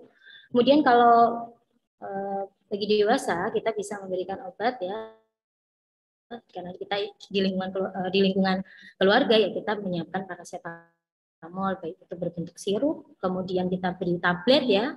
Kalau yang sudah uh, berusia atau sepuh itu bisa kembali lagi kita kalau uh, ada ada penurunan fungsi dari orang yang sudah sepuh itu terkait pemberian obat jenis tablet atau tablet yang besar itu akan mengalami kesulitan caranya kita teruskan gitu.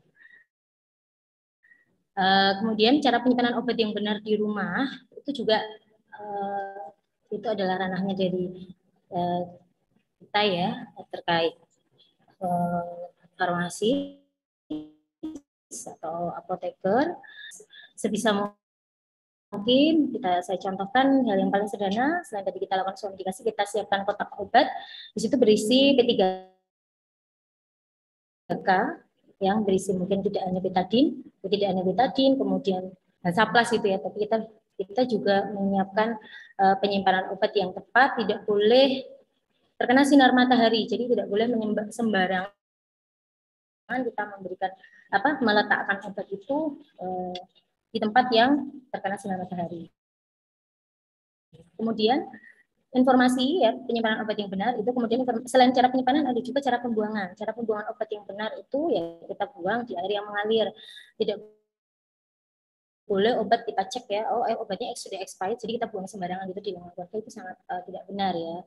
Jadi memang kalau obatnya jenis tablet atau tablet ya kita kurus dulu kemudian baru kita buang di air yang mengalir. Informasi uh, kemudian informasi menggunakan dan mengolah obat di rumah secara benar. Itu tadi itu adalah bagian yang bisa kita lakukan uh, di lingkungan keluarga.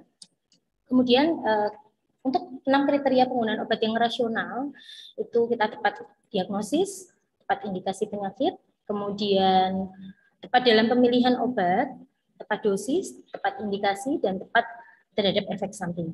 Jadi jangan sampai kita memberikan uh, obat itu ya kita berikan kepada uh, keluarga kita, ternyata obat itu tidak tepat indikasi, tidak kemudian tidak tepat dalam pemilihan obat, kemudian tidak tepat dosis. Ditakutkan kalau tidak tepat dosis, dosisnya berlebih, takutnya overdosis. Ya, juga untuk meminimalkan efek samping uh, yang terjadi, kita bisa uh, uh, penggunaan obat itu memang harus yang rasional karena tidak tidak mungkin kita bisa uh, kita memberikan itu uh, obat yang tidak tepat.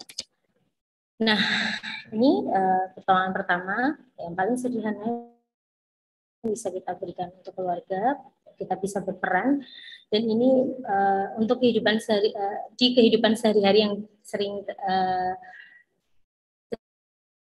sering kita butuhkan ya. Kemudian penjagaan penyakit pada keluarga ya. Kita bisa lakukan preventif yaitu pencegahan uh, dengan melihat situasi dan kondisi sekarang ini. Hujan kita bisa memberikan pada keluarga kita multivitamin. Multivitamin atau mungkin uh, selain yang yang paling utama adalah makanan yang bergizi, kemudian diberi uh, 4 sehat 5 sempurna ya buah-buahan, tapi bisa ditambahkan dengan multivitamin sesuai dengan kebutuhannya. Nah, di sini yang perlu kita ketahui tentang multivitamin itu senyawa organik yang diperlukan uh, oleh tubuh kita untuk mengatur metabolisme tubuh agar tetap sehat dan bisa membantu proses pertumbuhan. Di sini, di sini multivitamin hanya diminum jika diperlukan dan dipastikan multivitamin yang uh, kita dapatkan itu memiliki izin edar dan beli di apotek yang di apotek atau toko obat yang sudah resmi dan sudah berizin. Ya, jadi hal yang paling bisa kita lakukan sederhana kalau kita ke apotek atau kita ke toko obat atau kita ke salah satu tempat swalayan ya yang ketika kita membeli suatu uh, apa entah itu obat atau barang itu kan uh,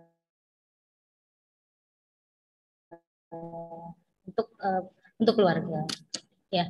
Untuk pengobatan luka kita biasa uh, menyiapkan juga untuk keluarga uh, sediaan salep ya seperti bioplaseton seperti itu. Terus kemudian untuk luka benturan ya itu bisa trombofon gel. Ya, jadi ketika ada suatu kejadian atau insiden kita sudah siap gitu. Ya harapannya di rumah kondisinya memang tidak uh, ini ya tidak ada yang luka tidak ada yang terjadi tapi tidak bisa mengontrol keadaan itu ya. Kemudian ini ada jenis obat yang familiar ya uh, apabila karena ditakutkan kan jangan sampai uh, salah satu keluarga kita terkena diare ini untuk anak biasanya anti diare itu biasanya kita beri uh, obat untuk anti diare jadi memang harus concern kita siapkan itu untuk keluarga. Kemudian untuk mualnya kita bisa berikan domperidon ya atau kita bisa berikan uh, obat anti mual. Nah uh, World Health Organization untuk menggambarkan peran seorang apoteker dalam bidang kesehatan, kita memiliki uh, uh, uh, sembilan ya, sembilan uh, mulai dari sembilan peran apoteker. Yang pertama adalah caregiver, yang profesional dan memiliki kepedulian dalam memberikan pelayanan kefarmasian kepada pasien dan masyarakat luas yang berinteraksi berin, berinteraksi secara langsung, kemudian decision maker, profesional yang mampu memberikan keputusan yang tepat dan terukur terkait pekerjaan kefarmasian, kemudian komunikator, eh, profesional yang mampu memberikan komunikasi yang baik sehingga pelayanan kefarmasian itu berjalan dengan baik, manager, profesional yang memiliki kemampuan manajemen atau manajerial yang baik, leader, profesional yang punya jiwa kepemimpinan yang baik, memiliki visi dan misi yang jelas dan mampu memberikan kebijakan yang tepat untuk memajukan uh, perusahaan ya atau institusi atau lembaga. Lifelong learning, profesional yang memiliki semangat belajar sepanjang waktu terus terus berkembang. Juga teacher ya Care profesional yang dituntut untuk mendidik ya secara akademi, edukator, bagi pasien, masyarakat maupun tenaga kesehatan lain yang membutuhkan informasi. Jadi eh, peran farmasis yang saya ruang lingkup yang paling kecil adalah yang kita concern adalah keluarga kemudian ruang lingkup yang agak besar uh, bisa menjadi seorang tenaga pengajar ya, sebagai seorang teacher, sebagai seorang ya, gimana bisa kita manfaatkan ilmu, yang sudah kita dapatkan, kemudian research ya, jelas seorang peneliti terutama uh, dalam penemuan dan pengembangan obat-obat, entrepreneur ya, kita bisa sebagai yang terjun di bidang wirausahaan. Jadi bisa juga membuka lapangan pekerjaan sendiri yang paling sederhana ya. Kita bisa membuka apotek sendiri, kita bisa menjadi manajer uh, dan juga uh, sebagai entrepreneur dan berjiwa untuk mensejahterakan uh, secara kemandirian maupun kesejahteraan masyarakat. Karena kita bisa memberikan uh, efek yang positif ya terhadap masyarakat. Uh, mengedukasi ya ke keluarga dengan isu yang ada sekarang yang sedang terkini yaitu saat ini sedang menghadapi uh, informasi terkait vaksin ya kita mengarahkan keluarga kita untuk uh, ikut vaksin ya ikut uh, apa pencegahan ya jadi sehingga bisa menurunkan risiko penularan yang pertama kemudian kemudian menurunkan dari virus uh, uh, itu ya COVID-19. Jadi sebenarnya setiap wanita ya wanita itu bisa menjadi ibu, bisa menjadi anak, ya, bisa menjadi nenek, bisa menjadi siapa pun ya.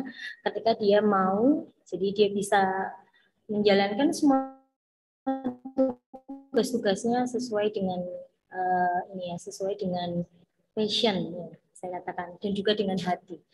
Uh, ketika kita melakukan semuanya untuk keluarga dan kita berperan untuk keluarga, kita berperan juga untuk masyarakat.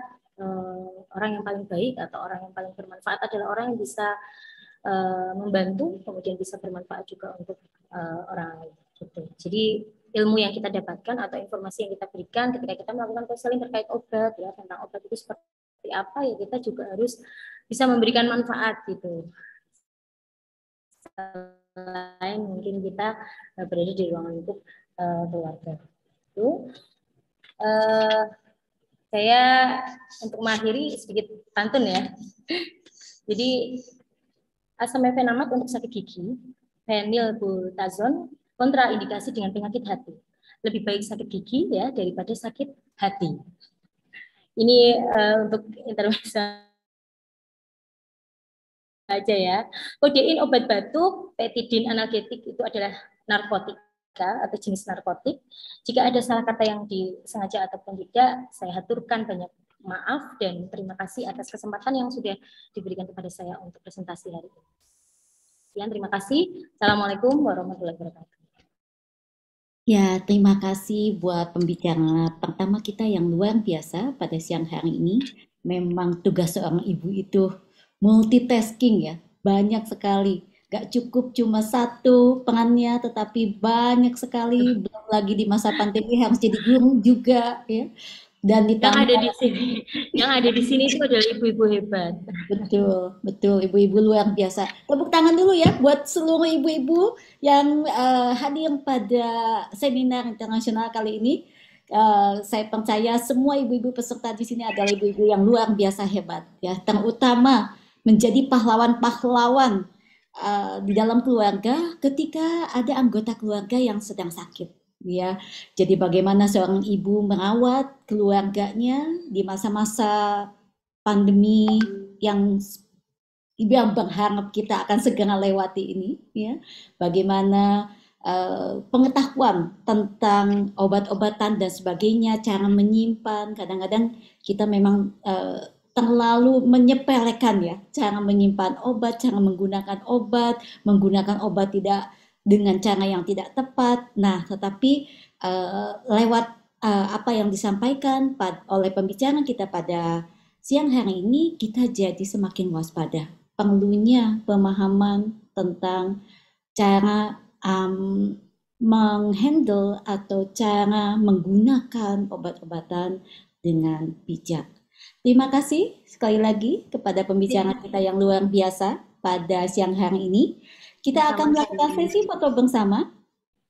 kami persilahkan kepada uh, tim multimedia untuk mempersiapkan sesi foto bersama. Saya akan beri aba-aba 1 sampai 3. Ya. Baik. 1, 2, 3. Apakah sudah? Nah, selanjutnya kita akan menyerahkan sertifikat secara virtual karena ini zaman digital. Kita seminar ya, secara virtual, sertifikat secara virtual, tetapi jangan khawatir, nanti sertifikat aslinya akan kami kirimkan melalui email. Ini adalah sertifikat untuk Ibu uh, Ika. Ya, terima kasih sudah menjadi pembicara pada siang hari ini dan kiranya apa yang dibagikan boleh memperlengkapi pemahaman ibu-ibu kita yang luar biasa untuk melayani keluarga dan masyarakat. Dan sebagai informasi, sesi tanya jawab akan kita lakukan setelah keenam pembicara memaparkan uh, materi mereka sehingga nanti kita akan melakukan sesi tanya jawab secara panel. Untuk itu, kepada eh, para pemateri, kami harapkan untuk tetap ada sampai akhir karena barangkali ada para peserta yang ingin uh, bertanya. Terima kasih sekali lagi atas pemaparannya dan kiranya apa yang dilakukan dibuat uh, yang maha kuasa lebih berhasil lagi di masa-masa yang akan datang. Baiklah, kita akan lanjut kepada pemateri kita yang kedua. Saya mengundang pemateri uh, kita yang kedua ini adalah seorang ibu yang luar biasa juga, tidak kalah luar biasanya dari pemateri pertama kita, yaitu Ibu Novianti Kartika Dewi, eh, MPD Konselor. Kami persilahkan, kami mengundang Ibu Novianti, ya. apakah sudah hadir? Sudah, uh, Bu Selamat Julia. Assalamualaikum. Selamat siang. Waalaikumsalam warahmatullahi wabarakatuh. Selamat datang, Ibu Novianti. Ya, mohon maaf, ini saya pakai akun dan ini sepertinya backgroundnya tidak bisa ini ya diganti. Tidak bisa pakai background setting backgroundnya sepertinya ada kendala sih. Tidak apa-apa, Ibu. Tidak apa-apa. Ah, yang penting materinya tetap luar biasa. Ya. Izinkan saya untuk membacakan CV dari Ibu Novianti terlebih dahulu. Uh, lahir di Madiun pada tanggal 4 November tahun 1985. Uh, beliau saat ini tinggal di kota Madiun. Kemudian uh, beliau ada di unit kerja dosen bimbingan dan konseling di Universitas PGRI Madiun.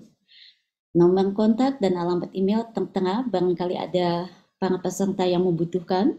Kemudian beliau menyelesaikan sarjana di Universitas Negeri Malang dengan program studi bimbingan dan konseling, lalu melanjutkan ke magister di Universitas Negeri Semarang masih dengan prodi bimbingan dan konseling dan juga mengambil jenjang profesi di Universitas Negeri Semarang dengan program studi yang sama yaitu bimbingan konseling.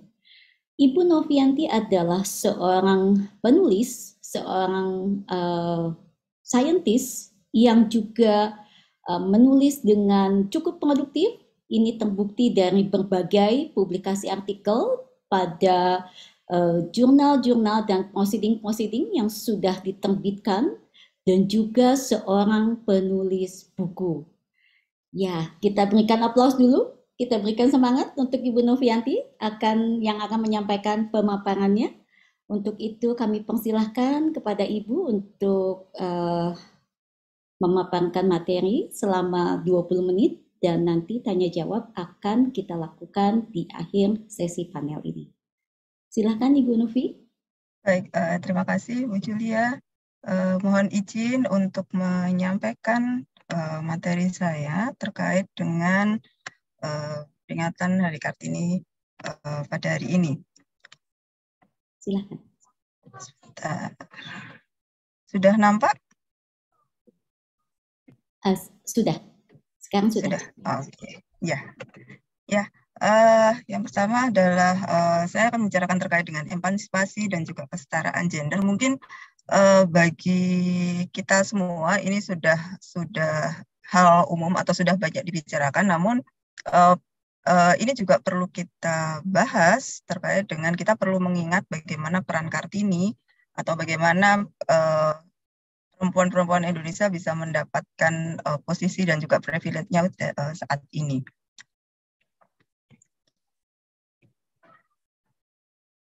Tentu saja ketika kita membahas terkait dengan emansipasi uh, wanita atau perempuan, kita uh, bisa membahas terkait dengan perbedaan wanita zaman dulu versus sekarang. Jadi kalau dulu seperti apa, yang sekarang seperti apa, bagaimana peran uh, wanita zaman dulu dengan peran wanita zaman sekarang. Apakah ada perbedaan, apakah ada perubahan, ataukah masih sama aja? Bagaimana dilihat dari sudut pandang pendidikan, apakah ada perbedaan atau perubahan terkait dengan uh, peran wanita yang uh, dulu dengan yang sekarang.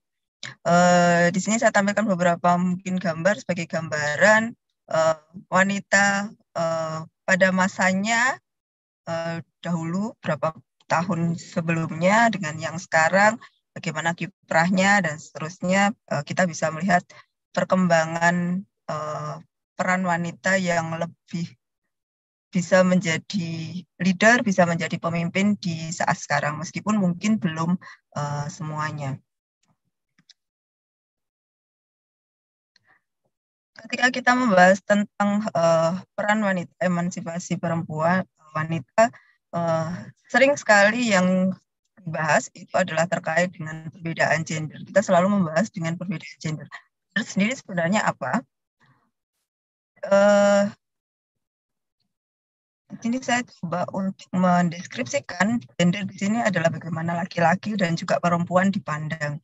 Di mana laki-laki biasanya dipandang dengan maskulin, kuat, gagah, perkasa, dan seterusnya. Kemudian dilihat dari perannya, eh, laki-laki biasanya lebih uh, berusaha untuk bekerja di luar rumah, bekerja untuk produksi dan juga menghasilkan uang karena harus menanggung beban keluarga. Sedangkan uh, perempuan lebih terkenal atau uh, bahasanya mereka lebih feminin, lembut, perhatian, emosional, mengalah, uh, sering bergantung. Kemudian posisinya uh, ini adalah lama itu berada di rumah kerja untuk domestik dan juga reproduksi. Kemudian uh, tidak perlu mencari pekerjaan, kalaupun bekerja dianggap hanya sebagai pelengkap.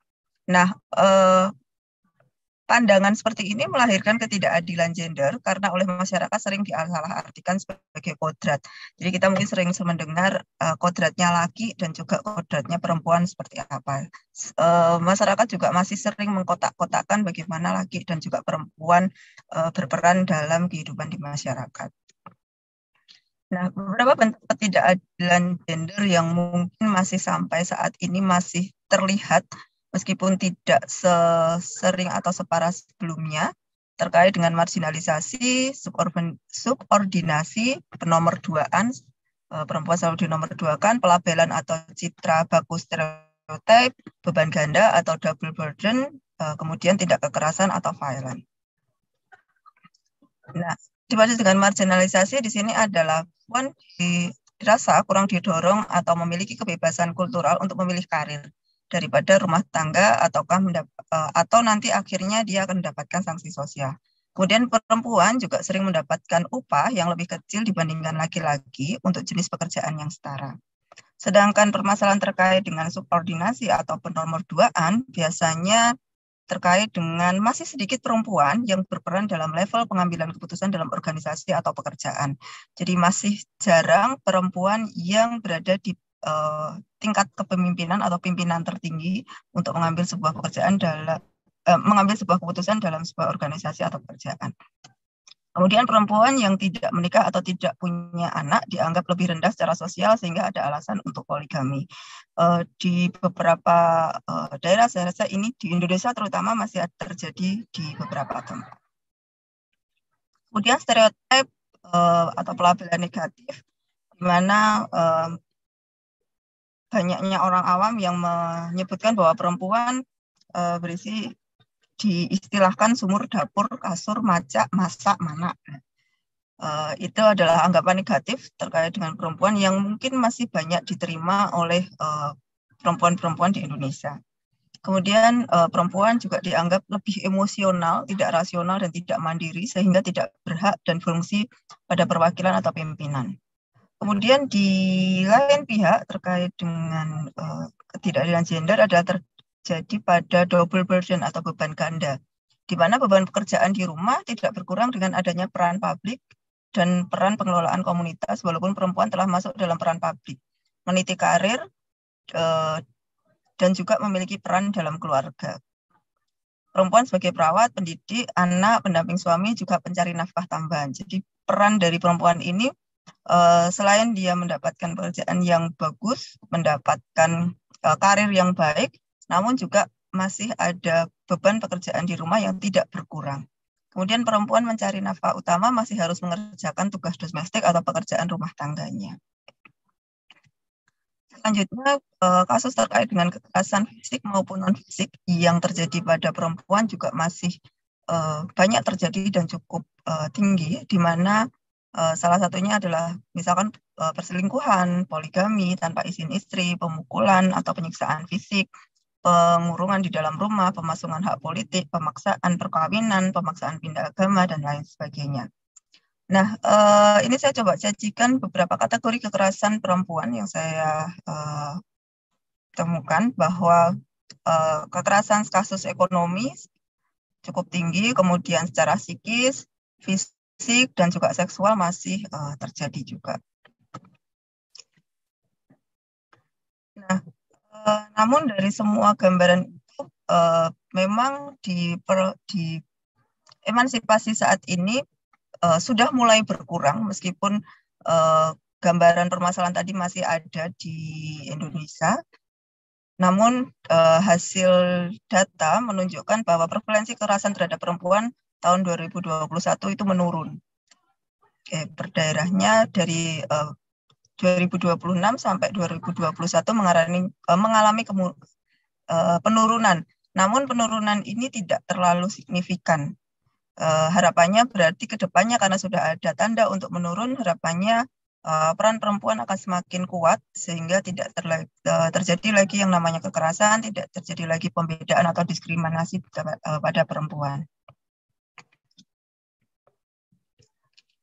Beberapa faktor yang disinyalir menjadi uh, kendala dalam uh, terjadinya ketidakadilan gender antaranya adalah nilai sosial budaya patriarki yang masih cukup kuat di Indonesia, meskipun di Indonesia juga ada beberapa yang menganut uh, monarki, eh, monarki, bukan patriarki, uh, ya.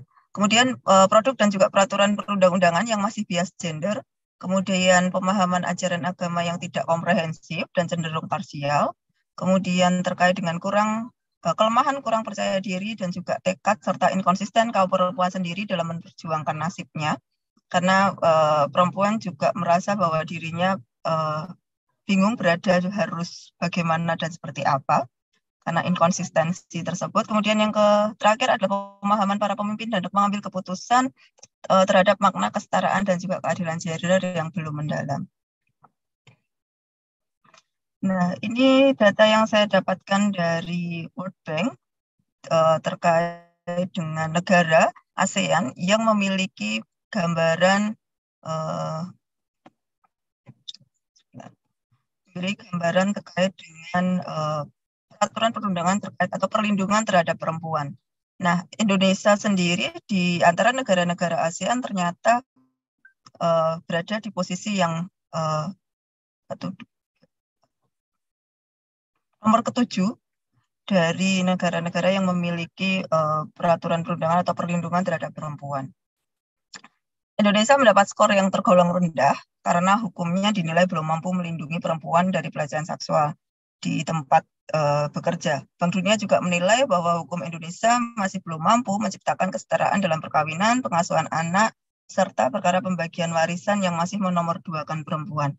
Nah, ini uh, ternyata masih menjadi problem tersendiri bagi pemerintah kita, bagi uh, di Indonesia sendiri, bagaimana melindungi perempuan atau memberikan perempuan terhadap hak-haknya. Ketika kita berbicara tentang emansipasi dan juga kesetaraan gender, uh, kita perlu memahami terkait dengan apa sebenarnya empa, uh, emansipasi dan bagaimana kesetaraan gender tersebut. Uh, kalau melihat artinya, sebenarnya emansipasi merupakan hak yang sepatutnya diberikan kepada orang atau sekumpulan orang di mana hak tersebut sebelumnya dirampas atau diabaikan dari mereka. Di mana refleksi emansipasi yang diperjuangkan oleh Raden Ajeng Raden Ajeng Kartini adalah untuk membawa perubahan besar kepada perempuan Indonesia, yaitu perjuangan menuntut hak pendidikan bagi perempuan. Karena kita ketahui bahwa di zaman dahulu kaum perempuan ataupun kaum pribumi adalah hal yang sangat tabu dan sangat susah untuk dicapai. Jadi awal perjuangan uh, emansipasi dan juga kesetaraan gender adalah dimulai dari bidang pendidikan. Kemudian kesetaraan gender uh, artinya adalah suatu keadaan setara di mana antara pria dan juga wanita mendapatkan hak dan juga kondisi yang sama. Gender adalah pembedaan peran, atribut, sifat, sikap, perilaku yang tumbuh berkembang dalam masyarakat. Peran gender terbagi menjadi peran produktif, peran reproduktif, dan juga peran sosial kemasyarakatan.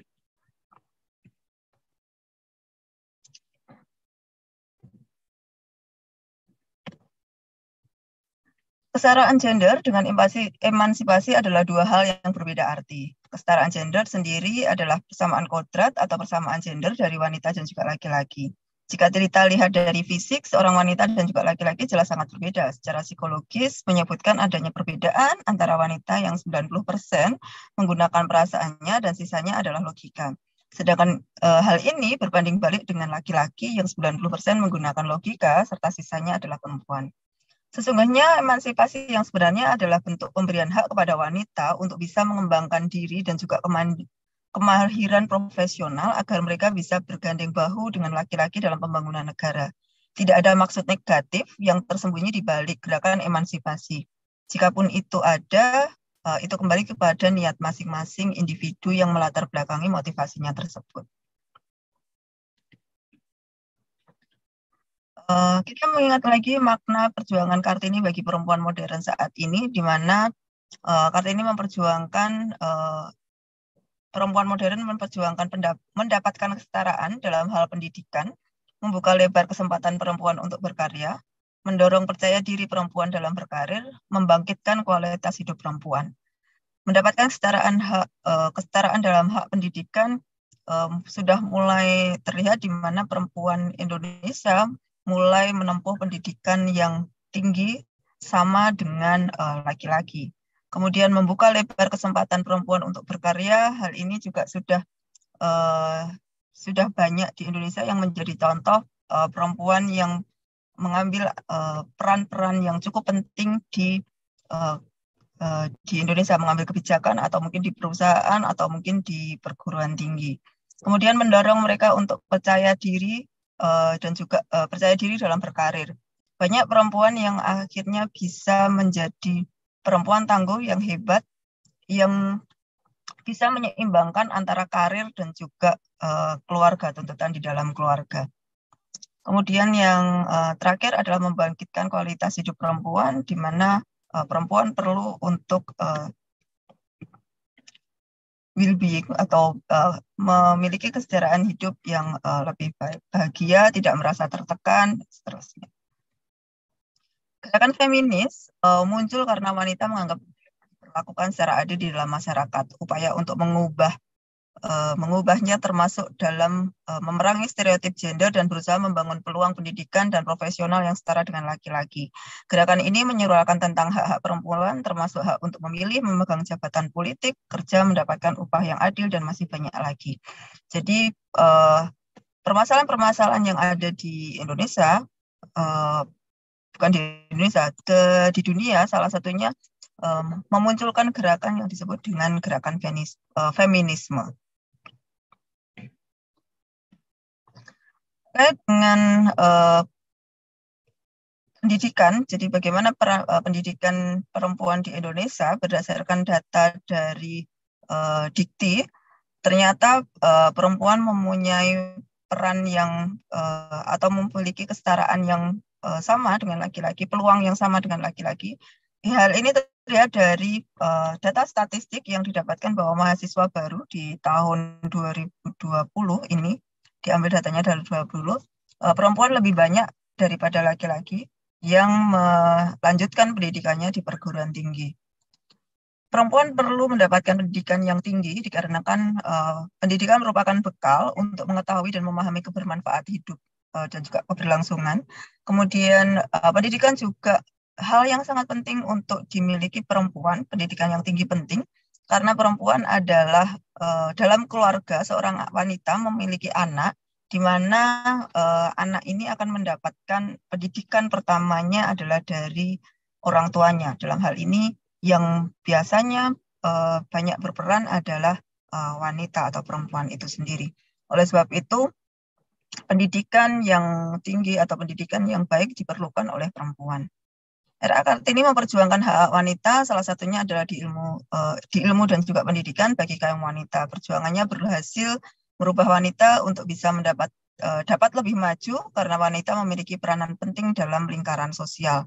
Dan hal ini sudah mulai terlihat di mana perempuan uh, sudah mulai menempatkan atau mendapatkan hak-haknya, perempuan sudah mulai mendapatkan tempat untuk bisa setara dengan laki-laki. Uh, Meskipun mungkin belum terlalu banyak, namun uh, hal ini merupakan hal yang menggembirakan bagi uh, perempuan karena sudah diakui bahwa perempuan adalah setara dengan laki-laki. Terima kasih uh, mungkin itu yang bisa saya kait uh, saya sampaikan terkait dengan uh, peran perempuan di masa milenial ini. Terima kasih. Mohon maaf jika ada salah. Saya kembalikan ke Bu Julia. Terima kasih kepada Ibu Novianti Kartika Dewi untuk pemaparan yang begitu sangat dengan data-data sehingga lewat pemaparan kita dari pemaparan dari Ibu uh, Novi ini kita bisa melihat gambaran umum tentang kesetaraan gender di Indonesia secara khusus dan secara umum di beberapa negara. Dan ini membuat kita semakin um, semakin peduli ya, semakin uh, terpacu, semakin terdorong, termotivasi untuk uh, menjadi seorang ibu yang smart, seorang ibu yang uh, memiliki pendidikan. Karena tadi sempat disampaikan bagaimana mungkin seorang anak akan bisa menjadi pintar kalau tidak dididik oleh orang-orang yang memang memiliki kompetensi.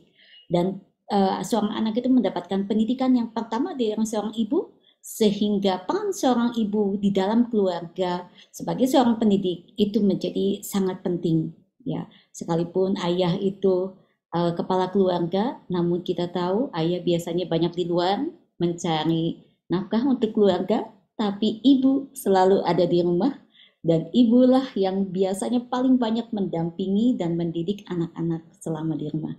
Sekali lagi terima kasih kepada Ibu Novianti Kartika Dewi dan untuk itu kita akan melakukan sesi foto bersama terlebih dahulu bersama Ibu Novianti Kartika Dewi kami persilakan kepada tim media untuk uh, mengambil uh, gambar kita bersama bersama Ibu Novianti Kartika Dewi. Kami persilakan dalam hitungan 3, 2, 1. Ya, terima kasih.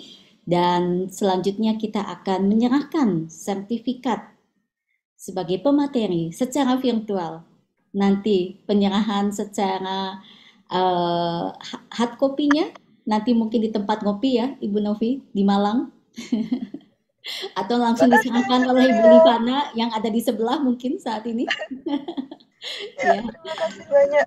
Ya, sekali lagi terima kasih kepada Ibu Novianti Kartika Dewi. Dan selanjutnya kita akan um, menghadirkan pembicara kita yang ketiga.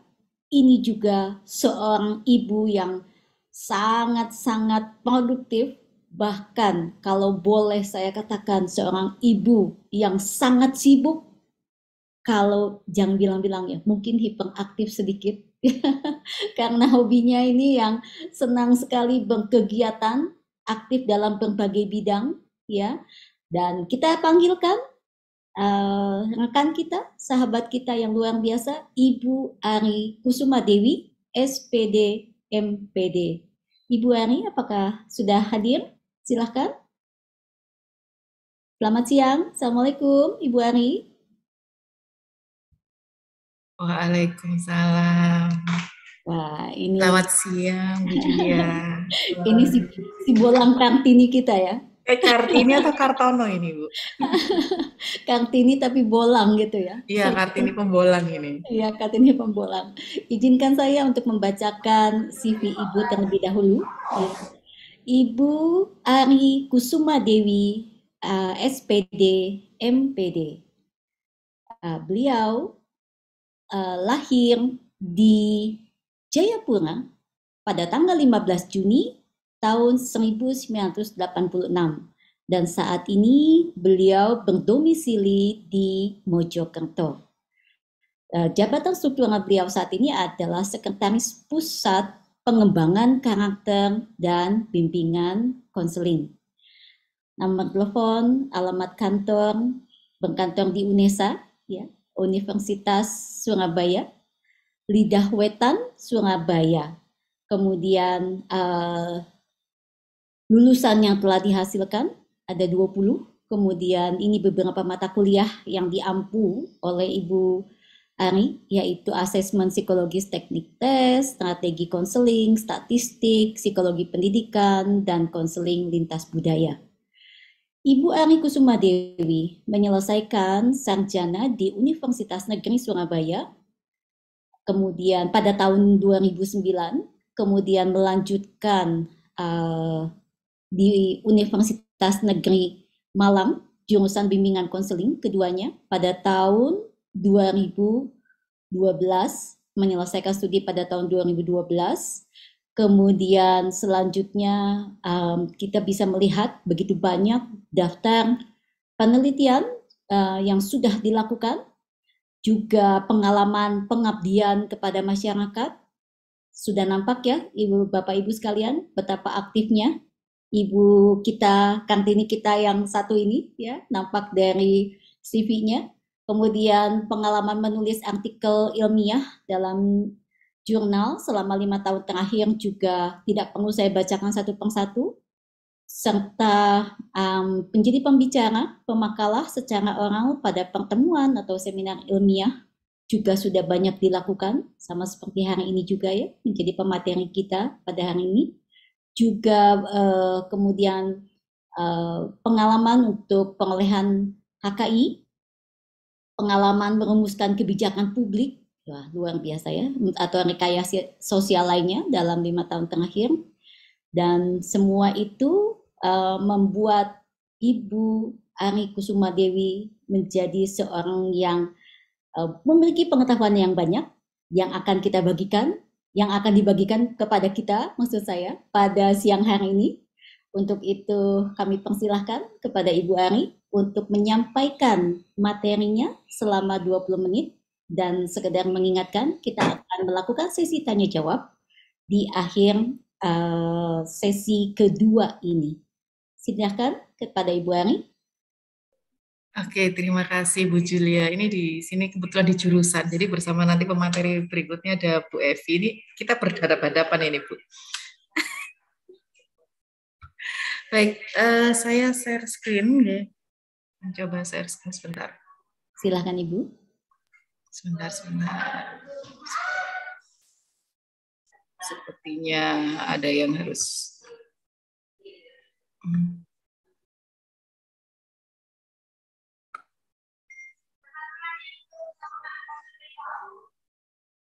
Ini agak lumayan, mohon maaf sebentar ya.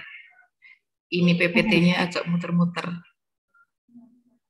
Mungkin doyan bolangan juga ya PPT-nya. iya ini, ketahuan yang membuka ini suka bolang, jadi sukanya muter-muter. iya. Oke. Apakah sudah oke? Okay? Kalau ada masalah nanti kita bisa bantu dari panitia. Iya masih masih muter-muter.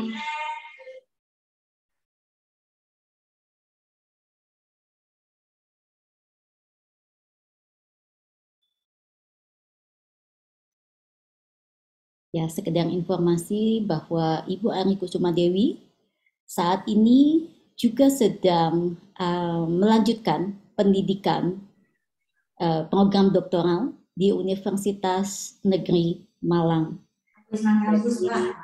Memang uh, tidak berhenti untuk uh, melanjutkan pendidikan demi untuk keluarga dan juga bisa memberikan lebih banyak lagi kepada masyarakat, kepada tanah air Indonesia.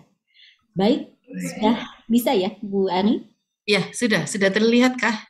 Uh, masih di jalan sepertinya, tapi sudah nampak uh, ada screen sudah mulai, tapi belum nampak. Okay. Ini saya sedikit narsis ini, jadi page pertama itu harus narsis. Karena kan kita berbicara perempuan begitu ya, jadi perempuan tuh boleh narsis gitu ya. Gitu ya, baiklah. Uh, ini sepertinya sinyalnya di sini tidak terlalu bagus. Jadi saya akan off cam dulu ya. Silakan Ibu. Sebentar, sebentar. Kok enggak bisa? Ya, ini masih belum nampak PPT-nya. Iya sih. Di sini tidak bisa bergerak. Oke. Okay.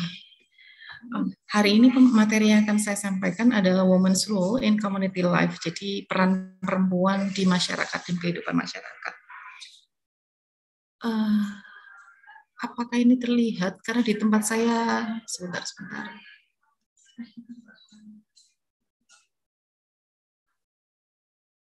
Oke. Okay. Ya, tadi sudah sempat terlihat, Bu Ani? Sebentar, sebentar. Ini sinyalnya sedang naik turun soalnya. Ya, sudah okay. kelihatan cantiknya. Baik. Sudah bisa bergerak KPPT-nya, Bu Julia?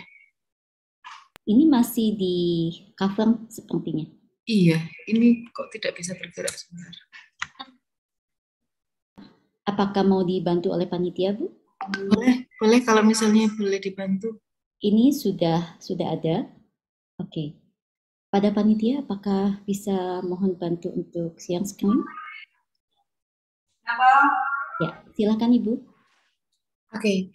Jadi uh, ketika berbicara tentang peran perempuan gitu peran wanita di masyarakat kita kan ada beberapa part gitu ya beberapa part. Part pertama yang jelas peran perempuan pasti ada dalam keluarga gitu dalam keluarga. Yang kedua dalam masyarakat. Ketiga dalam negara.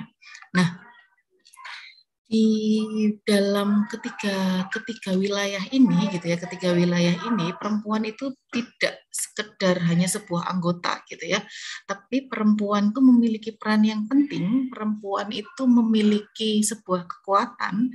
Perempuan itu tidak hanya sebagai pelengkap tetapi dia sebagai main gitu ya yang inti dalam uh, wilayah-wilayah ini sehingga sebenarnya kalau kita berbicara tentang perempuan gitu kita tidak bisa lepas dari wilayah-wilayah ini. Kemudian bisa di next.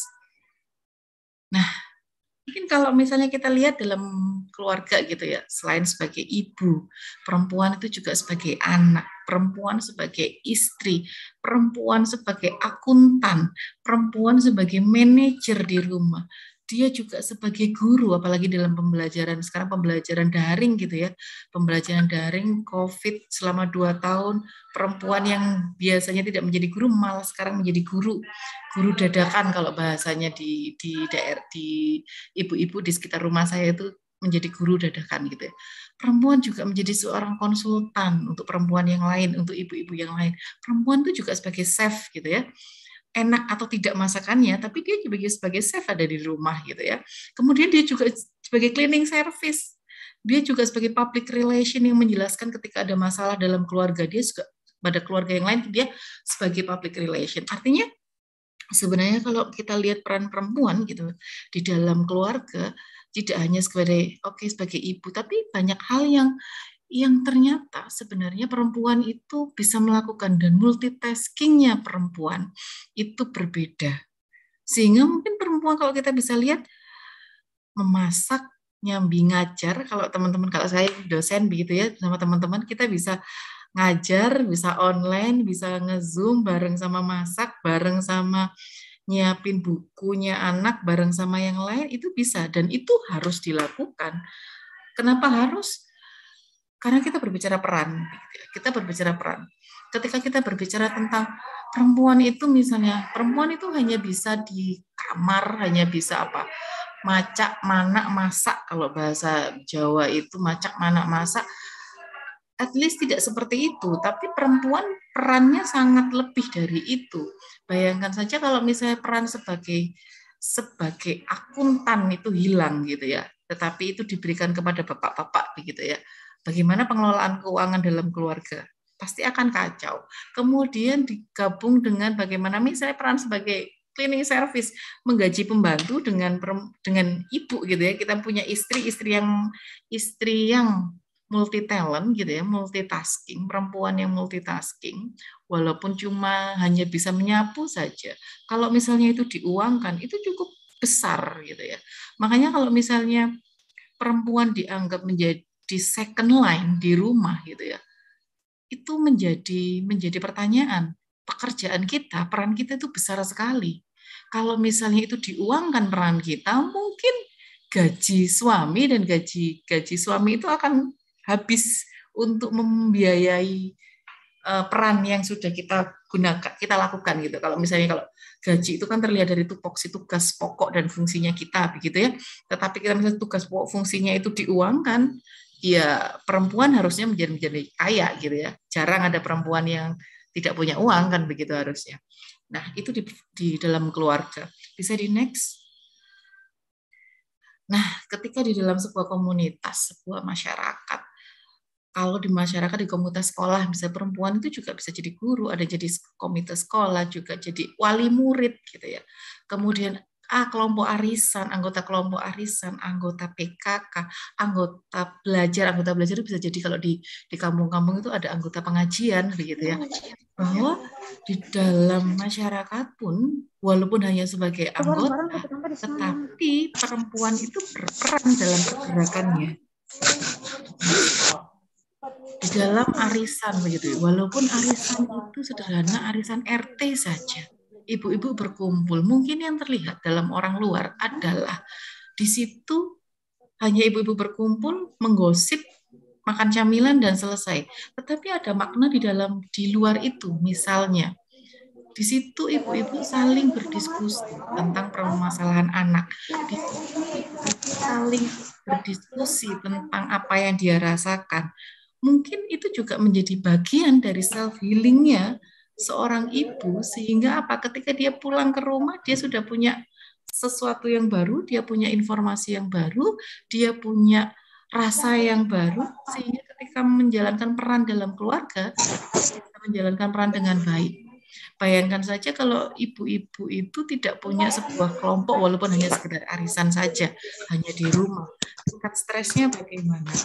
Dia bisa diskusi dengan siapa? Apakah seorang perempuan di rumah itu bisa leluasa dia berdiskusi dengan misalnya mertua atau orang tua tentang apa yang dia rasakan. Saya rasa tidak tidak banyak perempuan yang begitu atau keluarga yang bisa begitu. Sehingga memang kebutuhan akan adanya perempuan lain gitu ya yang sebaya yang se senasib itu menjadi sebuah apa ya sebuah angin segar tentang menurunkan tingkat stres yang ada pada perempuan sehingga sebenarnya ketika dalam masyarakat ketika dalam kelompok-kelompok itu semua perempuan tuh sangat sangat memiliki peran gitu jadi tidak hanya sekedar anggota gitu saja. Kemudian next.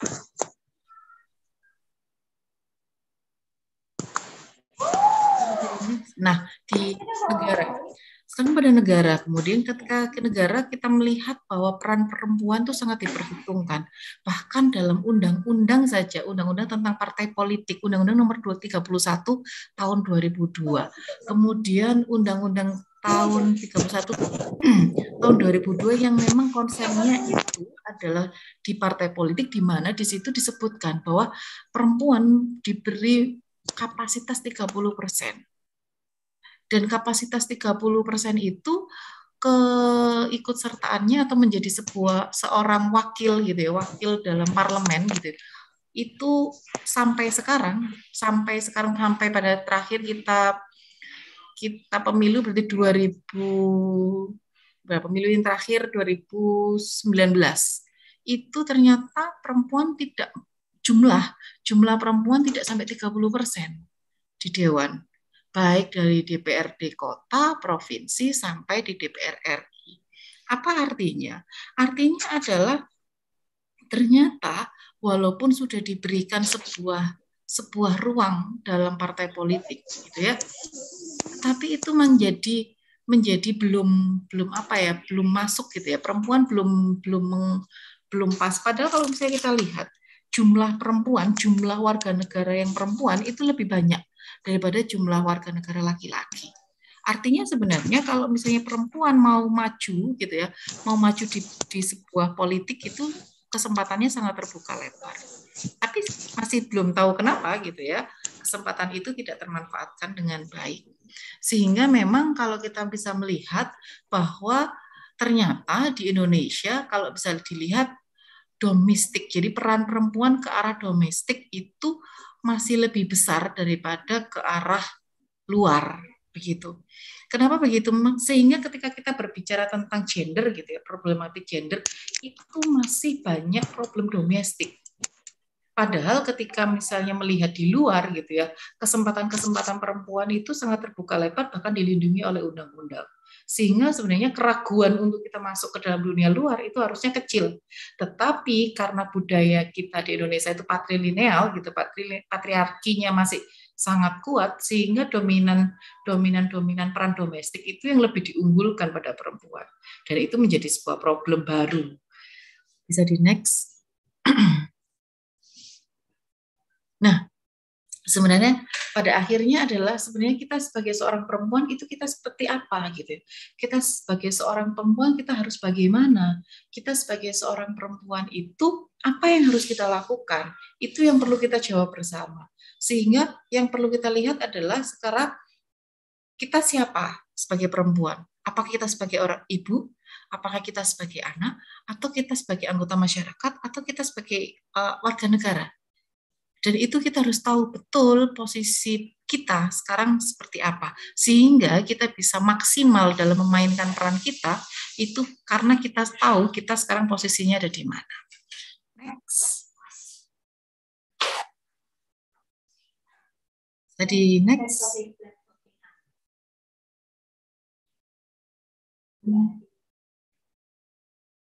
Bisa di next ya. Di halaman selanjutnya. Pada panitia bisa bantu untuk di next slide. Oke, okay. jadi Kak tadi sempat disinggung gitu oleh pemateri sebelumnya Bu Novi bahwa ada beberapa problem gender gitu ya. Nah, yang saya garis bawahi di sini ada lima, lima isu. Jadi ada lima isu gender yang memang perlu perlu dan lima isu itu yang menjadi problematika uh, perempuan gitu, perempuan khususnya di Indonesia. Yang pertama adalah bagaimana ekspektasi perempuan terhadap kemampuannya, bagaimana uh, bagaimana stereotip-stereotip, jadi sejarah-sejarah stereotip yang dan kemampuan yang dimiliki perempuan dan laki-laki banyak stereotip yang mengatakan bahwa pekerjaan ini cocok untuk laki-laki, pekerjaan ini cocok untuk perempuan. Padahal kalau misalnya kita lihat pekerjaan-pekerjaan itu tidak melihat perempuan dan laki-laki, tetapi bagaimana kapasitas individu atau kompetensi individu pada pekerjaan tersebut.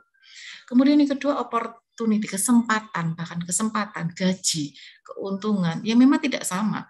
Kalau misalnya bisa dicek gitu ya, bisa dicek by data gitu, ketika kita melihat data salary perempuan dan laki-laki pada jenis pekerjaan tertentu gitu kalau kita lihat di, di datanya Bank Dunia itu memang perempuan lebih rendah gitu perempuan nah itu juga tidak tahu kenapa perempuan lebih rendah padahal dengan kompetensi yang sama dengan pekerjaan yang sama gitu itu sudah cukup apa ya cukup berbeda begitu juga cukup sudah cukup untuk bisa memberikan sebuah salary itu harusnya sama tapi kenyataannya tidak, tapi kenyataannya tidak. Itu di dunia gitu.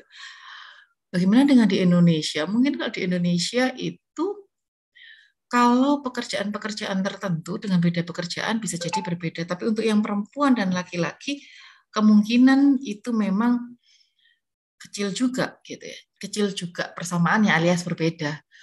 Seperti contoh misalnya, ini contoh pekerjaan kasar, misalnya contoh pekerjaan kasar, kuli saja, kuli bangunan, kuli bangunan perempuan dan kuli bangunan laki-laki. Harganya berbeda dengan pekerjaan yang sama. Kemudian buruh pabrik gitu ya, beberapa beberapa buruh pabrik begitu, buruh pabrik rokok misal. Kenapa memilih banyak perempuan gitu? Memilih banyak perempuan yang dipekerjakan karena memang gajinya lebih kecil gitu ya. Gajinya lebih kecil sehingga rata-rata yang dipekerjakan perempuan. Dan itu juga sebenarnya ada sisi plus minus. Plus minus adalah pekerjaan perempuan itu semakin beragam, tetapi memang penghargaannya memang yang menjadi minus yang tidak sama. Kemudian yang ketiga adalah perlakuan perlakuan seksual gitu ya, perlakuan seksual antara laki-laki dan perempuan ketika kita berbicara begitu ya, kita berbicara tentang pelecehan seksual saja. Pelecehan seksual selalu yang disalahkan adalah korban.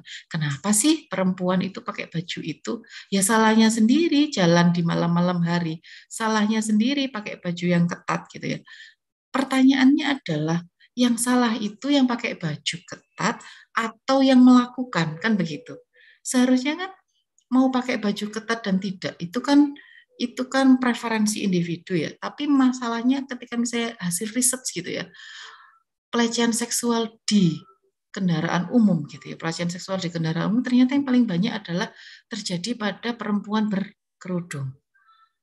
Dan itu menjadi pertanyaan baru loh.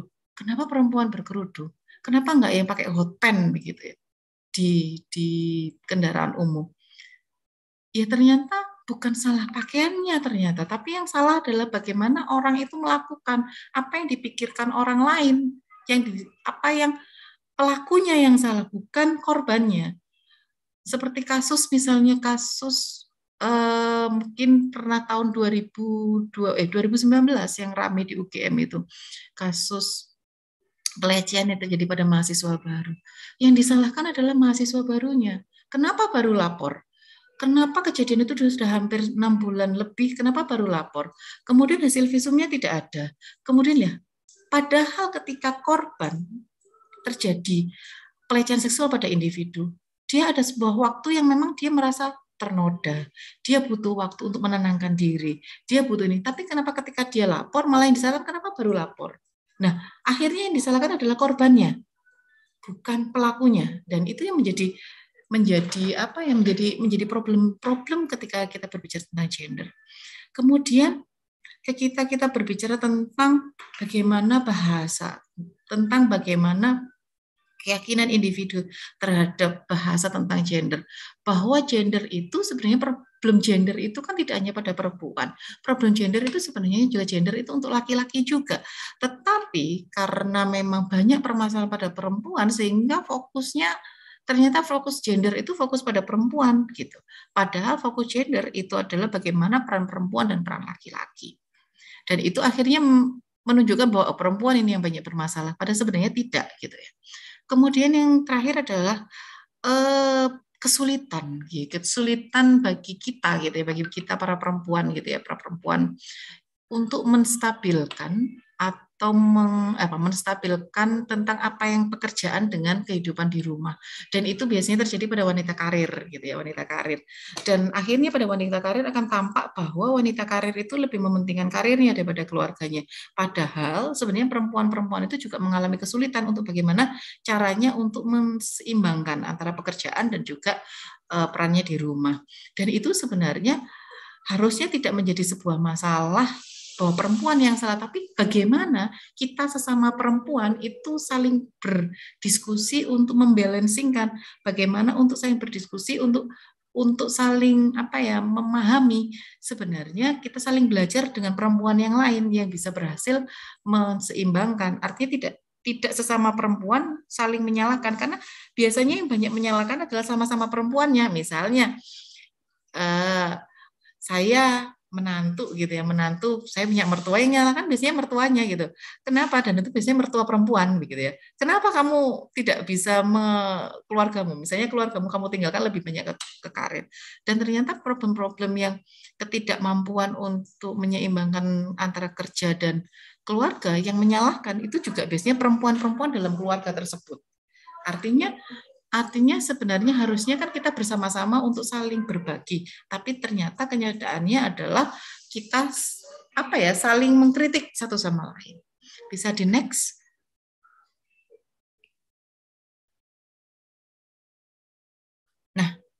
kalau kita bisa melihat gitu ya dari dari sebuah ada 12 keunikan dari perempuan gitu ya bahwa perempuan itu memiliki keunikan yang memang tidak dimiliki oleh laki-laki dari mulai biologisnya dari mulai dari mulai apa namanya pekerjaannya dari mulai bagaimana eh, individu itu perempuan ketika posisi perempuan itu sebagai perempuan single atau perempuan single karena memang belum menikah dan single karena divorce gitu Bayangkan saja kalau perempuan, perempuan divorce gitu ya, janda.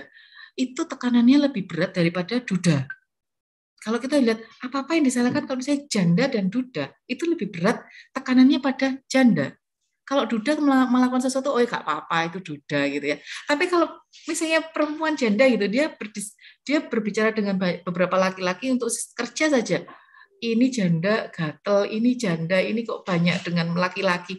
Janda lagi yang kena. Tapi kalau duda, oh enggak apa-apa, duda kan begitu. Jadi ada perspektif-perspektif yang harus dinikmati perempuan yang memang itu menjadi beban dan itu menjadi masalah gitu. Dan terkadang juga itu masalah tidak hanya pada laki-laki, tapi pada perempuan lain yang memberikan masalah juga terhadap perspektifnya terhadap perempuan lain begitu. Sehingga kalau kita bisa melihat gitu ya, uh, concernnya perempuan misalnya pada pada uh, sexual exploitation gitu ya. Kalau kita lihat dokter objin gitu ya, dokter objin perempuan itu lebih sedikit daripada dokter objin dokter objin laki-laki. Padahal banyak perempuan yang juga membutuhkan bahwa saya lebih nyaman untuk di di apa namanya diperiksa oleh dokter yang perempuan. Tapi kenyataannya tidak banyak di rumah sakit itu dokter perempuan sehingga harus ketemu dengan dokter laki-laki. Dan itu juga sebenarnya juga akhirnya jadi permasalahan baru. Nah eh, itulah yang menjadi misalnya kalau kita bisa melihat gitu ya kalau kita bisa melihat peran perempuan dalam masyarakat gitu peran perempuan dalam masyarakat kita lihat bahwa kita sebenarnya punya potensi gitu ya. Kita punya potensi yang memang keunikan potensi perempuan itu yang tidak dimiliki laki-laki. Dan keunikan potensi itulah yang harus kita kembangkan dalam mengembangkan peran kita, baik dalam keluarga, baik dalam masyarakat, ataupun dalam negara. Sehingga kita sebenarnya yakin, sehingga kita bisa yakin bahwa kita punya kemampuan loh, kita punya kemampuan untuk dalam bidang-bidang itu, kita punya kemampuan loh yang kita tidak kita punya kemampuan yang bisa kita kembangkan. Sehingga sebenarnya bukan karena kita mau menjadi lebih dari laki-laki tidak. Bukan kita untuk menyaingi laki-laki tidak.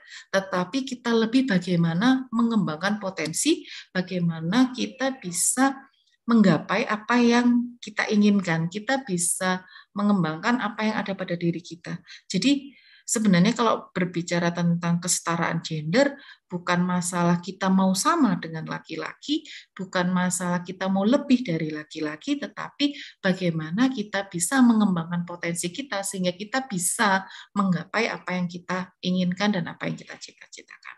Begitu, terima kasih Bu Julia.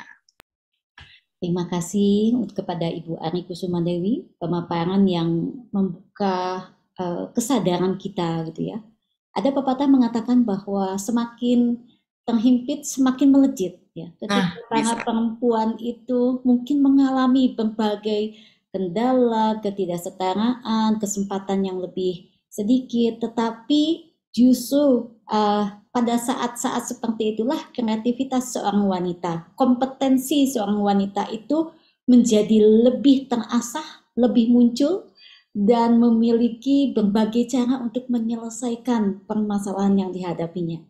Betul. Jadi ya. memang terkadang yang jadi masalah itu kan karena kita tidak memahami potensi gitu loh, Bu ya. Julia. Jadi sehingga ketika tidak memahami potensi itu, ketika kita ada di uh, ada di wilayah-wilayah tertentu dengan peran-peran tertentu gitu, kita menjadi bingung kita mau ngapain gitu loh. Karena kita kita masih belum sadar tentang potensi yang ada pada diri kita begitu. Ya, luar biasa. Kalau kita lanjutkan sampai besok mungkin tidak akan selesai, Bu Eri. Jadi kami mohon maaf untuk uh, keterbatasan waktu yang diberikan ya. oleh kami sebagai panitia, tapi kita percaya bahwa uh, materi ini, topik ini akan menjadi satu perbincangan hangat di lain waktu. Mari kita berfoto bersama terlebih dahulu dengan pembicara kita yang luar biasa pada siang hari ini, Ibu Ari Kusuma Dewi. Kami persilahkan kepada panitia untuk mengambil uh, foto bersama Ibu Ari. Satu, dua, tiga. Ya, terima kasih dan uh, izinkan kami untuk menyerahkan sertifikat secara virtual uh, kepada Ibu Ani Kusuma Dewi. Uh, kiranya ilmu yang sudah dibagikan bisa menjadi berkat bagi banyak orang, bagi setiap peserta yang ada di ruang Zoom ini. Sekali lagi terima kasih kami ucapkan dari seluruh panitia. Selanjutnya, ada pembicara yang datang dari jauh secara virtual kepada Ibu Dr. RH Kristina SKM MKes. Saya akan menyapa dulu Ibu Kristina, apakah sudah hadir di ruangan Zoom kita? Selamat siang, Bu Yuliana. Saya sudah hadir. Ya. Terima kasih, Ibu. Selamat datang. Assalamualaikum warahmatullahi wabarakatuh. Salam damai sejahtera. Mari saya izinkan saya untuk memperkenalkan CV, eh, membacakan CV Ibu dan memperkenalkan Ibu terlebih dahulu. Ya. Ibu Dr. RH Kristina, SKM MKes, uh, institusi yang saat ini uh, yang saat ini berada, yang saat ini dilayani oleh Ibu Kristina adalah uh, Poltekkes Kemenkes Kupang dari Kupang ya jauh. Fakultasnya adalah sanitasi program studinya juga sanitasi. Kemudian uh, lahir di Ruteng mungkin maafkan kalau salah Ruteng 27 ya benar Flores Flores Flores ya wow Flores 27 Oktober tahun 1963 Ibu Kristina sudah menikah Kemudian sudah oma. Sudah oma, wow luar biasa ya. Tapi masih aktif berkiprah dalam dunia pendidikan ya. Yeah. Dengan suami bernama Laurentius Mega Men SH, kemudian dikaruniai tiga orang uh, eh, putra putri ya.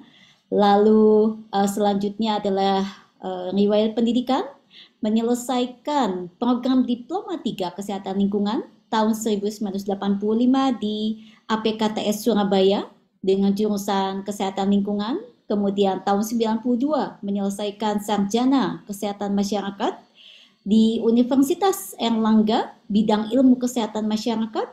Tahun 2000 uh, menyelesaikan studi S2 Magister Kesehatan Masyarakat di Universitas Gajah Mada dengan uh, prodi Kesehatan Masyarakat Kemudian terakhir tahun 2019 menyelesaikan program doktor pada prodi IKM FKM di Universitas Erlangga Surabaya dengan prodi Ilmu Kesehatan Masyarakat. Ya.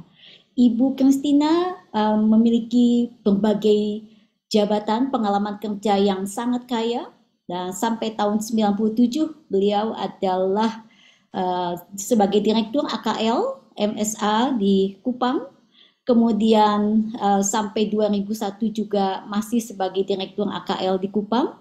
Tahun 2002 menjadi ketua jurusan kesehatan lingkungan 2006 kesehatan lingkungan juga ya. Kemudian tahun 2010 menjadi uh, Pudir 1 lalu tahun 2011 jadi sekretaris Senat Pudir 1 juga sampai tahun 2014 lalu sekretariat Senat sampai tahun 2014 dan menjadi direktur terakhir tahun 2018. Uh, eh, aktif juga di berbagai organisasi, ya sebagai ketua Badan Khusus Pengendalian Tembakau, ketua bidang bidang Kolegium Kesehatan Lingkungan, kepala bidang kesetaraan gender, wah ahli gender juga rupanya, dan kepala bidang kesetaraan gender juga hingga nanti ya masih berlaku ya Ibu ini sampai tahun 2024 yang akan datang. Wah, kita bisa belajar banyak ya hari ini. Kemudian aktif juga melakukan berbagai pelatihan profesional, ya. Kemudian uh, juga mengajar dengan uh, beberapa mata kuliah di program pendidikan D3 kesehatan lingkungan ya. Kemudian uh, pengalaman penelitiannya juga cukup banyak ya. Uh, sebagai ketua tim juga banyak yang menjadi ketua tim. Artinya memang kompetensinya sudah tidak perlu kita ragukan lagi. Kemudian aktif juga uh, memproduksi bahan ajar, lalu uh, aktif untuk menulis bab buku jurnal ya. Uh, mulai hingga tahun 2018 yang terakhir menjadi reviewer, editor, resensi dan lain-lain juga hingga tahun 2020 sejak 2006 ya di sini tercatatnya. Kemudian uh, juga melakukan konferensi, seminar, lokakarya dan sebagainya um, entah sebagai peserta maupun sebagai narasumber.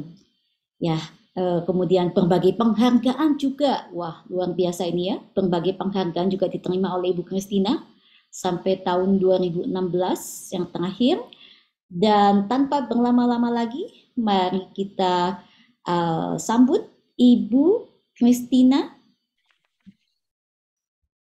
uh, dengan materi yang berjudul Role of Maternal in Preventing Stunting. Kepada Ibu Kristina, kami persilahkan. Thank you, Miss Juliana. Uh, good afternoon, ladies and gentlemen. Thank you for the time has been given to me in this international seminar. Uh, I'm Christina. I'm from uh, East Nusa Tenggara, and um, uh, I'm a lecturer. And uh, I will I will present about my presentation the the role of maternal in the preventing stunting. Before I start to present, can you see the slides?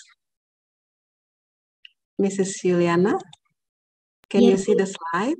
Bisa, Bu. Okay, okay. Sudah jelas. Suara juga jelas, Bu. Yeah, yes, okay, thank you. The role of maternal in preventing stunting. Uh, a mother is a woman who marry and give birth to children, having maternal characteristics such as nurturing and caring for children. The first person to form an emotional bond and with a child, the central figure in the early development of children. Uh, mother is the only source of nutrition for a developing child during the critical 1000 days period and in the first six months of life when the breastfeeding period is exclusive. Mother plays a crucial role in shaping their children's food intake through their food intake and the food they provide for the child. The mother is also the primary person responsible for meal planning and food preparation. So it is evident that uh, the mother role is uh, vital in fulfilling child nutrition to prevent stunting. Uh, definition of stunting. As you know, uh, stunting is a growth disorders in children that cause the child to be short or stunted, not according to standard. Short-term consequences are paired bear development, cognitive development, physical growth disorders, and metabolic disorders in the body. Long-term consequences are decreased cognitive abilities and learning achievement, a low immune system. So the children are susceptible to diseases, high risk for diabetes, obesity, heart and blood vessel function disorders, cancer, stroke, and disability in the whole face. Past. Stunting, according to Trishna, Trishna Chang, preventing stunting before is critical. Stunting is a chronic nutritional deficiency problem in children, which is characterized by a short body, accompanied by a decreased level of intelligence in children, increasing susceptibility to disease and decreasing productivity. Uh, this picture this picture shows the prevalence of stunting among toddlers, age by age, by profiles, uh, based on study of nutritional status of Indonesia, uh, 2021. Um, you can see uh, this is a picture, you can see uh, Nusa Tenggara Timur. Nusa Tenggara Timur uh, have um, East Nusa Tenggara province has the highest highest rate uh, of stunting, uh, equal 37.8% based on study of nutritional status in Indonesia 2021. Slide and yes, this is the map.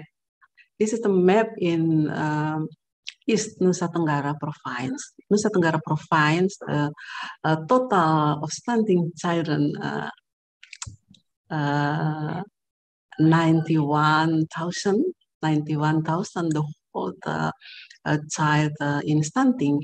And uh, now a pre prevalence of stunting children, 22%.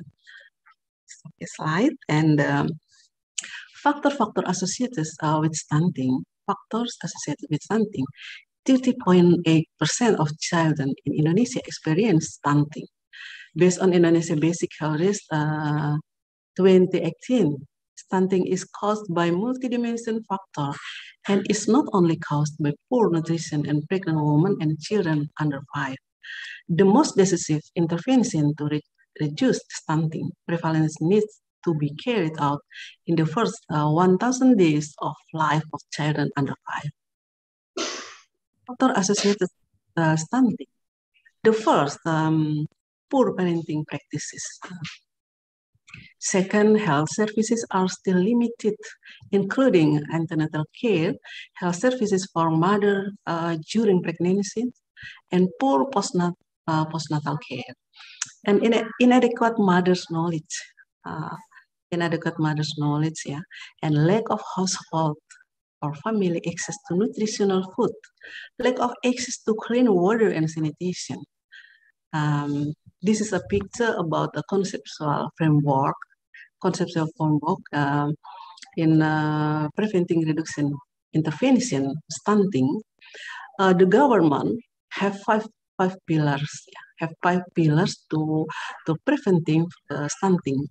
Uh, pillar one about the commitment and leadership vision. Pillar two, national campaign and behavior change. And pillar three, con convergence of central, regional, and village program. And pillar four, food security and nutrition. And pillar five, monitoring and evaluation. And uh, this picture, uh, you can see uh, this is uh, this is a specific intervention. This is a specific intervention. This is a specific intervention and this is a sensitive intervention. This is a specific intervention if a tablet pregnant woman and uh, teenagers and breastfeeding promotion and counseling, infants and child feeding promotion and counseling, macronutrient supplementation and malnutrition management, growth promotion and counseling, calcium supplementation and distribution uh, distribution uh, of uh, vitamin A supplementation, zinc supplementation for dairy and uh, pregnancy test, immunization, macronutrition supplementation is called uh, Taburia, uh, integrated management of sick children and uh, home medicine. This is a specific intervention and this is a, a sensitive intervention. The government uh, uh, have sensitive intervention, clean water and sanitation non-cash food aid, food aid and national health insurance and early childhood education program uh, is called PAUD. Hope Family Program is called PKH and um, building a children's family, sustainable food house area and food fortification. And you can see uh, output the the program is uh, increases uh, increased uh, coverage of intervention of the first 1,000 days in life uh, life child nutrition consumption parenting health services environmental health and then uh, intermediate outcome nutritional con improvement nutritional care improvement to improve, uh, to increase the to low the anemia and low the birth weight, exclusive breastfeeding, increase the exclusive breastfeeding, diarrhea, warm disease, and uh, uh, the malnutrition. And uh, the impact uh, the program uh, we hope uh, decrease the stunting in Indonesia, especially stunting in uh, uh, East Nusa Tenggara province. uh, during the 1,000 days of child life, uh, starting from the beginning of pregnancy until two years after birth, it is very important to meet the basic need for optimal growth and development. Uh, this picture about the approach yeah, approach approach in the first 1,000 days for stunting prevention and treatment. You can see about the couple, mother of childbearing age. Uh, uh, this is a very important to see about uh, nutritional status, balance, balanced diet, uh, early detection of communicable and non-communicable disease, and uh, pregnancy. Uh, pregnant woman carry out pregnancy checks at least six time of uh, facilities. Early detection of communicable and non-communicable disease diet, consuming that um, tablets, calcium supplement supplementation according to the recommendation given, clean water and sanitation, uh, latrine availability, uh, and then uh, exclusive breastfeeding mother, uh, breastfeeding is born,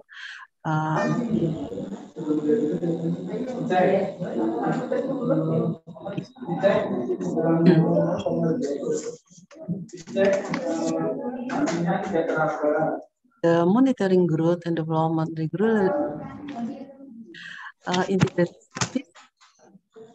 uh, at and do and prevent and take six babies appropriately. Uh, baby and others uh, monitoring monitoring growth and development regularly.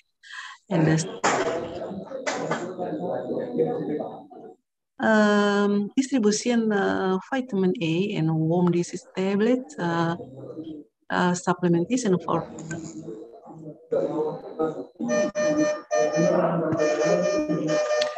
uh, teenagers uh, nutritional status uh, it is important and uh, and a balanced diet, uh, physical activities, and clean and healthy lifestyle. Uh, distribusi FA tablets uh, once a week, uh, once a FA tablets. Uh,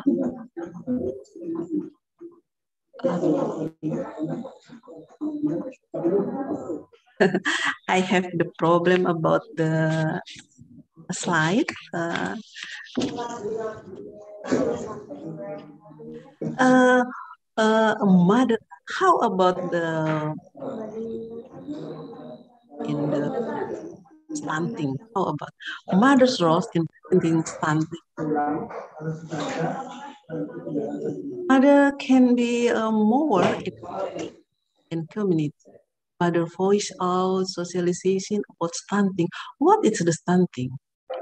Cause and effects of stunting in the community and involving in the stunting preventing program, socializing, social, socializing the importance of nutrition, vitamins, and minerals during the first uh, 1000 days of life by becoming a posyandu as a cadre.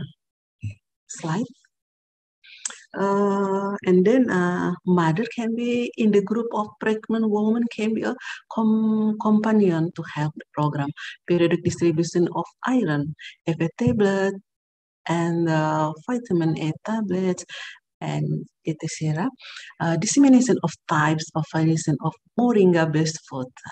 In NTT is the, the local food specific, the government to to support uh, the the uh, um, support to uh, uh, apa uh, to take the moringa moringa moringa foods uh, uh, local specific uh, moringa based food moringa meatballs moringa nuggets fish meal moringa biscuit moringa juice food uh, fortification, fish-based foods, egg-based foods, etc.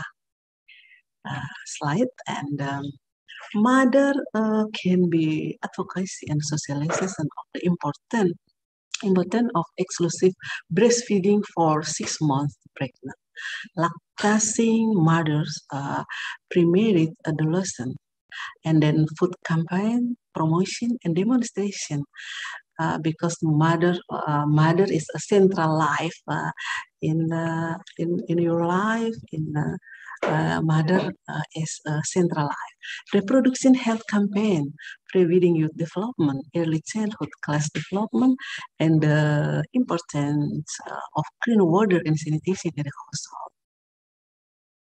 Uh, yeah, uh, thank you, Miss Juliana. This is um, this is uh, a role of the role of the a mother in the preventing uh, stunting in uh, Indonesia, especially in NTT. Thank you very much. Thank you very much, uh, Mrs. Christina, for such an interesting uh, presentation. We know that a mother plays an important role, especially uh, in the early years of uh, her children. Uh, one of them is providing, uh, providing some condition that um, maybe uh, it will um, make the stunting away from the family. Thank you so much, uh, Mrs. Christina. Um, now uh, we have to uh, invite you to take a picture uh, of us. Please, uh, committee, help take the picture in three. One, two, three. Okay, thank you so much. Now, okay, thank you so much. Yeah, uh, want to submit the certificate, uh, virtual certificate. Uh, well, we will uh, send you the real certificate by email. Thank you so much for uh, such an interesting presentation once once more. And then uh, we are looking forward to uh, meet you again in another seminar and uh, just a reminder to all of us that uh, question and answer session will be at the end of uh, the of session two, the session two. Thank you very much one more time. To Thank you. Thank you very much. Oke, okay. uh, Bapak Ibu sekalian, para peserta uh, seminar ICNHS yang uh, kami hormati, selanjutnya kita akan uh, mengundang pembicara kita yaitu Ibu Evi Winingsih MPD. Kepada Ibu Evi Winingsih MPD, kami mohon untuk uh, memperkenalkan, untuk menyapa para peserta. Kami persilakan, Ibu Evi, apakah sudah hadir? Ya, Julia. Ya, selamat siang. Assalamualaikum, Ibu Evi.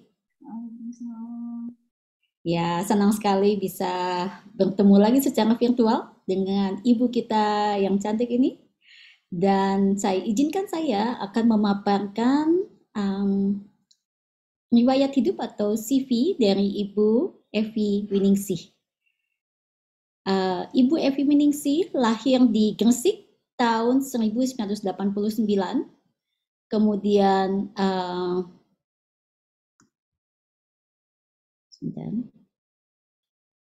dan beliau menyelesaikan pendidikan di S1 di Universitas Negeri Surabaya uh, pada tahun 2010 lalu 2014 menyelesaikan S2 di Universitas Negeri Malang dan saat ini juga sedang menempuh studi S3 uh, di Universitas Negeri Malang dengan jurusan bimbingan dan konseling baik untuk S1, S2 maupun S3.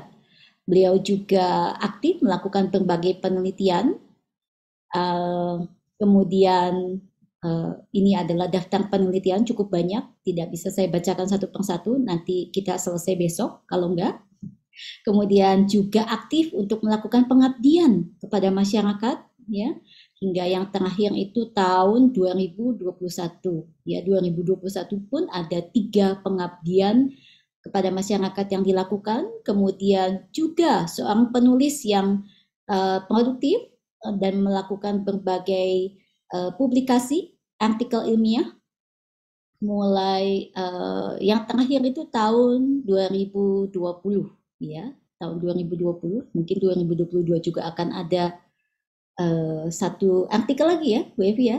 Satu artikel jurnal internasional akan segera terbit juga ya. Ya. Kemudian uh, pemakalah seminar ilmiah atau oral presentation juga ya di berbagai seminar. Kemudian selanjutnya uh, juga seorang uh, penulis buku, ya. Sudah ada empat buku yang beliau tulis.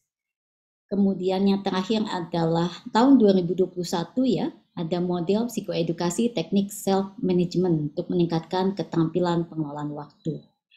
Kemudian ada pengolehan haki juga ya um, tentang cyberbullying dan masih banyak hal lagi yang tidak bisa disebutkan satu persatu.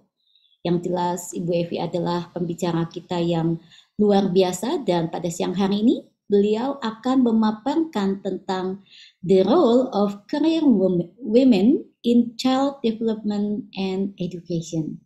Tanpa berlama-lama lagi, kami persilakan kepada Ibu Evi untuk menyampaikan pemaparannya. Silakan. Baik, terima kasih Bu Juliana yang sangat luar biasa hari ini. Apakah suara saya terdengar jelas bersama? Kalau bisa lebih keras lagi sedikit akan lebih jelas. Halo, apakah suara saya sudah terdengar jelas? Terima kasih. Terima kasih Bu Juliana atas waktunya. Uh, izinkan saya untuk share screen ya. Semoga tidak ada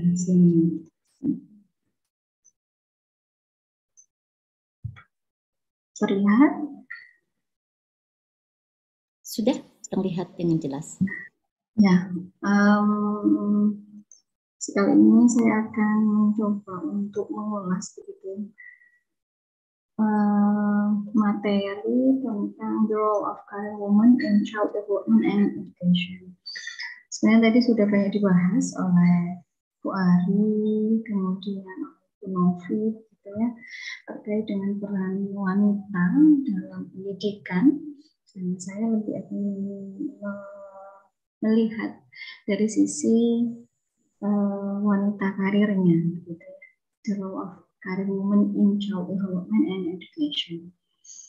Nah, mungkin di sini bagi para peserta yang masih belum berkeluarga, masih mahasiswa, gitu ya, um, ya tidak tidak dipungkiri ya nanti suatu saat akan berkeluarga begitu uh, jadi mungkin bisa diambil sisi-sisi hal yang positif begitu mungkin di sini juga ada bapak ibu guru ataupun dosen yang sudah berkeluarga sehingga uh, materi ini yang apa ya karir womannya ini nah, termasuk juga nanti mahasiswa kan juga dalam tanah mereka akan berkarir begitu ya. Sekaligus juga uh, menjadi ibu rumah tangga. Oke, okay, um, sebelum saya akan berlanjut ke materi, saya mau tanya dulu nih, karena tadi sepi gitu ya, nih teman-teman semuanya, para peserta ini, uh, semoga tidak ngantuk, karena dari pagi sampai uh, siang menjelang sore, saya mau tanya dulu ini ya. Nanti coba diangkat tangannya ya. Uh, which woman do you want to be and want to be mau jadi wanita yang seperti apakah gitu ya? Termasuk laki-laki mau mendapatkan wanita yang seperti apakah dalam hidupnya nanti atau kelak gitu ya? Nah uh, coba angkat tangan ya. Nah, laki-laki maupun perempuan uh, mau dapat pendampingan untuk seorang wanita yang uh, nurut sama suaminya coba katakan siapa yang mau mendapatkan perempuan atau wanita atau ingin menjadi wanita yang nanti kelak yang bagi perempuannya menjadi wanita yang manut pada suaminya atau yang laki-laki mau mendapatkan pendamping yang manut pada uh, pada dirinya nanti. Coba angkat tangan.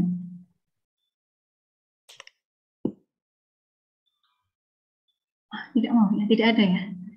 Uh, ya kalau misalkan nanti berkeluarga ini tidak mau mendapatkan wanita yang nurut banget gitu ya atau juga wanita di sini tidak ada yang mana sama suaminya begitu kah?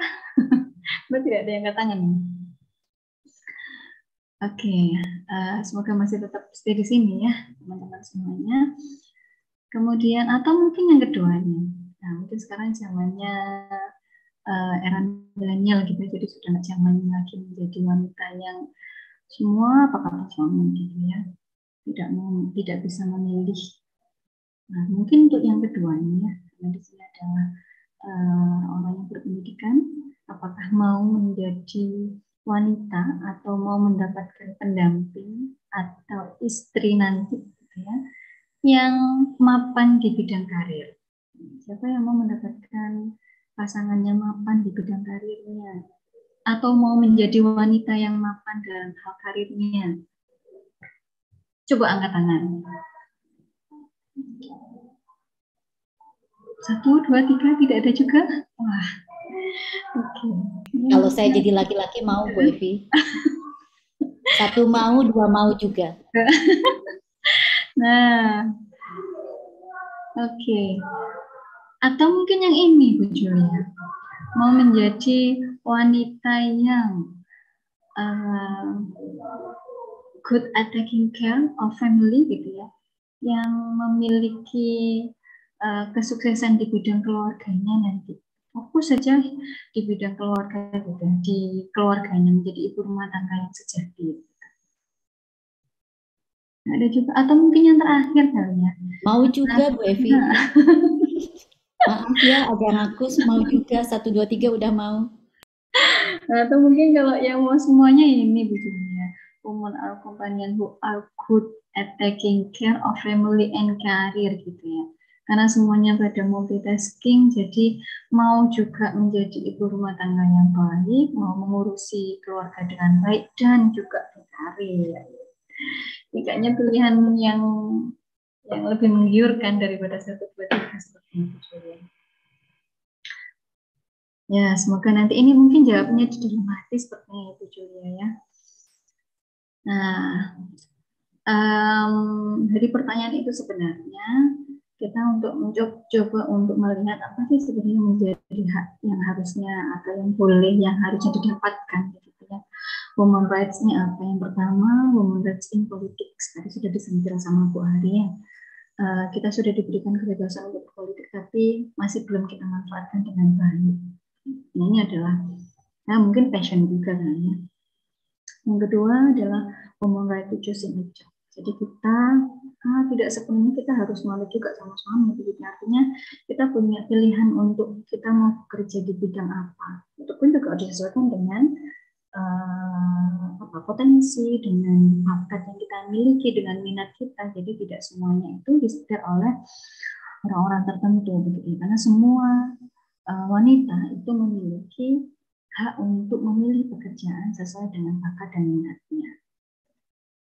Ada yang mau uh, apa namanya lebih tertarik untuk ah saya hobinya adalah memasak begitu ya. Maka pilihannya adalah saya buka warung atau restoran.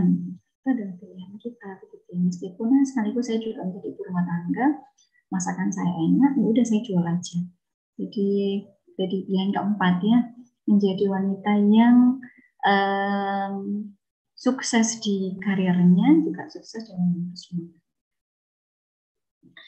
Kemudian uh, yang ketiga adalah learning right and obligation. Jadi pada dasarnya bahwa semua bukan hanya laki-laki ya. Kalau mungkin beberapa puluh tahun yang lalu masih ada uh, diskriminasi dalam hal pendidikan. Gitu. Itu yang diperjuangkan oleh kita Kartini. Nah, hari ini 21 April uh, kita memperingati uh, Ibu kita Kartini ya. Uh, salah satunya diperjuangkan oleh beliau adalah hak sebagai seorang manusia ya. Kita terlahir uh,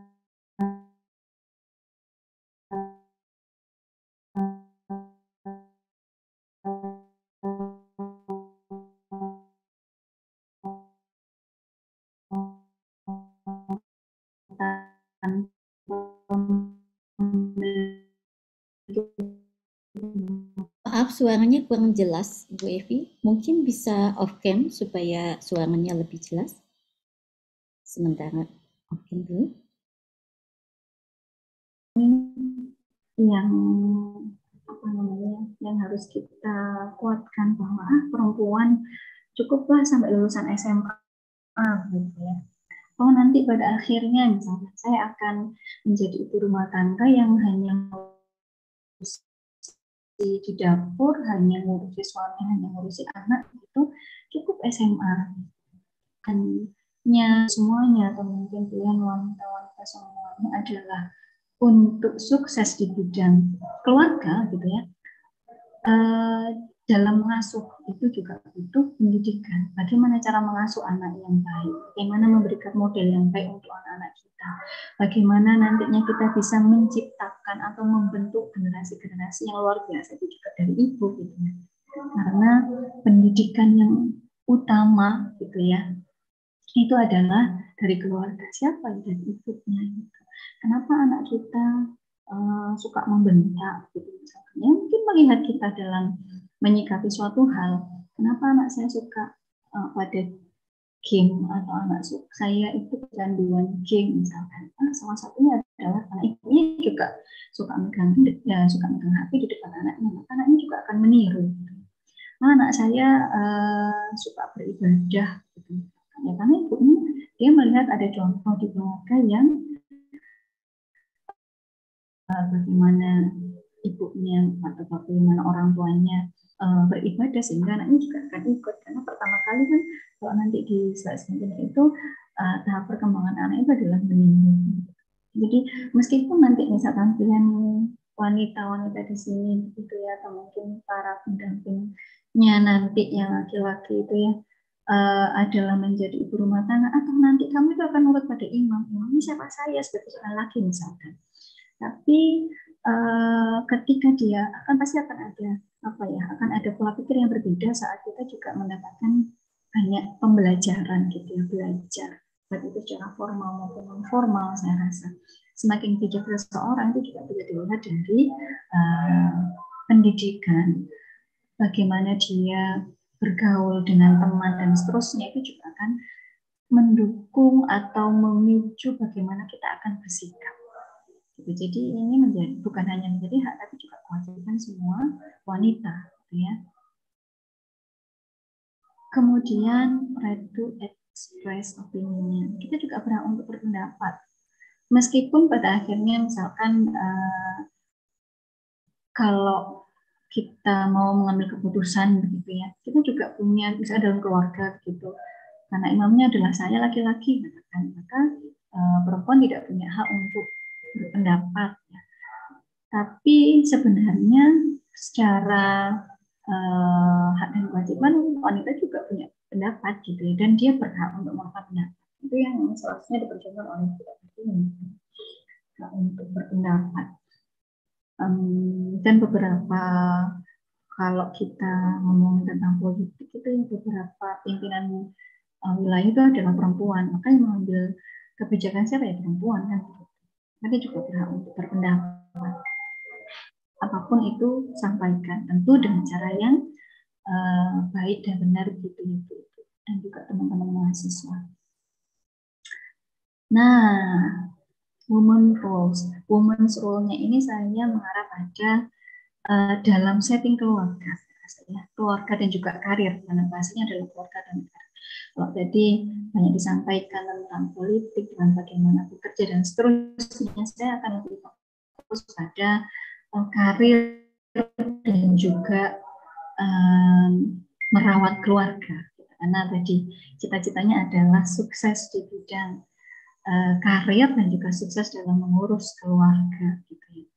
Pertama, taking care of yourself. Nah, memang uh, wanita itu hmm, banyak tangan gitu ya banyak tangan banyak kaki banyak pikiran uh, ada salah ada uh, ahli psikologi mengatakan bahwa wanita itu memiliki otak tangan yang lebih tebal dibandingkan dengan laki-laki.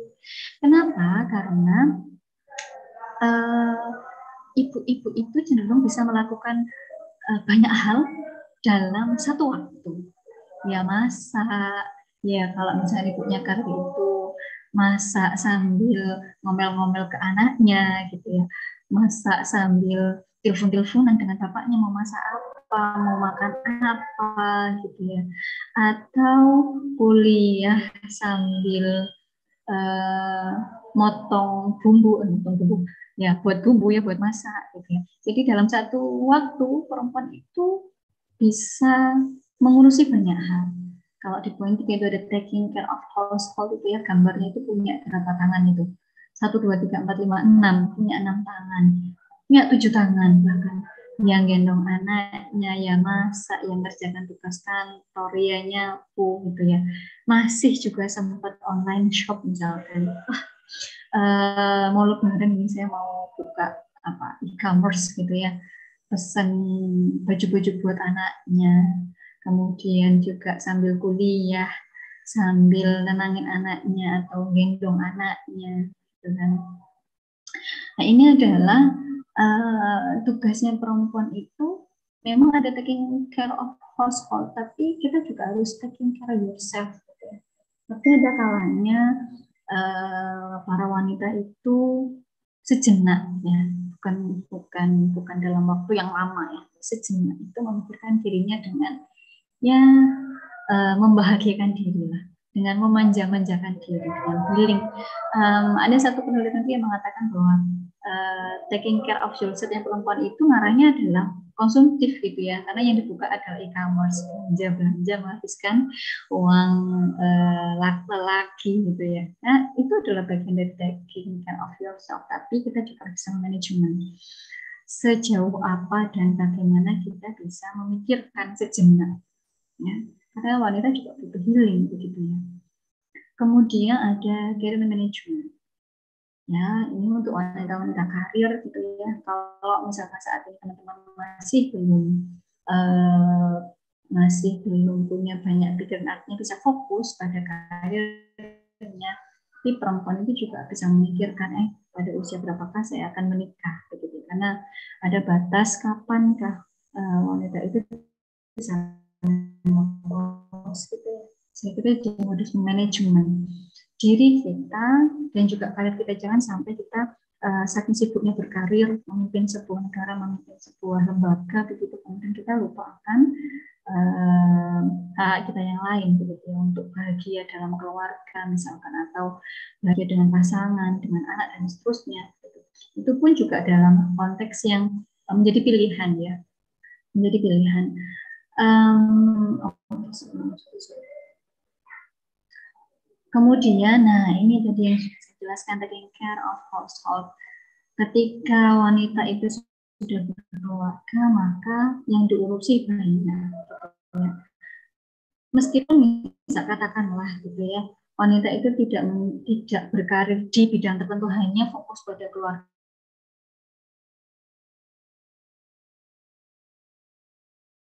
anak-anak saya makan apa, nanti keluarga saya makan apa, ibu saya yang diabetes misalkan ya dengan uh, ibunya, ibu saya yang punya diabetes harus saya masakin apa, anak saya yang tidak suka makanan pedas harus saya masakin apa, suami saya yang pedas harus masak. Jadi bisa jadi dalam memasak itu banyak macam gitu ya dengan karakteristik masing-masing di anggota keluarga itu butuh apa kan begitu. Jadi yang belanjanya juga belanjanya juga macamnya banyak belum lagi nanti cucian, belum lagi musim hujan nanti cuciannya nggak kering gitu.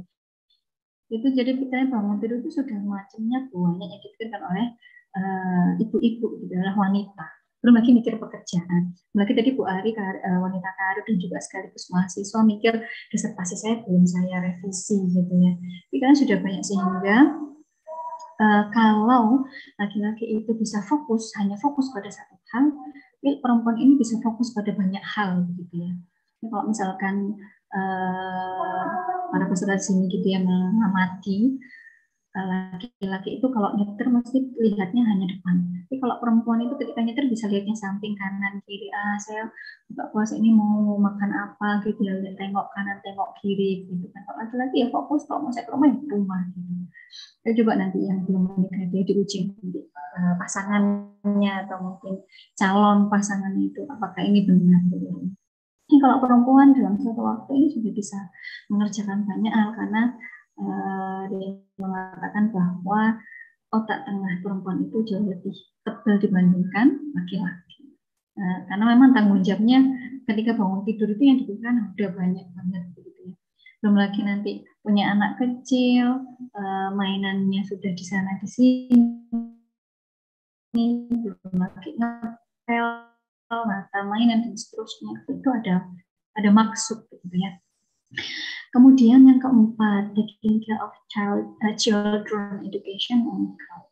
Jadi uh, bukan hanya ngurusi rumah, bukan hanya ngurusi suami, bukan hanya ngurusi pekerjaan, tapi tapi daripada itu uh, perempuan itu juga ngurusi pendidikan anak gitu ya. Kalau bapaknya udah fokus pada cari uang untuk menghidupi keluarga, ibu itu meskipun misalkan katakan fokus pada rumah tangga, mereka akan memikirkan pendidikan anak sekaligus juga akan manajemen uang ini di dalam keluarga.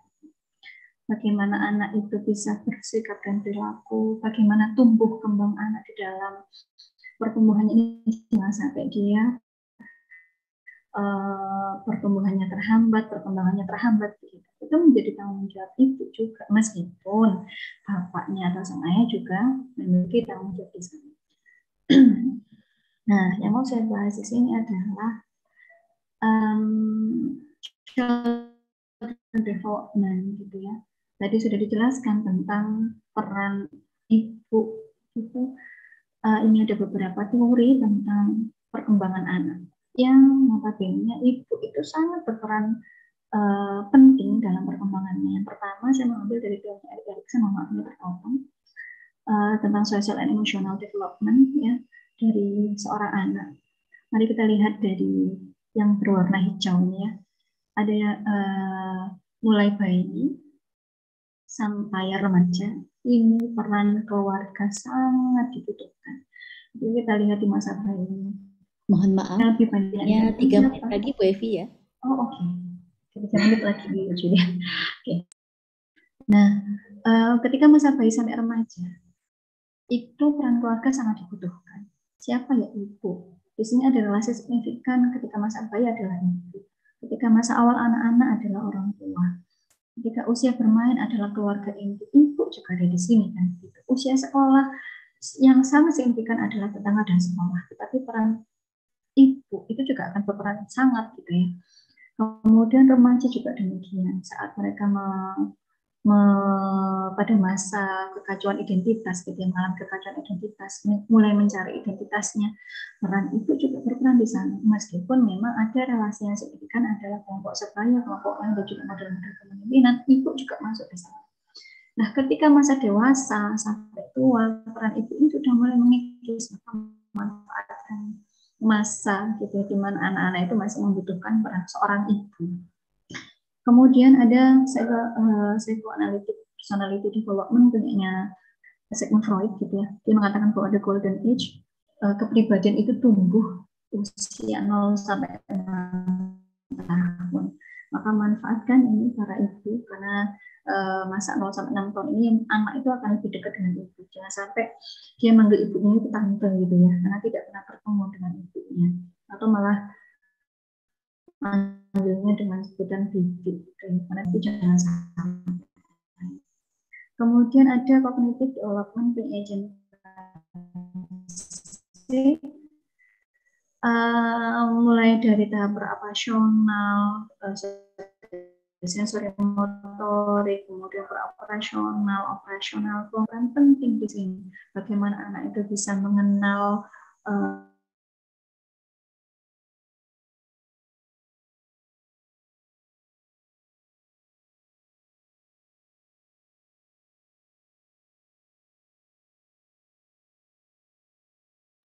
Maaf, suaranya hilang Ibu Evi. Apakah ada gangguan signal?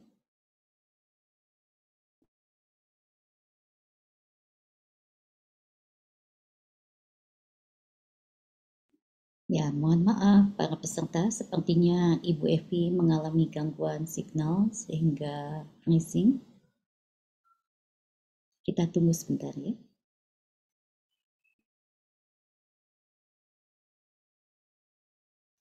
Ah, sepertinya Ibu Evi uh, keluar dari ruang Zoom. Baiklah, uh, untuk mempersingkat waktu, nanti kita akan berikan kesempatan uh, kepada Ibu Evi untuk pada saat beliau kembali. Kita berikan kesempatan dulu kepada uh, pembicara kita yang terakhir, yaitu Ibu Nur Sri Yana. Kepada Ibu Nur Sri Yana, apakah sudah hadir? Ya, uh, saya. Ya, yes. Assalamualaikum Ibu cantik. Selamat datang di ruangan Zoom Seminar Internasional ICNHS yang kelima. Izinkan saya untuk membacakan profil Ibu terlebih dahulu. Nama hmm. lengkapnya adalah Ibu Nur Sriana, lahirnya di Makassar, wah dari jauh juga ya, pada hmm. tanggal 25 Desember tahun 1987 nama panggilannya Ibu Nunu ya. Nah, ya, kemudian uh, Ibu Nunu ini tertarik kepada ilmu keperawatan anak dan telah bergabung menjadi pengurus Ikatan Perawat Anak ya atau PANI Perawat Anak Indonesia Sulawesi Selatan dan tergabung juga menjadi tim Satgas COVID-19 PPNI Kota Makassar. Beliau menyelesaikan pendidikan terakhirnya di Magister of Nursing University Hasanuddin, ya Universitas Hasanuddin di Makassar.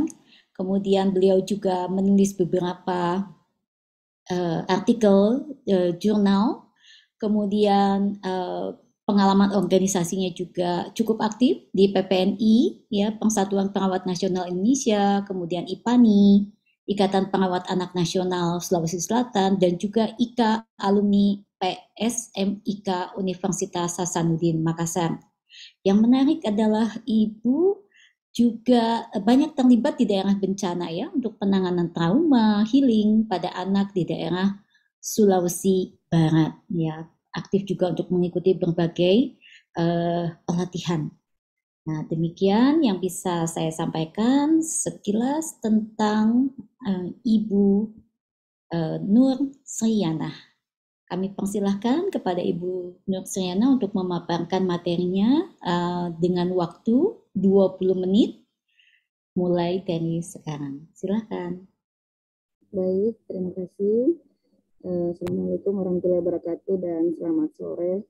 Ya mungkin uh, sudah banyak sekali pemateri yang uh, luar biasa hari ini uh, yang mulai dari awal uh, pagi tadi banyak dibahas terkait beberapa materi dan ada juga di uh, materi uh, saya uh, salah satunya adalah stunting karena kebetulan saya dari uh, background untuk uh, keperawatan anak jadi mungkin saya akan bahasnya ke uh, tumbuh kembang anaknya bagaimana uh, terhadap uh, peran seorang wanita atau uh, ibu terhadap tumbuh kembang pada anak.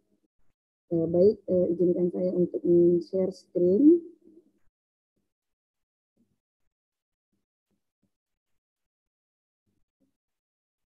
Apakah sudah terlihat, Bu? Sepertinya masih di jalan, tetapi sudah sudah all the way seperti ini. Ya, sudah terlihat, Bu, sekarang. Baik, uh, sesuai tadi uh, topik dari uh, uh, acara kita hari ini yaitu The Role of Women as Family Educators, Nurses, uh, Pharmacy, Nutrition, and Public Health. Saya mengambil dari uh, sedikit uh, terkait bagaimana peran perempuan atau wanita terhadap uh, seorang perempuan mendidik anaknya di dalam keluarga.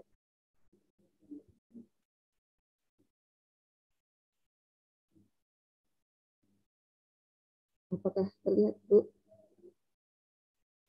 Terlihat. Oke. Okay. Terlihat, Bu. Sudah. Uh, di sini uh, uh, tadi saya juga uh, mendengar dari pemateri sebelumnya terkait uh, bagaimana si golden age pada anak yaitu uh, masa usia yang uh, rentan kemudian atau penting pada saat tumbuh kembangnya si anak tersebut sehingga uh, peran perempuan uh, atau wanita di sini khususnya seorang ibu sangatlah uh, penting terhadap bagaimana mengontrol atau mengevaluasi tumbuh kembang yang terjadi pada anak dalam suatu keluarga. baik dalam suatu keluarga di sini sangat berperan penting adalah seorang ibu untuk bagaimana uh, melihat uh, tumbuh kembangnya proses tumbuh kembang yang merupakan proses utama uh, yang hakiki dan positif pada anak sehingga merupakan uh, proses tumbuh kembang yang berlangsung pada saat pembuahannya sampai bersatunya hingga masa remaja, usia sekolah, prasekolah, dan eh, eh, tahap remaja. Sehingga tahun-tahun tumbuh kembang pada fisiknya, perkembangannya, kecerdasannya, eh, keterampilan motorik, eh, halus, motorik kasar itu sangat eh, berpengaruh pada proses di dalam keluarga. Adapun beberapa pihak yang bertanggung jawab terhadap tumbuh kembang di sini bukan cuma seorang ibu aja atau seorang wanita tetapi seluruh dalam lingkup keluarga itu sangat berperan penting dalam mengontrol tumbuh kembang pada anak. Uh, ada beberapa faktor di antaranya adalah faktor eksternal dan faktor internal. Uh, baik mungkin kita bisa melihat faktor internya, internal dari uh, tumbuh kembang pada anak eh, eh, yang terjadi pada anak eh, di antaranya adalah insting. Di sini insting eh, secara internal eh, suatu sifat yang menumbuhkan perbuatan yang menyampaikan pada tujuan berpikir eh, terlebih dahulu eh, arah perkembangan dan pertumbuhannya ke arah ke mana. Kemudian yang kedua adalah habitsnya atau kebiasaan merupakan satu faktor penting juga eh, yang di mana kebiasaan dari sikap dan perilakunya itu ditentukan dari bagaimana cara ibu mendidik eh, anaknya di dalam suatu keluarga. Selanjutnya adalah eh, kehendak atau kemauannya bagaimana sih seorang ibu tidak mengandalkan ego dalam memberikan eh, eh, apa namanya kesukaran-kesukaran namun sekali-kali tidak uh, menimbulkan ego untuk mendidik uh, anak yang di uh, uh, di dalam suatu keluarga. Kemudian ada suara hatinya atau batinnya bagi seorang ibu uh, akan uh, kekuatan batinnya untuk melakukan uh, tumbuh kembang pada anak. Kemudian ada pun uh, keturunannya atau herediternya di sini uh, suatu faktor yang dapat mempengaruhi uh, suatu perbuatan manusia. Banyak anak-anak yang berperilaku uh, seperti menyerpai orang tua atau bahkan uh, nenek dan kakeknya. Adapun faktor eksternalnya di sini adalah uh, education atau pendidikannya.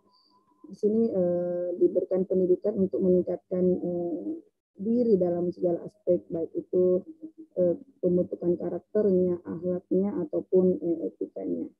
Kemudian lingkungannya, di sini lingkungannya juga sangat berperan penting dalam melihat uh, tumbuh kembang pada anak. Kalau misalnya anak berada di lingkungan yang baik atau lingkungan yang memang betul-betul uh, memberikan uh, kasih sayang yang baik, insya Allah akan terbentuk juga karakter anak yang baik pula. Kemudian ada perkembangan uh, pengaruh teknologi pesatnya. Ya, sekarang kan anak-anak uh, dikasih gadget untuk mendiamkan seorang anak yang nangis itu bawaannya seorang ibu biasanya kasih gadget aja supaya nangis. Padahal tidak seperti itu seharusnya ya. Tetapi kita memberikan uh, permainan yang bisa mengalihkan perhatiannya atau Eh, membuatnya terdiam dalam menangisnya. Kemudian di sini ada uh, peran orang tua, ada beberapa yang bisa kita kutip dari Philips uh, Lovenstein. Yang pertama adalah uh, bagaimana sejak lahir itu kita mengasuh dengan kasih sayang. Jadi kalaupun kita memberikan kasih sayang kepada anak itu jangan uh, ber, apa namanya jangan eh, membeda-bedakan antara gender bahwa oh anak perempuan harusnya seperti ini anak laki-laki kasih sayangnya seperti ini kemudian eh, mem, apa namanya mendidik anak dengan memberikan kesehatan yang eh, lebih baik selanjutnya memberikan alat-alat permainan yang sesuai umurnya kemudian memberikan kesempatan bermain kepada anak. Jangan eh, waktu pandemi seperti ini eh, yang lalu itu kan saya pribadi pun itu eh, mem, apa namanya eh, secara tidak langsung itu melarang anak keluar. Padahal eh, kita membatasi kesempatan anak untuk bermain. Ya seperti itu harusnya tidak membatasi tapi kita mengontrol kemudian mengawasi pada saat anak-anak ingin melakukan permainan atau ingin berkesempatan untuk bermain. Kemudian memberikan kesempatan pada anak eh, menyekolahkan ya atau memberikan eh, sekolah sesuai umurnya. Kemudian memberikan pendidikan uh, dalam keluarga, tutur kata yang sopan dan santun, sosialnya, kemudian keagamaannya bagaimana mengajarkan misalnya kalau kita muslim itu mengajarkan sholat dan segala macam salam dan segala macam. Kemudian memberikan kesempatan untuk mengembangkan uh, potensi dirinya. Kalau misalnya sudah usia di atas uh, uh, dewasa misalnya dan berpendapat sesuai dengan usia anaknya. Jadi kalau misalnya anak-anak di usia seperti itu ya kita mendengarkan aja dulu pendapatnya, jangan langsung menjustifikasi wah kamu nggak boleh ngomong seperti itu ya.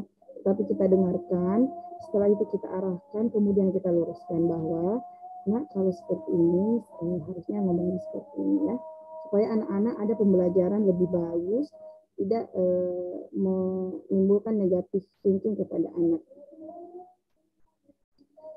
Eh, kemudian adapun hak anak di sini eh, yang pertama adalah hak anak untuk memperoleh kelangsungan hidup ya. Saya rasa sudah kita dengarkan bersama materi sebelumnya bahwa eh, seorang dalam keluarga itu memang eh, memberikan hak kepada anak untuk kelangsungan hidupnya. Kemudian hak untuk uh, mendapatkan uh, tumbuh kembang pada anak yaitu mendapatkan hak asuh, asih dan asah. Kemudian hak untuk berpartisipasi kalau misalnya anak sudah usia sekolah itu biasanya anak itu diikutsertakan berpartisipasi baik itu dalam hal kegiatan uh, yang dilibatkan dari orang tua ataupun tidak. Kemudian hak untuk mendapatkan perlindungan ya, hak perlindungan anak sekarang kan eh, banyak yang eh, istilahnya menggunakan hak perlindungan anak ini untuk menghindari yang namanya bullying ya. Karena sekarang itu eh, anak-anak di sekolah sudah banyak kasus bullying terutama eh, anak-anak yang biasanya di sekolah yang eh, mempunyai karakter yang eh, lebih tinggi eh, tingkat ekonominya sehingga anak-anak yang di bawahnya itu biasanya mendapat bullying dari teman-teman yang uh, tidak setara dengan uh, faktor ekonomi. Uh, baik, uh, selanjutnya bagaimana cara membangun karakter anak? Uh, cara membangun karakter anak di sini uh, yaitu mendidiknya, mendidiknya dengan kasih sayang, kemudian membangun karakter yang uh, baik, uh, kemudian uh, menanamkan uh, kebaikan kepada anak-anak khususnya di dalam keluarga bagaimana saling menghargai kepada eh, kakaknya menghargai adiknya sekalipun dia di bawahnya seperti itu. Jadi eh, istilahnya tidak ada tidak terlihat perbedaan bahwa si kakak ini harus lebih bagus si adik ini harus lebih bagus. Jadi jangan membanding-bandingkan anak yang yang memang e, mempunyai karakter berbeda-beda dalam satu keluarga ya bisa saja anaknya mampu di anak yang pertama itu mampu seperti itu sedangkan adiknya belum mampu. Jadi kita tidak boleh membanding-bandingkan kepada kemampuan dari anak-anak sehingga karakter anak itu lebih terbangun sesuai dengan eh, apa sih namanya kreativitas masing-masing.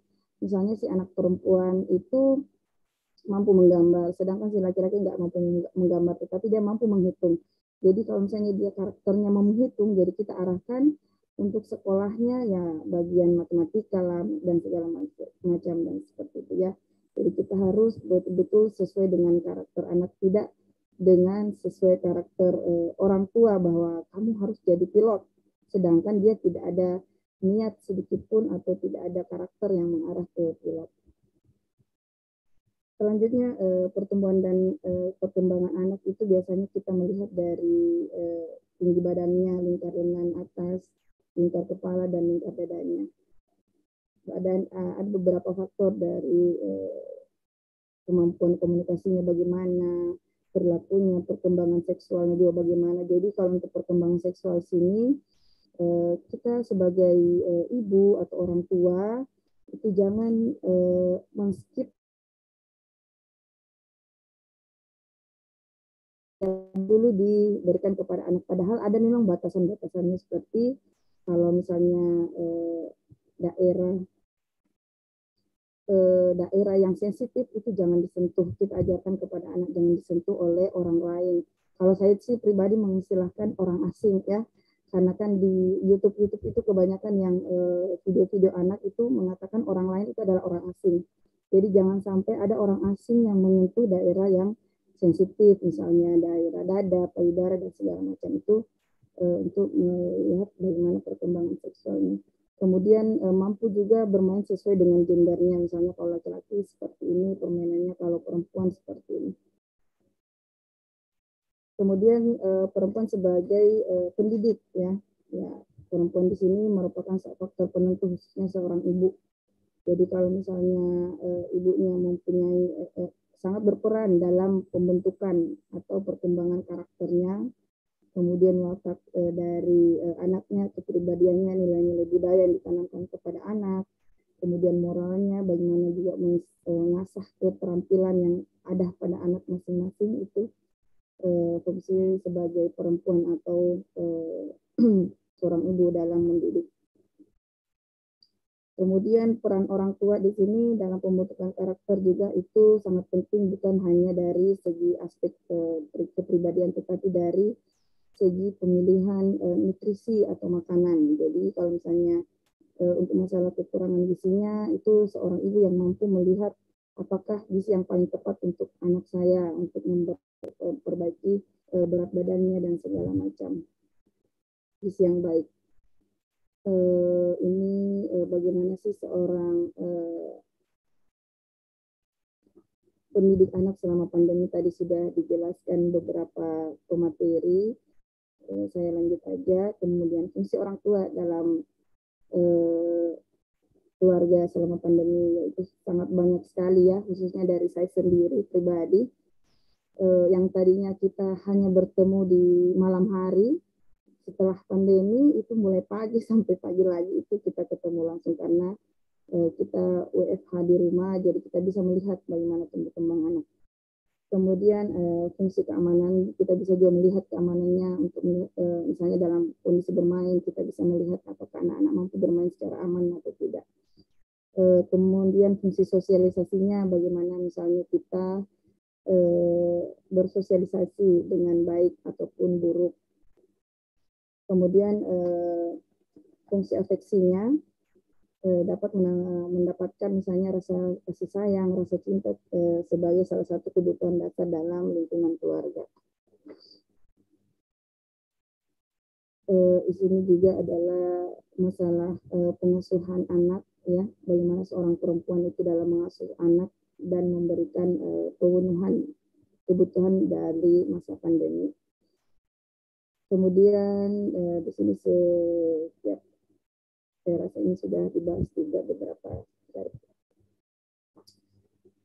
Kemudian eh, saya lanjut di eh, peran perempuan terhadap pendidikan anak di masa pandemi. Ya, ini sangat eh, ber apa namanya berfungsi sekali. Maksudnya seorang perempuan ibu itu memenuhi kebutuhan eh, anaknya karena misalnya pada saat dia mau belajar ada ibu di sampingnya. Kemudian berperan sebagai contoh atau leader uh, role model ya maksudnya memberikan contoh baik kepada anaknya kemudian perempuan memberikan stimulasi yang baik pada saat dia menerima pelajaran secara online.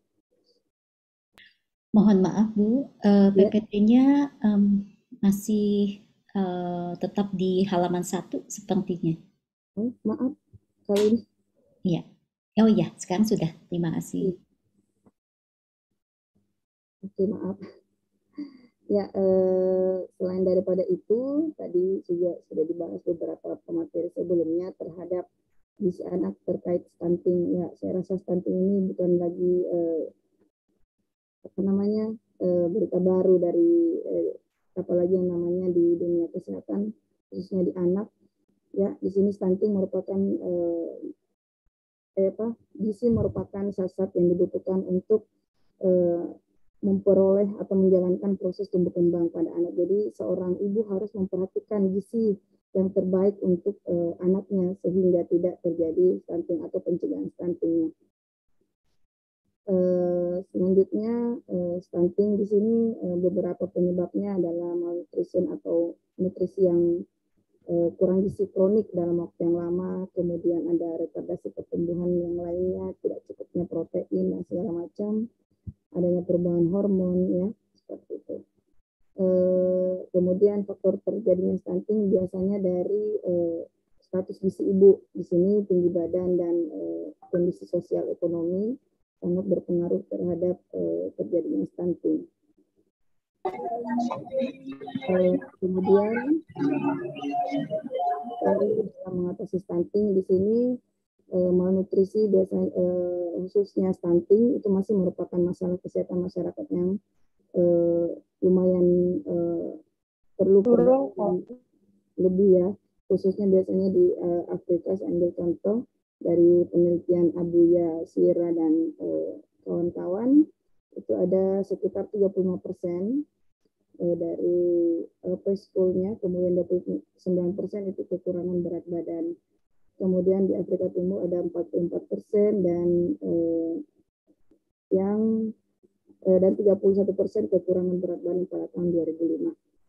Kemudian pendidikan ibu, uh, kenapa sih di sini seorang ibu perlu pendidikan yang uh, istilahnya untuk mengenal atau memberikan pengetahuan terhadap uh, gizi yang baik diberikan kepada anak itu sangat penting mengingat bahwa uh, faktor prediktor kuat modal manusia uh, itu ada penekanan pada pendidikan anak perempuan dan berkontribusi untuk memutus siklus uh, kemiskinan dari lingkungan yang dari perkotaan.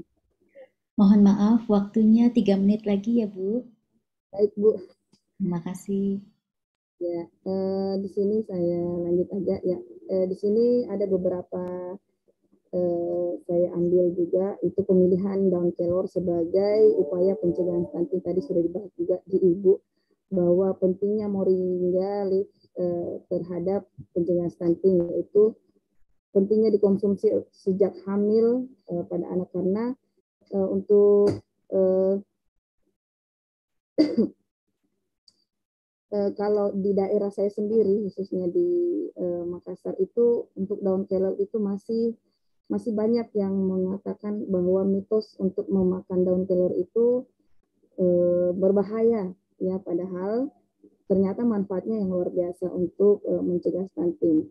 Jadi e, saya setiap melakukan pengabdian masyarakat itu selalu membahas daun kelor dan untuk dikonsumsi baik itu ibu, ibu hamil walaupun eh, ataupun anak-anak sehingga pada saat uh, biasanya uh, pemilihan makanan itu bukan cuma dijadikan sayur aja untuk dari bahan dasar dari kelor tetapi dijadikan beberapa makanan seperti keripik daun kelor ataupun puding daun kelor yang nanti kami akan garap insya Allah di daerah beberapa daerah di Makassar itu akan diadakan pengabdian masyarakat terhadap pembuatan puding daun kelor karena biasanya itu anak-anak suka yang uh, semacam puding atau keripik dari daun kelor karena kalau melihat sayurnya biasanya anak-anak tidak mau makan sayurnya biasanya seperti itu.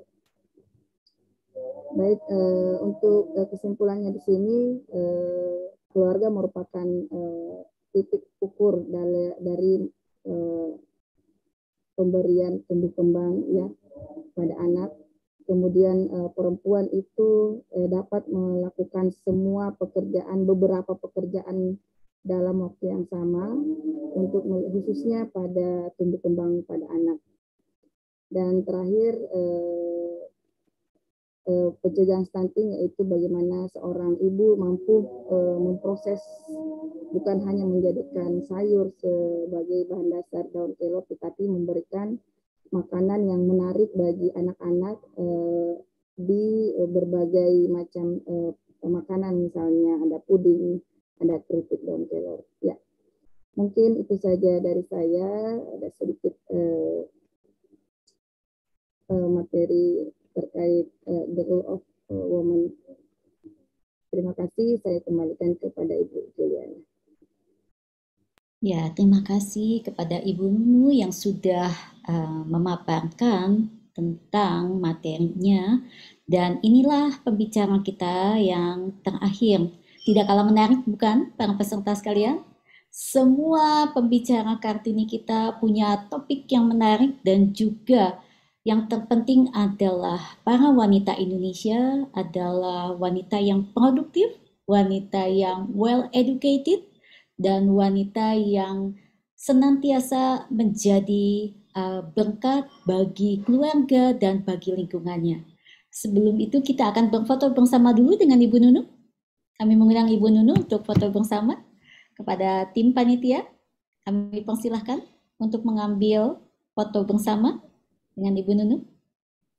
Ya, dalam hitungan tiga, tiga, dua, satu.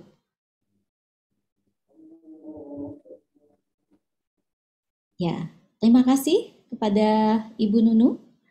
Uh, demikianlah para peserta sekalian uh, acara seminar internasional ICNHS kita yang kelima pada siang hari ini. Sejak pagi kita sudah mendengarkan pemaparan yang begitu banyak, begitu lengkap, dan begitu luar biasa. Kami mohon maaf atas uh, waktu yang mungkin lebih dari porsi yang seharusnya kami jadwalkan tapi kami percaya bahwa kita semua mendapatkan manfaat yang sangat banyak. Dan untuk sesi Q&A yang rencananya akan kita gelar setelah ini, karena mengingat waktu untuk uh, persiapan untuk berbuka puasa bagi saudara-saudara kita, bagi kita semua, karena itu sesi Q&A akan kita uh, lewatkan. Dan nanti apabila ada pertanyaan nanti bisa uh, menghubungi uh, para pembicara ya yang dengan pemaparan dengan penjelasan yang mungkin akan lebih lengkap nantinya gitu ya. Ya, terima kasih sekali lagi saya kembalikan kepada Oh, sebentar, ada Ibu Evi ya. Ibu Evi kita belum foto bersama ya? Oh iya, Bu Julia. Mohon maaf tadi sinyalnya ada gangguan sehingga saya ngelip padahal tadi mau nampilkan video. Tidak apa-apa Bu Evi. Kita foto bersama dulu ya dengan Ibu Evi. Dan sekalian penyerahan sertifikat untuk Ibu Evi dan Ibu Nunu. Kita foto bersama dengan Ibu Evi dan juga penyerahan sertifikat untuk Ibu Evi dan Ibu Nunu. Kami persilahkan kepada tim panitia untuk uh, mengambil foto bersama Ibu Evi. Tiga, dua, satu. Ya, terima kasih. Untuk sertifikat bisa mohon ditampilkan sertifikat Ibu Evi dan Ibu uh, Nunu. Demikian ini adalah sertifikat yang uh, kami berikan kepada Ibu Evi dan Ibu Nunu sebagai ucapan terima kasih kami atas partisipasi ibu-ibu sekalian dalam acara seminar internasional kali ini. Demikian uh, seminar ini kami kembalikan kepada Ibu Livana. Kami persilakan kepada Ibu Livana untuk menutup acara kita. Ya, Ibu Juliana, mungkin saya akan take over karena ya. Ibu Livana sedang berada di dalam kesibukan yang tidak bisa ditinggalkan. Baik. Terima kasih Ibu Juliana atas pandu, memandu acara sesi kedua dari diskusi dan simposium tentunya dengan para wanita hebat Indonesia yang memiliki kepakaran di bidang masing-masing. Semoga apa yang sudah disampaikan dapat memberikan pembelajaran bagi kita perempuan-perempuan ke depannya agar bisa lebih berkarya begitu ya Bu Juliana. Oke. Okay. Thank you very much to the participant also and also the committee and our honorable speaker who shared today knowledge and the end of the second session of symposium and discussion is the sign of the N International Conference on Nursing and Health Sciences in first day. Ya, Terima kasih juga saya ucapkan kepada para peserta, panitia, dan juga pembicara-pembicara yang terhormat yang sudah berbagi ilmunya pada kita pada hari ini. Dan berakhirnya sesi kedua, simposium dan juga diskusi ini, maka mengakhiri, menandai berakhirnya International Conference on Nursing and Health Sciences pada hari yang pertama. I reminded the participants to return again to the second day of the conference tomorrow. We have the schedule for the oral presentation And we hope that the, all the participants can enter or can join the Zoom uh, room as a schedule.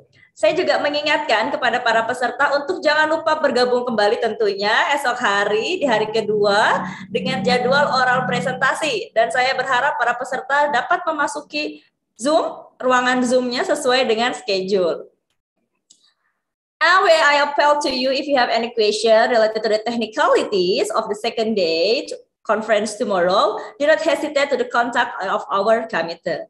Saya juga mengingatkan, jangan lupa apabila ada pertanyaan atau ada kesulitan teknis berkaitan dengan esok hari, jangan malu dan jangan ragu untuk menghubungi panitia. And I hope and you will concern about the term and also condition for the oral presentation tomorrow as follow. Saya juga mengharapkan para peserta untuk memperhatikan beberapa ketentuan dan juga um, istilahnya kalau kita tata tertib ya untuk oral presentasi esok yang uh, antara lain akan saya bacakan adalah please replace the Zoom name with the format as follow rooms underscore your name. Jadi diganti nanti format uh, nama Zoom-nya itu dengan room-nya dulu underscore nama Bapak Ibu sekalian ya. Jadi room dulu underscore nama Bapak Ibu sekalian. Jadi begitu masuk langsung diganti dengan format seperti uh, itu ya. Roomnya room berapa underscore nama. Jika memang tidak tahu roomnya bisa mengkontak panitia untuk diberitahukan uh, atau untuk dibantu masuk ke dalam room. All the participants please join the Zoom meeting 15 minutes 15 minutes before the schedule of the first oral presentation started because the presentation can be faster based on the speed of the presenter. Saya harapkan peserta bisa masuk 15 menit sebelum presentator pertama dijadwalkan untuk presentasi. Kenapa? Karena besok adalah hari Jumat, sebagian besar umat muslim akan melaksanakan sholat Jumat dan kadang-kadang room itu selesai lebih cepat dibandingkan jadwal yang sudah ditentukan tergantung kecepatan dari para presenter dan juga tentunya tanggapan dari reviewer. Jadi daripada terlewat lebih baik masuk lebih awal, oke? Okay? If the presenter is called three times but does not answer, the moderator will continue to the next presenter. Jadi nanti kalau Bapak Ibu namanya disebutkan tiga kali, lalu tidak ada jawaban, mungkin terganggu gangguan sinyal atau lain sebagainya, maka moderator akan melanjutkan ke presentator selanjutnya dan akan tetap dipanggil lagi nanti di akhir dari nama-nama yang sudah ada. Jadi nanti di uh, akhir tetap akan dipanggil kembali untuk memastikan Bapak Ibu presentasi, oke? Okay? The allocation of the total time presentation for the question and answer session and also for your presentation is 10 minutes. Ya, jadi 10 menit itu adalah waktu total untuk Bapak Ibu sekalian mempresentasikan. Berikut juga ada sesi tanya jawab. Jadi sudah include ya. Presentasinya kalau 5 menit, berarti sesi tanya jawabnya nanti bisa berlangsung 5 menit. Namun apabila lebih dari 7 menit, maka moderator akan mengingatkan untuk mempercepat presentasi Bapak Ibu sekalian. And it's important, ini sangat penting. If more than one author want to join the Zoom room to present or to represent, they are still welcome. But certificate just and always will be given to one person.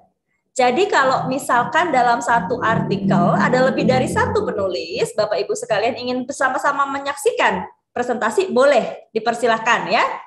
Room underscore nama Bapak Ibu sekalian atau ingin menggantikan rekannya itu juga boleh ya tapi nanti tetap sertifikat hanya akan diberikan kepada satu orang sesuai dengan yang sudah terdaftar di panitia. The delivery of the language for the presentation and presenter is based and adjusted to the moderator's policy. Ya, saya mengingatkan bahwa penyampaian presentasinya nanti besok, ada tiga room Bapak Ibu sekalian, untuk bahasa apa yang boleh digunakan itu dipersilahkan meminta kebijakan kepada moderator. Karena dalam room e, pertama itu nanti akan ada beberapa peserta dari luar negeri. Tentunya kebijakan umumnya adalah di sana menggunakan bahasa Inggris. Namun Bapak Ibu sekalian di room yang lain dapat meminta kebijakan kepada moderator. Or if you want to presentation in English or presentation in bahasa, to make sure the quality of the conference in room with the presenter from the other country, we will still translate your answer if you answer in bahasa. Tapi apabila Bapak Ibu ingin presentasi tidak dengan bahasa Inggris melainkan bahasa Indonesia, lalu ada pertanyaan ya, untuk menjaga kualitas konferensi di ruangan yang memang ada peserta dari luar negeri, Pak moderator atau panitia akan tetap mentranslate uh, jawaban Bapak Ibu sekalian. Berikut mentranslate pertanyaannya. Gitu. Jadi jangan khawatir ya. So I hope you all all the participants will prepare the best performance because what? Because there will be the we have a three best presenter in every room and will be announced tomorrow. Jadi kenapa? Karena Bapak Ibu sekalian harus mempersiapkan presentasi terbaiknya karena kita punya dan akan menyediakan tiga tempat untuk presentator terbaik di setiap ruangan. And the best presentator will uh, we will give you the special certificate. Dan kita akan memberikan sertifikat spesial tentunya untuk tiga presentator terbaik ya. Jadi itu tadi tentu ketentuan dan juga syarat untuk besok oral presentasi. Akan disebutkan kembali oleh moderator di setiap ruangan, namun saya harap Bapak Ibu tetap memperhatikan dan juga tetap mengikuti peraturan sehingga kita bisa menjalankan konferensi dengan maksimal. As a master of ceremony today, I, Tuti, and also my partner before Mr. Aris and all the committee of the International Conference on Nursing and Health Sciences 2022 today Give you an apologies on behalf of the committee also if there is an any error during this conference. Saya selaku pembawa acara, Tuti dan juga rekan saya sebelumnya Mas Aris dan seluruh tentunya panitia penyelenggara mewakili seluruh panitia penyelenggara memohon maaf apabila ada kesalahan ataupun hal yang tidak berkenan selama penyelenggaraan konferensi kita pada pagi hari ini. I will waiting for your cooperation and your coordination tomorrow. Saya akan menantikan tentunya uh, kerjasama dan juga koordinasi kita lagi besok. So, the end of the word. Wassalamualaikum warahmatullahi wabarakatuh. Good afternoon, everybody. Akhir kata, wassalamualaikum warahmatullahi wabarakatuh. Selamat sore and see you later on Zoom tomorrow. Terima kasih Mbak semua. Terima kasih semuanya para peserta yang luar biasa. Terima kasih, thank you. Terima kasih Bu Tuti. Ah kasih, Bu. Terima kasih, Bu. Terima kasih, saya Terima kasih para pembicara yang luar biasa. Sampai jumpa kembali dalam pertemuan yang lain.